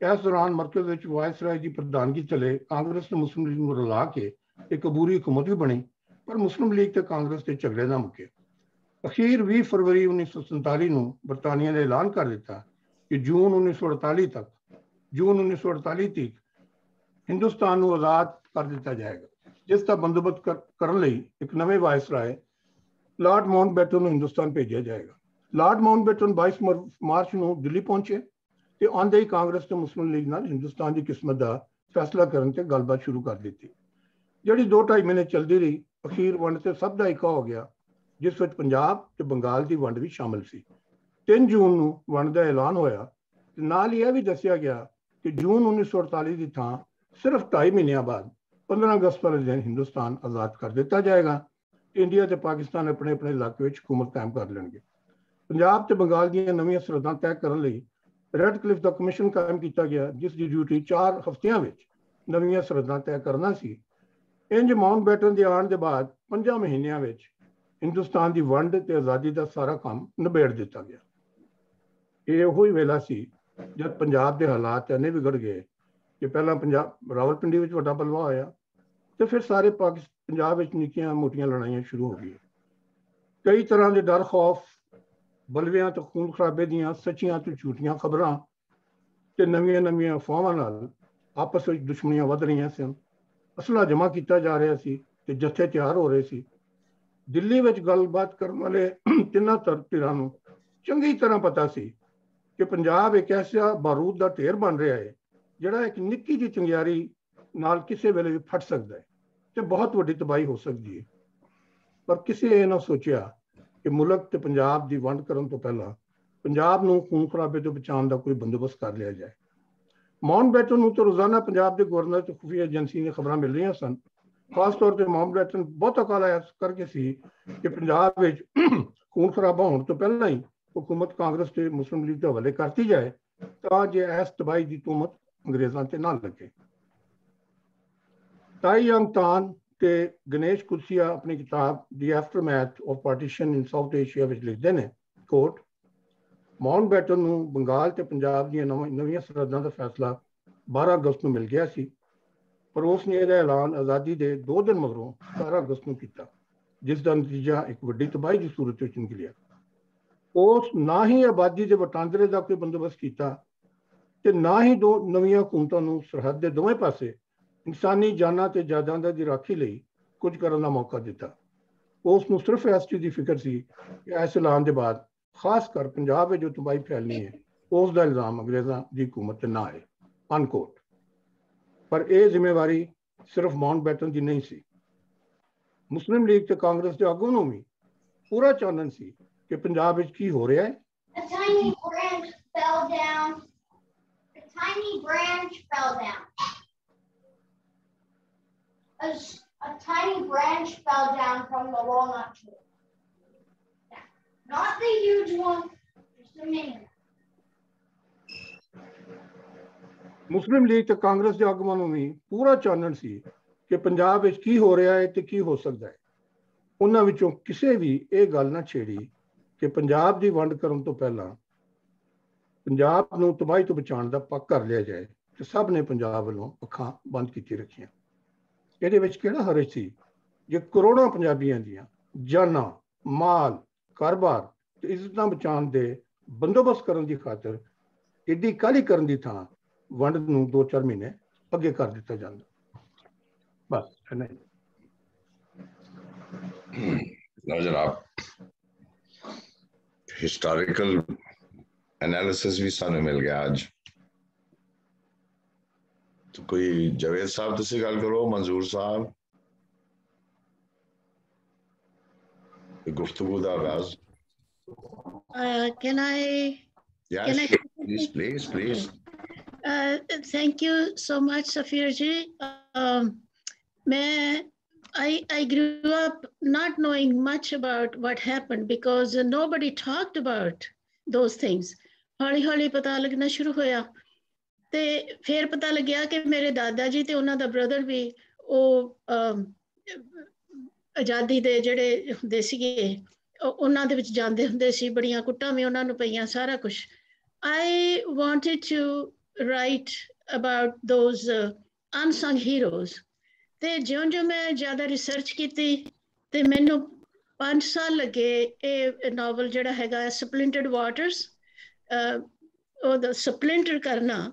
ਜਾਨੀ ਪਾਣੀ 'ਚ ਤਾਂ ਲਕੀਰ ਵੀ ਨਹੀਂ ਪੈਂਦੀ, ਪਰ ਉਹਨਾਂ ਨੇ ਦਰਿਆਵਾਂ ਨੂੰ, ਪੰਜ ਦਰਿਆਵਾਂ ਨੂੰ ਤੋੜ ਕੇ ਵੱਖਰਾ ਕੀਤਾ ਹੈ। ਟ੍ਰਿਸਟ ਵੀ ਡੈਸਟਨੀ ਜੋ ਕਿ ਨਹਿਰੂ ਉਸ ਵੇਲੇ ਕਹਿ ਰਿਹਾ ਸੀ, ਜਦੋਂ ਇੰਨੀ ਮਤਲਬ ਕਿ ਮਰਡਰਸ ਹੋ ਰਹੇ ਸੀ ਮੈਸਕਰ ਹੋ ਰਹੇ ਸੀਗੇ ਤੇ and he was saying that India will wake up to life and freedom ਉਹ ਸਾਰਾ ਕੁਝ ਮੈਂ ਬੜੇ ਮਤਲਬ ਕਿ ਰਿਸਰਚ ਕਰ ਕਰਕੇ, ਬਈ what ਵੈਂਟ ਔਨ ਤੁਸੀਂ ਬਿਲਕੁਲ ਮੈਨੂੰ ਨਾਓ ਇਟਸ ਬੀਨ ਤੁਸੀਂ ਜੋ ਕਿਹਾ ਹੈਗਾ, ਉਹ ਬਿਲਕੁਲ ਠੀਕ ਹੈਗਾ ਕਿ ਜਿਸ ਤਰ੍ਹਾਂ ਹੁੰਦਾ ਰਿਹਾ। ਪਰ ਉਹਦੇ ਵਿੱਚ ਗਾਂਧੀ ਔਰ ਨਹਿਰੂ ਦਾ ਵੀ ਬੜਾ ਵੱਡਾ ਹੱਥ ਸੀ। ਦੇ ਵਾਂਟਡ ਮਤਲਬ ਕਿ ਪਾਵਰ ਤੇ ਉਹਨਾਂ ਨੇ ਇਹ ਬਿਲਕੁਲ ਖਿਆਲ ਹੀ ਨਹੀਂ ਕੀਤਾ ਕਿ what's happening in Punjab and ਜਿਹੜੇ ਇਕੱਠੇ ਰਹਿੰਦੇ ਸੀਗੇ, ਸਦੀਆਂ ਤੋਂ ਇਕੱਠੇ ਰਹਿ ਰਹੇ ਸੀਗੇ ਮੁਸਲਮਾਨ ਤੇ ਸਿੱਖਾਂ 'ਚ ਹਿੰਦੂਆਂ 'ਚ ਕੋਈ ਫ਼ਰਕ ਨਹੀਂ ਸੀ। ਪਿੰਡਾਂ ਦੇ ਵਿੱਚ ਵੀ ਇੱਕ ਦੂਜੇ ਦੇ ਆਉਣ ਜਾਣ ਵਿਆਹਾਂ ਸ਼ਾਦੀਆਂ 'ਚ ਐਵਰੀਥਿੰਗ ਉਹ ਕਿਉਂ ਇੱਕ ਦੂਜੇ ਦੇ ਦੁਸ਼ਮਣ ਬਣ ਗਏ? ਇਹ ਸਾਰਾ ਉਸ ਟਾਈਮ ਦੇ ਲੀਡਰਾਂ ਦੇ ਉੱਤੇ ਸੀਗਾ। ਬਿਕੋਜ਼ ਦੇ ਦੇ ਡਿਡ ਨਾਟ ਮਤਲਬ ਕਿ plan for anything they were just wanted to grab some power. So thank you so much. Uh, it makes me feel much better because that my first novel is about the partition and and uh, Azadi di Ladai, and then uh, uh, the Second World War, ਜਿਹਦੇ ਵਿੱਚ ਬਹੁਤ ਸਾਰੇ Indians ਨੇ ਹਿੱਸਾ ਲਿਆ ਸੀ so thank you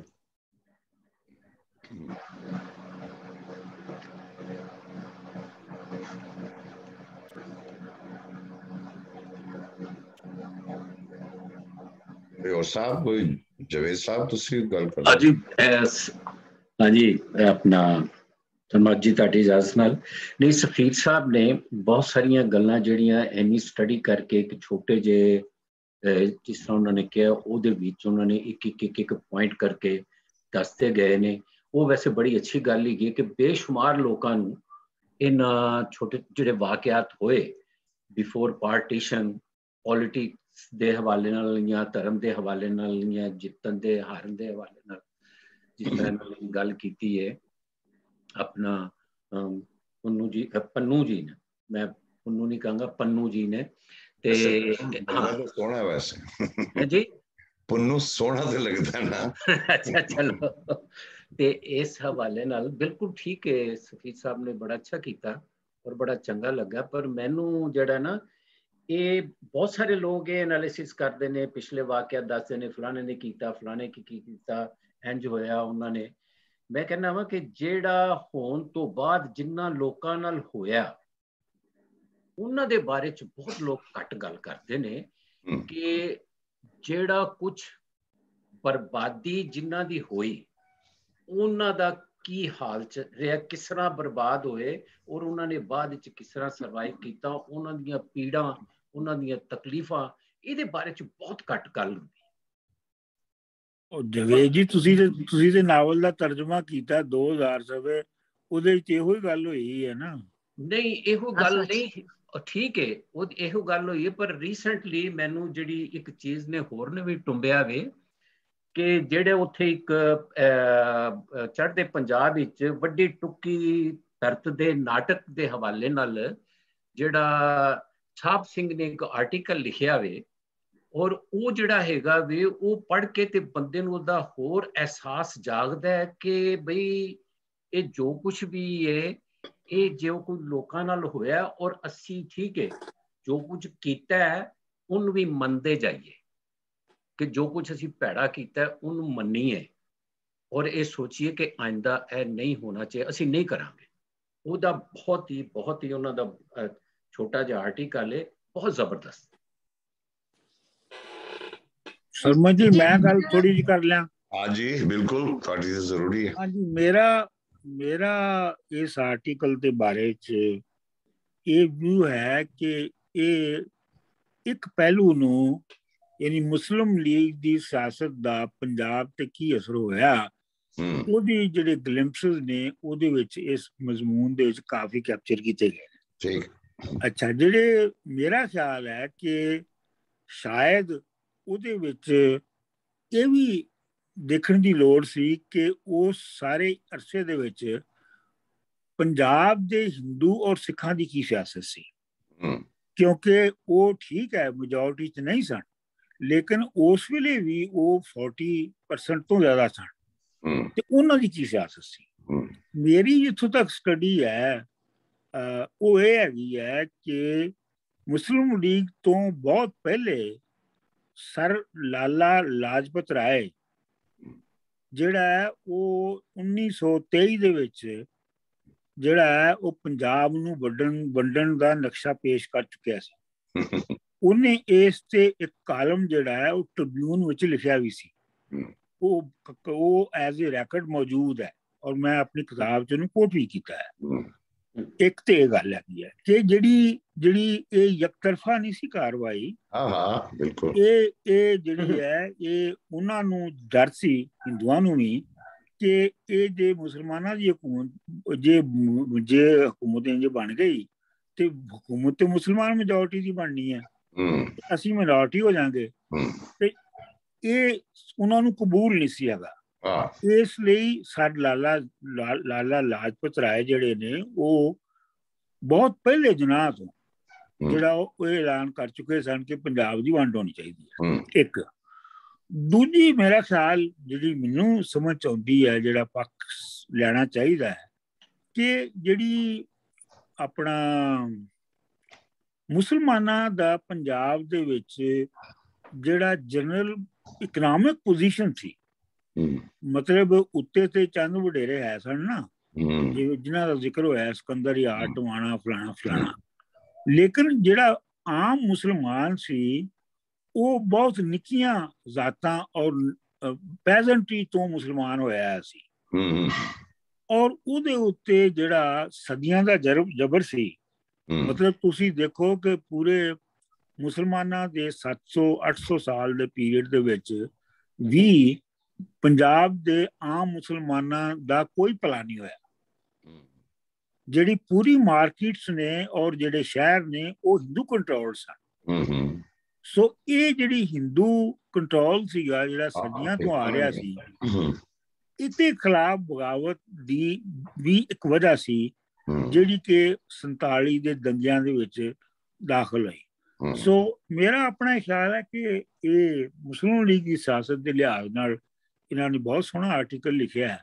ਲੇਕਿਨ ਇਸ ਗੱਲ ਨੂੰ ਜਿਹੜਾ ਥੋੜਾ ਜਿਹਾ ਆਪਣਾ ਵਧਾ ਕੇ ਇਹ ਜਿਹੜੀ ਜਿਹੜੀ ਹਿੰਦੂ ਸਿਆਸਤ ਹੈ ਉਹ ਸਿੱਖ ਸਿਆਸਤ ਹੈ ਜਿਹੜੀ ਉਹ ਔਰ ਫਿਰ ਉਸ ਤੋਂ ਬਾਅਦ ਜਿਹੜੀ ਮੁਸਲਿਮ ਦੀ ਸਿਆਸਤ ਹੈ ਉਹਨਾਂ ਨੂੰ ਔਰ ਕਲਾਸ ਕੈਰੈਕਟਰ ਜਿਹੜੇ ਨੇ ਉਹਦੇ ਵਿੱਚ ਕੀ ਕਿਹੜੀ ਕਮਿਊਨਿਟੀ ਕਿੱਥੋਂ ਬਿਲੋਂਗ ਕਰਦੀ ਸੀ? ਮੁਸਲਮਾਨਾਂ ਦੀ ਤੇ ਮਿਡਲ ਕਲਾਸ ਹੈ ਹੀ ਕੋਈ ਨਹੀਂ ਸੀ। ਬਿਲਕੁਲ। ਹਾਂਜੀ ਅਨਾਰਕਲੀ ਬਾਜ਼ਾਰ ਦੇ ਵਿੱਚ ਬਰਕਤ ਅਲੀ ਸਾੜੀ ਵਾਲੇ ਜਿਹੜੇ ਨੇ ਉਹਨਾਂ ਦੀ ਇੱਕ ਦੁਕਾਨ ਸੀ। ਬਾਕੀ ਤੇ ਸਾਰੀ ਹਿੰਦੂਆਂ ਦੀਆਂ ਦੁਕਾਨਾਂ ਸਨ। ਈਵਨ ਸਾਡੇ ਛੋਟੇ ਜਿਹੇ ਸ਼ਹਿਰ ਸਾਹੀਵਾਲ ਵਿੱਚ ਵੀ ਸਿਰਫ ਹਿੰਦੂ ਹੀ ਕਾਰੋਬਾਰ ਕਰਦੇ ਸਨ। ਮੁਸਲਮਾਨਾਂ ਦਾ ਕੋਈ ਹੱਥ ਨਹੀਂ ਸੀ ਵਿੱਚ। ਤੇ ਮੇਰਾ ਆਪਣਾ ਖਿਆਲ ਹੈ ਕਿ ਜਿਹੜੀ ਬਹੁਤ ਹੀ ਲੌਂਗ ਟਰਮ ਇਹ ਜਿਹੜਾ ਪਾਰਟ ਸੀ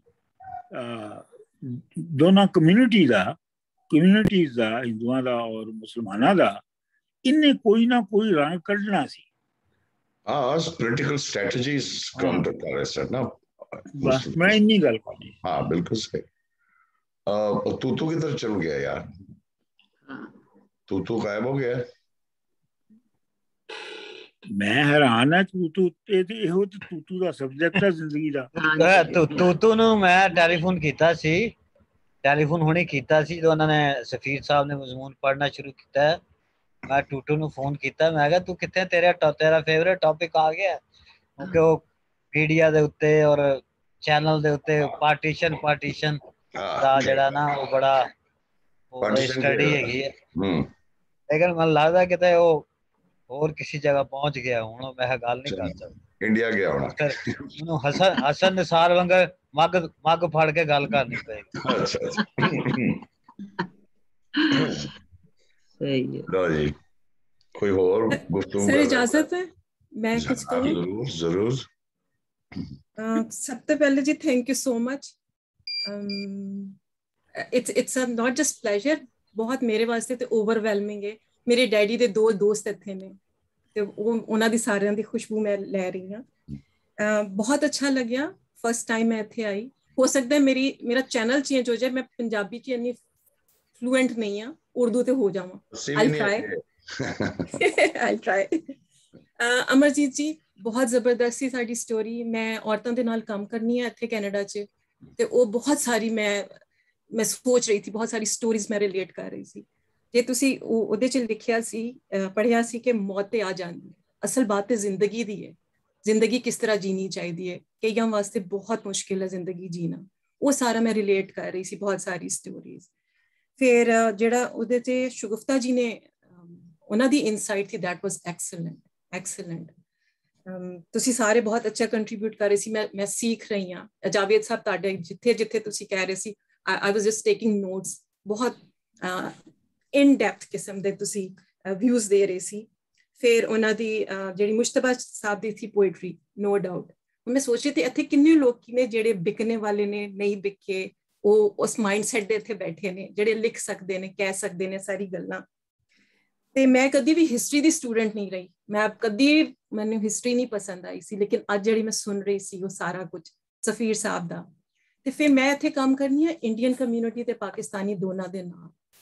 ਜੋ ਸੀਨੀਅਰਸ ਨੇ ਇੰਡੀਅਨ ਜਿਹੜੇ ਪਾਕਿਸਤਾਨ 'ਚ ਪੈਦਾ ਹੋਏ ਨੇ ਉਹ ਮੈਨੂੰ ਕਹਿੰਦੇ ਨੇ ਮੈਨੂੰ ਲੈ ਕੇ ਚੱਲੋ ਉੱਥੇ ਇੱਕ ਆਂਟੀ ਨੇ ਉਹ ਲਾਹੌਰ ਦੀ ਨੇ। ਉਹ ਸਾਰੀ ਮੈਨੂੰ ਗਲੀਆਂ ਦੱਸਦੇ ਨੇ। ਉਸਮਾ ਮੈਂ ਇੱਥੇ ਸੀ ਮੈਂ ਇੱਥੇ ਜਾਂਦੀ ਸੀ। ਮੈਨੂੰ ਲੈ ਕੇ ਚੱਲ। ਤੇ ਪਤਾ ਨਹੀਂ ਕਿਸੇ ਦੇ ਕੋਲ ਕਿੰਨਾ ਟਾਈਮ ਹੈ, ਉਹ ਲਾਈਫ 80s ਚ ਨੇ। It's a responsibility per se corona ਹੈ। ਬਟ ਸ਼ੀ ਇਜ਼ ਬੈਗਿੰਗ ਕਿ ਉਸਨੇ ਮੈਨੂੰ ਲੈ ਕੇ ਚੱਲ। ਉਹ ਟਾਈਸ ਨੇ। ਉਹ ਸਾਰਾ ਕੁਝ ਤੇ ਹੋਣਾ ਚਾਹੀਏ ਕੁਝ ਇਸ ਤਰ੍ਹਾਂ ਦਾ ਕਨੈਕਸ਼ਨ ਹੋਣਾ ਚਾਹੀਦਾ।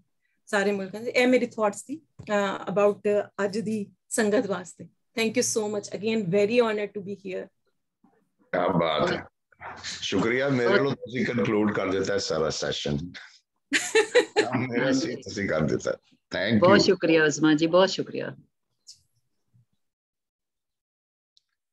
ਹੋਰ ਕੀ ਹਾਂਜੀ। ਹੁਕਮ ਕਰਨਾ ਜਨਾਬ ਹੁਣ ਕੋਈ ਹੋਰ ਮਿੱਤਰ ਪਿਆਰਾ ਕੋਈ ਗੱਲ ਕਰਨਾ ਚਾਹੇ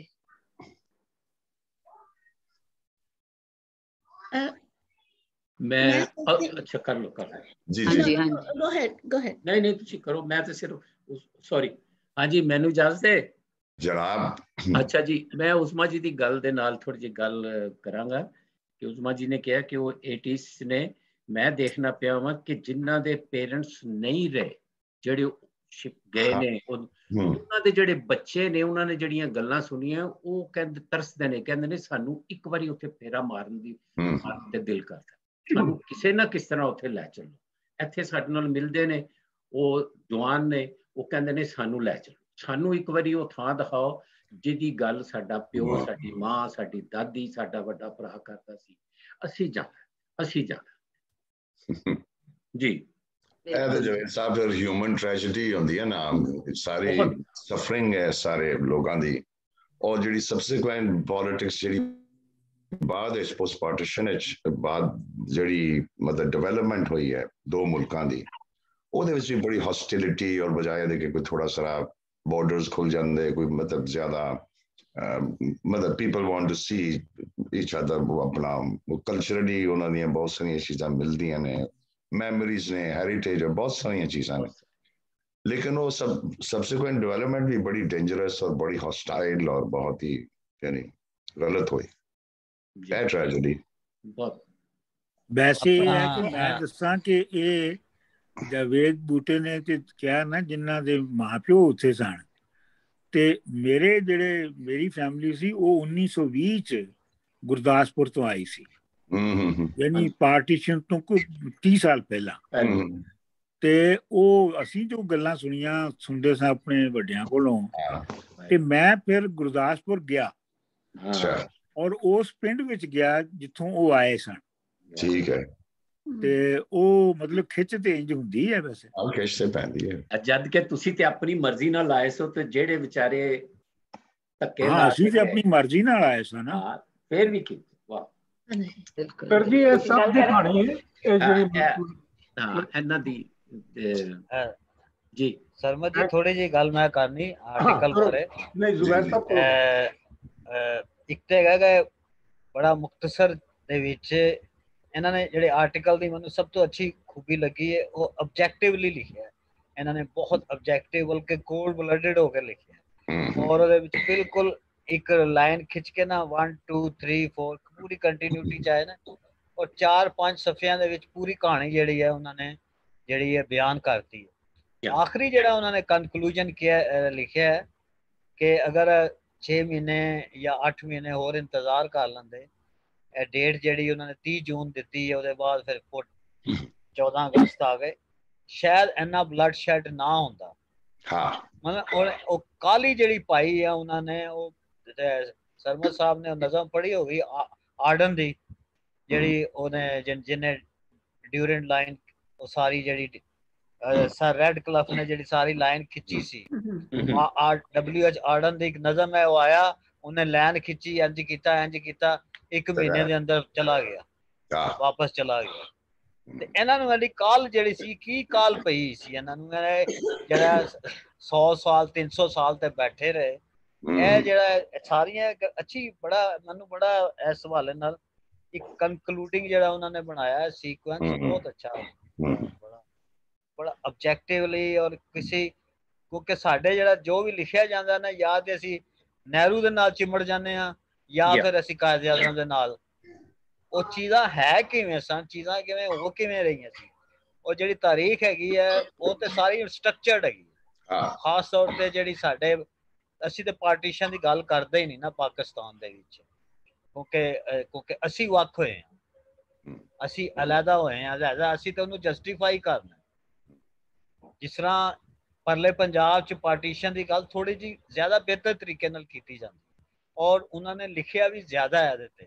ਸਾਡੇ ਕੋਲ ਤੇ ਰਹਿ ਲੋ ਆ ਕੇ ਮੰਟੋ ਹੈ ਫੈਜ਼ ਦੀ ਇੱਕ ਨਜ਼ਮ ਹੈ ਤੇ ਉਹ ਦੋ ਚਾਰ ਉਹਦੀਆਂ ਜਿਹੜੀਆਂ ਉਸਤਾਦ ਆਮਨ ਦੀਆਂ ਨਜ਼ਮਾਂ ਲਿਖਣ ਨਿਕਲ ਆਣਗੀਆਂ ਮਗਰ ਮੰਟੋ ਨਾ ਲਿਖਦਾ ਪਾਰਟੀਸ਼ਨ ਤੇ ਤੇ ਸਾਡਾ ਹਿੱਸਾ ਪੂਰਾ ਪੈਣਾ ਹੀ ਨਹੀਂ ਸੀ। ਜਿਹੜਾ ਅਸੀਂ ਪਾਰਟੀਸ਼ਨ ਦੇ ਸਾਡਾ ਕੋਈ ਲਿਟਰੇਚਰ ਹੀ ਨਹੀਂ ਹੋਣਾ ਸੀ। ਤੇ ਉਹ ਜਿਹੜੀ ਆਬਜੈਕਟਿਵਲੀ ਜਿਹੜੀ ਗੱਲ ਕਰਨ ਦੀ ਲੋੜ ਹੈ ਜਿਹਦੀ ਅੱਜ ਤੱਕ ਤੇ ਹੁੰਦੀ ਹੀ ਨਹੀਂ ਸਾਡੇ ਵਾਲੇ ਪਾਸੇ ਕਿ ਇਹ ਪਾਰਟੀਸ਼ਨ ਜਿਹੜੀ ਹੈ ਤੁਸੀਂ ਕੀਤੀ ਹੈ ਕਿਸ ਤਰ੍ਹਾਂ ਸਾਰਾ ਨੂੰ ਮੈਨੇਜ ਕੀਤਾ ਇਹਦੇ ਵਿੱਚ ਖਾਸ ਤੌਰ ਤੇ ਜਿਹੜਾ ਸਰ ਫਜ਼ਲੇ ਹੁਸੈਨ ਦੇ ਬਾਅਦ ਕਾਇਦ ਆਜ਼ਮ ਦਾ ਆਣਾ ਇਹ ਉਹ ਸਾਰੀ ਕੰਟਰੀ ਯੂਨੀਅਨਿਸਟ ਪਾਰਟੀ ਦੇ ਉੱਤੇ ਤੇ ਮੈਂ ਸਮਝਣਾ ਸਰਮਦ ਸਾਹਿਬ ਇੱਕ ਪੂਰੀ ਸਿਨੇਮਾ ਸਕੋਪ ਫਿਲਮ ਬਣ ਸਕਦੀ ਹੈ ਜਿਹੜਾ ਆਖਰੀ ਵਜ਼ੀਰ ਆਜ਼ਮ ਸੀ ਪੰਜਾਬ ਦਾ। ਟਵਾਣਾ ਇਧਰ ਆਟਵਾਣਾ ਇਸ ਲੋਨਲੀਨੈਸ ਉਹਦੀ ਜਿਹੜੀ ਤਨਹਾਈ ਸੀ ਜਦੋਂ ਪਾਕਿਸਤਾਨ ਪੰਜਾਬ ਦੀ ਪਾਰਟੀਸ਼ਨ ਹੋ ਰਹੀ ਸੀ ਤੇ ਉਹ ਸਰ ਟਵਾਣਾ ਕੀ ਸੋਚ ਰਿਹਾ ਸੀ? ਉਹਦੇ ਤੇ ਪੂਰੀ ਫਿਲਮ ਬਣਦੀ। ਹਾਂ ਕੋਈ ਲਿਖੇ ਉਹ ਫਿਲਮ ਉਹ ਫਿਲਮ ਕੋਈ ਲਿਖੇ ਜਿਹੜਾ ਅੱਜ ਤੱਕ ਕਿਸੇ ਨੇ ਲਿਖੀ ਨਹੀਂ। ਸਰਮਤ ਜੀ ਲਿਖਣਗੇ। ਸਰਮਤ ਜੀ ਲਿਖਣਗੇ। ਲੋ ਮੈਂ ਸਰਮਤ ਸਾਹਿਬ ਲਿਖ ਸਕਦੇ ਜ਼ਵੈਰ ਬੈਠਾ ਹੈ ਹੋਰ। ਅੱਛਾ ਤੁਸੀਂ ਜ਼ਰਾ ਮਜ਼ਮੂਨ ਤੇ ਹੀ ਰਹੋ ਜਨਾਬ। ਅੱਛਾ। ਅਮਰਜੀਤ ਤਰਾ ਨੇ ਕੀਤਾ ਸੀ ਮੈਂ ਉਹਨਾਂ ਦੀ ਗੱਲ ਕੱਟ ਦਿੱਤੀ ਸੀ। ਤੁਸੀਂ ਆਪਣਾ ਸਰਮਤ ਸਾਹਿਬ ਉਹਨਾਂ ਨੂੰ ਪਲੀਜ਼ ਤੁਸੀਂ ਗੁਫ਼ਤਗੂ ਕਰੋ ਜੀ ਅਮਰਜੀਤ ਸਾਹਿਬ। ਹਾਂਜੀ।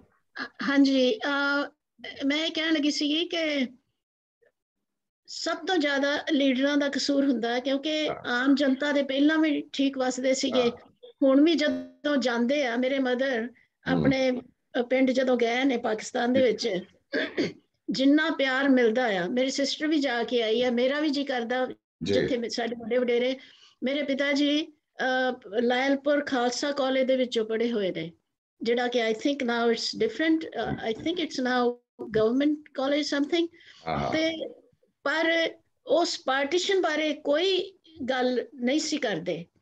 ਤੇ ਹੁਣ ਜਿਹੜੀ ਹੁਣ ਆਪਾਂ ਜਿਹੜੀ ਗੱਲ ਹੋ ਰਹੀ ਹੈ ਕਿ ਉਹ ਜਿਹੜਾ ਸਿਰਲ ਸੀਗਾ ਉਹਨੇ he had never visited India ਉਹਨੂੰ ਕੁਝ ਨਹੀਂ ਪਤਾ ਹੈਗਾ ਕੀ ਹੈਗਾ ਕੀ ਚੱਲ ਰਿਹਾ। ਉਹਨੇ ਨਕਸ਼ਾ ਨੂੰ ਫੜਾ ਦਿੱਤਾ ਤੇ ਉਹਨੇ ਉਹਦੇ ਉੱਤੇ ਲਕੀਰ ਵਾ ਦਿੱਤੀ। ਵਿਦਆਊਟ ਮਤਲਬ ਕਿ ਕੰਸਲਟਿੰਗ ਵਿਦ ਐਨੀਵਨ ਤੇ ਉਹ ਛੇਤੀ ਕਿਉਂ ਚਲੇ ਗਏ? ਇੱਕ ਤਾਂ because of the the second world war they were ਦੇ ਵਰ ਬੈਂਕਰਪਟ ਇੰਗਲੈਂਡ ਬੈਂਕਰਪਟ ਹੋ ਚੁੱਕਿਆ ਸੀਗਾ। ਉਹਨਾਂ ਕੋਲ ਤੇ ਤਨਖਾਹਾਂ ਦੇਣ ਨੂੰ ਵੀ ਪੈਸੇ ਨਹੀਂ ਸੀ ਹੈਗੇ। ਅਮਰੀਕਾ ਅਮਰੀਕਾ ਕੋਲ ਉਹਨਾਂ ਨੇ ਪੈਸੇ ਲਏ ਸੀਗੇ। ਔਰ ਉਹਨਾਂ ਨੂੰ ਇਸ ਕਰਕੇ ਵੀ ਉਹਨਾਂ ਨੂੰ ਕਾਲੀ ਸੀਗੀ ਜਾਣ ਦੀ। ਹੁਣ ਐਗਜ਼ਾਮਪਲ ਜਿਹੜਾ ਤਕੜਾ ਹੈ ਉਹ ਜਦੋਂ ਮਰਜ਼ੀ ਆ ਜਾਂਦਾ ਜਦੋਂ ਮਰਜ਼ੀ ਚਲਿਆ ਜਾਂਦਾ। ਹੁਣ ਅਮਰੀਕਾ ਨੇ ਅਫਗਾਨਿਸਤਾਨ ਦੇ ਵਿੱਚ ਕੀ ਕੀਤਾ? ਇੱਕਦਮ ਕਿੰਨਾ ਜ਼ਿਆਦਾ ਮਤਲਬ ਕਿ ਕੋਈ ਪਲਾਨ ਨਹੀਂ ਕੀਤਾ। ਇਸੇ ਤਰ੍ਹਾਂ ਹੀ ਉਸ ਟਾਈਮ ਤੇ ਉਹਨਾਂ ਨੇ ਕੋਈ ਪਲਾਨ ਨਹੀਂ ਕੀਤਾ। ਪਰ ਉਹਦੇ ਵਿੱਚ ਕਸੂਰ ਜਿਹੜੇ ਵੱਡੇ ਲੀਡਰ ਸੀਗੇ ਨਹਿਰੂ ਜਿਨਾ Gandhi they they should have done something ਜਿਹੜਾ ਕਿ ਉਹਨਾਂ ਨੇ ਨਹੀਂ ਕੀਤਾ। They were just power grabbing people. Right. So ਬਿਲਕੁਲ ਸਹੀ। ਬਿਲਕੁਲ ਸਹੀ ਤੁਸੀਂ ਐਨਾਲਿਸਿਸ ਕੀਤਾ ਕਿ ਜਿਹੜੀ ਪਾਵਰ ਪੋਲਿਟਿਕਸ ਹੈ ਉਹ ਉਹਦੇ ਤੇ ਹੀ ਸਾਰਾ ਕੁਝ ਲੋਕਾਂ ਦੀਆਂ ਜ਼ਿੰਦਗੀਆਂ ਔਰ ਲੋਕਾਂ ਦੀਆਂ ਡੈਸਟੀਨੀਆਂ ਜਿਹੜੀਆਂ ਨੇ ਉਹ ਉਹਦੇ ਤੇ ਹੁੰਦੀਆਂ ਨੇ ਸਮੀਨਾ ਜੀ ਮੈਂ ਗੱਲ ਕਰਾਂ ਥੋੜੀ ਜੀ ਅਮਰਜੀਤ ਜੀ, ਜੀ। ਅਮਰਜੀਤ ਜੀ ਸਾਰੇ ਜਦੋਂ ਨੱਠਦੇ ਨੇ ਨਾ ਭਾਵੇਂ ਅਫਗਾਨਿਸਤਾਨ ਹੋਵੇ ਭਾਵੇਂ ਇੰਡੀਆ ਹੋਵੇ ਤੇ ਭਾਵੇਂ ਵੀਅਤਨਾਮ ਹੋ ਜਾਏ ਜਦੋਂ ਨੱਠਦੇ ਨੇ ਨਾ ਇੱਕੋ ਜਿਹੇ ਹੀ ਲੱਗਦੇ ਨੇ। ਹਰ ਦਫਾ ਇੱਕੋ ਹੀ ਦਫਾ ਉਹੋ ਜਿਹੀ ਕੋਈ ਸੀਨ ਰਿਪੀਟ ਹੋ ਰਿਹਾ ਹੁੰਦਾ। ਹੈ ਹੀ ਕੋਈ ਸਿਸੀ ਫਸ ਦਾ ਕੋਈ ਸੀਨ ਵੇਖ ਰਹੇ ਆ ਅਸਲ ਮੇਂ ਸਾਰੇ ਇੱਕ ਹੈ ਨਾ ਮਤਲਬ।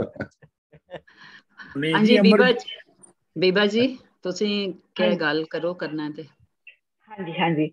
ਸਭ ਤੋਂ ਪਹਿਲਾਂ ਤੇ ਸਫੀਰ ਸਰ ਨੂੰ ਬਹੁਤ ਬਹੁਤ ਸ਼ੁਕਰੀਆ। ਇਹਨਾਂ ਨੇ ਸਾਡੇ ਵਾਸਤੇ ਹਿਸਟਰੀ ਦੇ ਬਹੁਤ ਹੀ ਫਿਲ ਇਨ ਦ ਬਲੈਂਕਸ ਕੀਤੇ ਨੇ।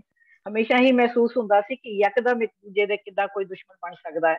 ਤੇ ਇਹਨਾਂ ਨੇ ਜਿਹੜੇ incidents leading up to that ਉਹ ਨਹੀਂ ਸੀ ਪਤਾ। ਬਹੁਤ ਜ਼ਿਆਦਾ ਸ਼ੁਕਰੀਆ ਇਹਨਾਂ ਦਾ। ਸੈਕੰਡਲੀ ਮੈਂ ਤੁਹਾਨੂੰ ਇੱਕ ਗੱਲ ਦੱਸਦੀ ਆ ਕਿ ਜਿੱਦਾਂ ਕਿ ਅਮਰਜੀਤ ਜੀ ਨੇ, ਪਨੂ ਜੀ ਨੇ ਵੀ ਦੱਸਿਆ ਕਿ ਵੀ ਇਹਨਾਂ ਦੀ ਵੀ ਸਾਰੀ ਫੈਮਿਲੀ ਜਿਹੜੀ ਸੀ ਉਹ ਪਾਕਿਸਤਾਨ ਤੋਂ ਹੀ ਆਈ ਸੀ। ਸਾਡੇ ਵੀ, ਮੇਰੇ ਵੀ ਦਾਦਕੇ, ਨਾਨਕੇ ਸਾਰੇ ਪਾਕਿਸਤਾਨ ਤੋਂ ਹੀ ਆਏ ਨੇ।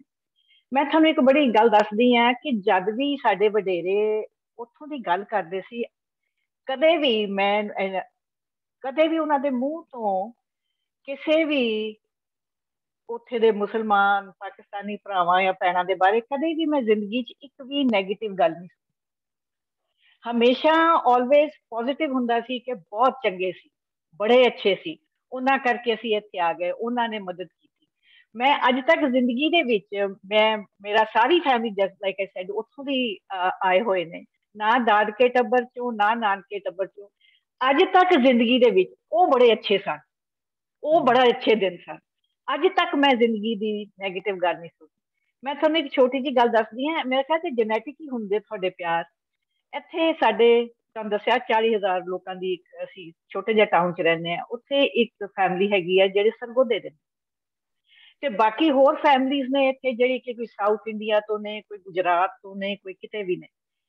ਜਿਹੜੀ ਮੇਰੀ ਤੇ ਉਹ ਸਹੇਲੀ ਦੀ ਮੇਰੀ ਸਹੇਲੀ ਭੈਣ ਕਹਿੰਦੀ ਉਹਨੂੰ ਮੈਂ ਉਹਦਾ ਜਿਹੜਾ ਮੇਰਾ ਇੱਕ ਸਾਥ ਹੈਗਾ ਇੱਕ ਪਿਆਰ ਹੈਗਾ ਅਸੀਂ ਦੋਨੋਂ ਜਦ ਵੀ ਮਿਲਦੇ ਆ देयर इज ਏ ਕਨੈਕਸ਼ਨ ਜਿਹਦਾ ਕੋਈ ਡਿਸਕ੍ਰਿਪਸ਼ਨ ਨਹੀਂ ਹੈਗੀ ਉਹਦੇ ਉਹਦੇ ਜਦ ਮਦਰ ਆਂਦੇ ਸੀ ਇੱਥੇ ਉਹ ਮੈਨੂੰ ਇੰਨਾ ਜ਼ਿਆਦਾ ਪਿਆਰ ਕਰਦੇ ਸੀ ਜਦ ਮੇਰੇ ਮਦਰ ਇੱਥੇ ਆਂਦੇ ਸੀ ਉਹ ਉਹਨੂੰ ਇੰਨਾ ਜ਼ਿਆਦਾ ਪਿਆਰ ਕਰਦੇ ਸੀ ਉਹਦੇ ਹੱਥ ਫੜ ਕੇ ਬੈਠੇ ਰਹਿੰਦੇ ਸੀ ਮੈਨੂੰ ਗੱਲ ਕਰਦੀ ਨੂੰ ਰੋਣਾ ਆ ਰਿਹਾ ਕਿ ਵੀ ਇਟ ਵਾਸ ਸੱਚ ਅ ਕਨੈਕਸ਼ਨ ਸੋ ਇਹ ਜਿਹੜੇ ਸਾਰੀਆਂ ਗੱਲਾਂ ਹੋਈਆਂ was all because the leaders had were power grabbing ਉਹਨਾਂ ਦਾ ਫਾਇਦਾ ਸੀ ਕਿ ਪੰਜਾਬ ਇਕੱਠਾ ਨਾ ਰਹੇ ਪੰਜਾਬ ਤੋਂ ਹੀ ਹਮੇਸ਼ਾ ਹਰ ਇੱਕ ਨੂੰ ਡਰ ਰਿਹਾ ਕਿਉਂਕਿ ਅਸੀਂ ਬੜੇ ਪਿਆਰ ਕਰਨ ਵਾਲੇ ਇਮੋਸ਼ਨਲ ਇਨਸਾਨ ਨੇ ਇਹਨਾਂ ਨੂੰ ਹਮੇਸ਼ਾ it was in in their benefit ਕਿ ਵੀ ਇਹਨਾਂ ਇਹ ਪੰਜਾਬ ਨੂੰ ਵੱਖਰਾ ਕਰਨਾ ਔਰ ਕਿਤੇ ਵੱਖਰਾ ਕਰਨ ਦੀ ਉਹਨਾਂ ਨੇ ਨਹੀਂ ਸੋਚੀ So um just just sharing my feelings ਬਿਲਕੁਲ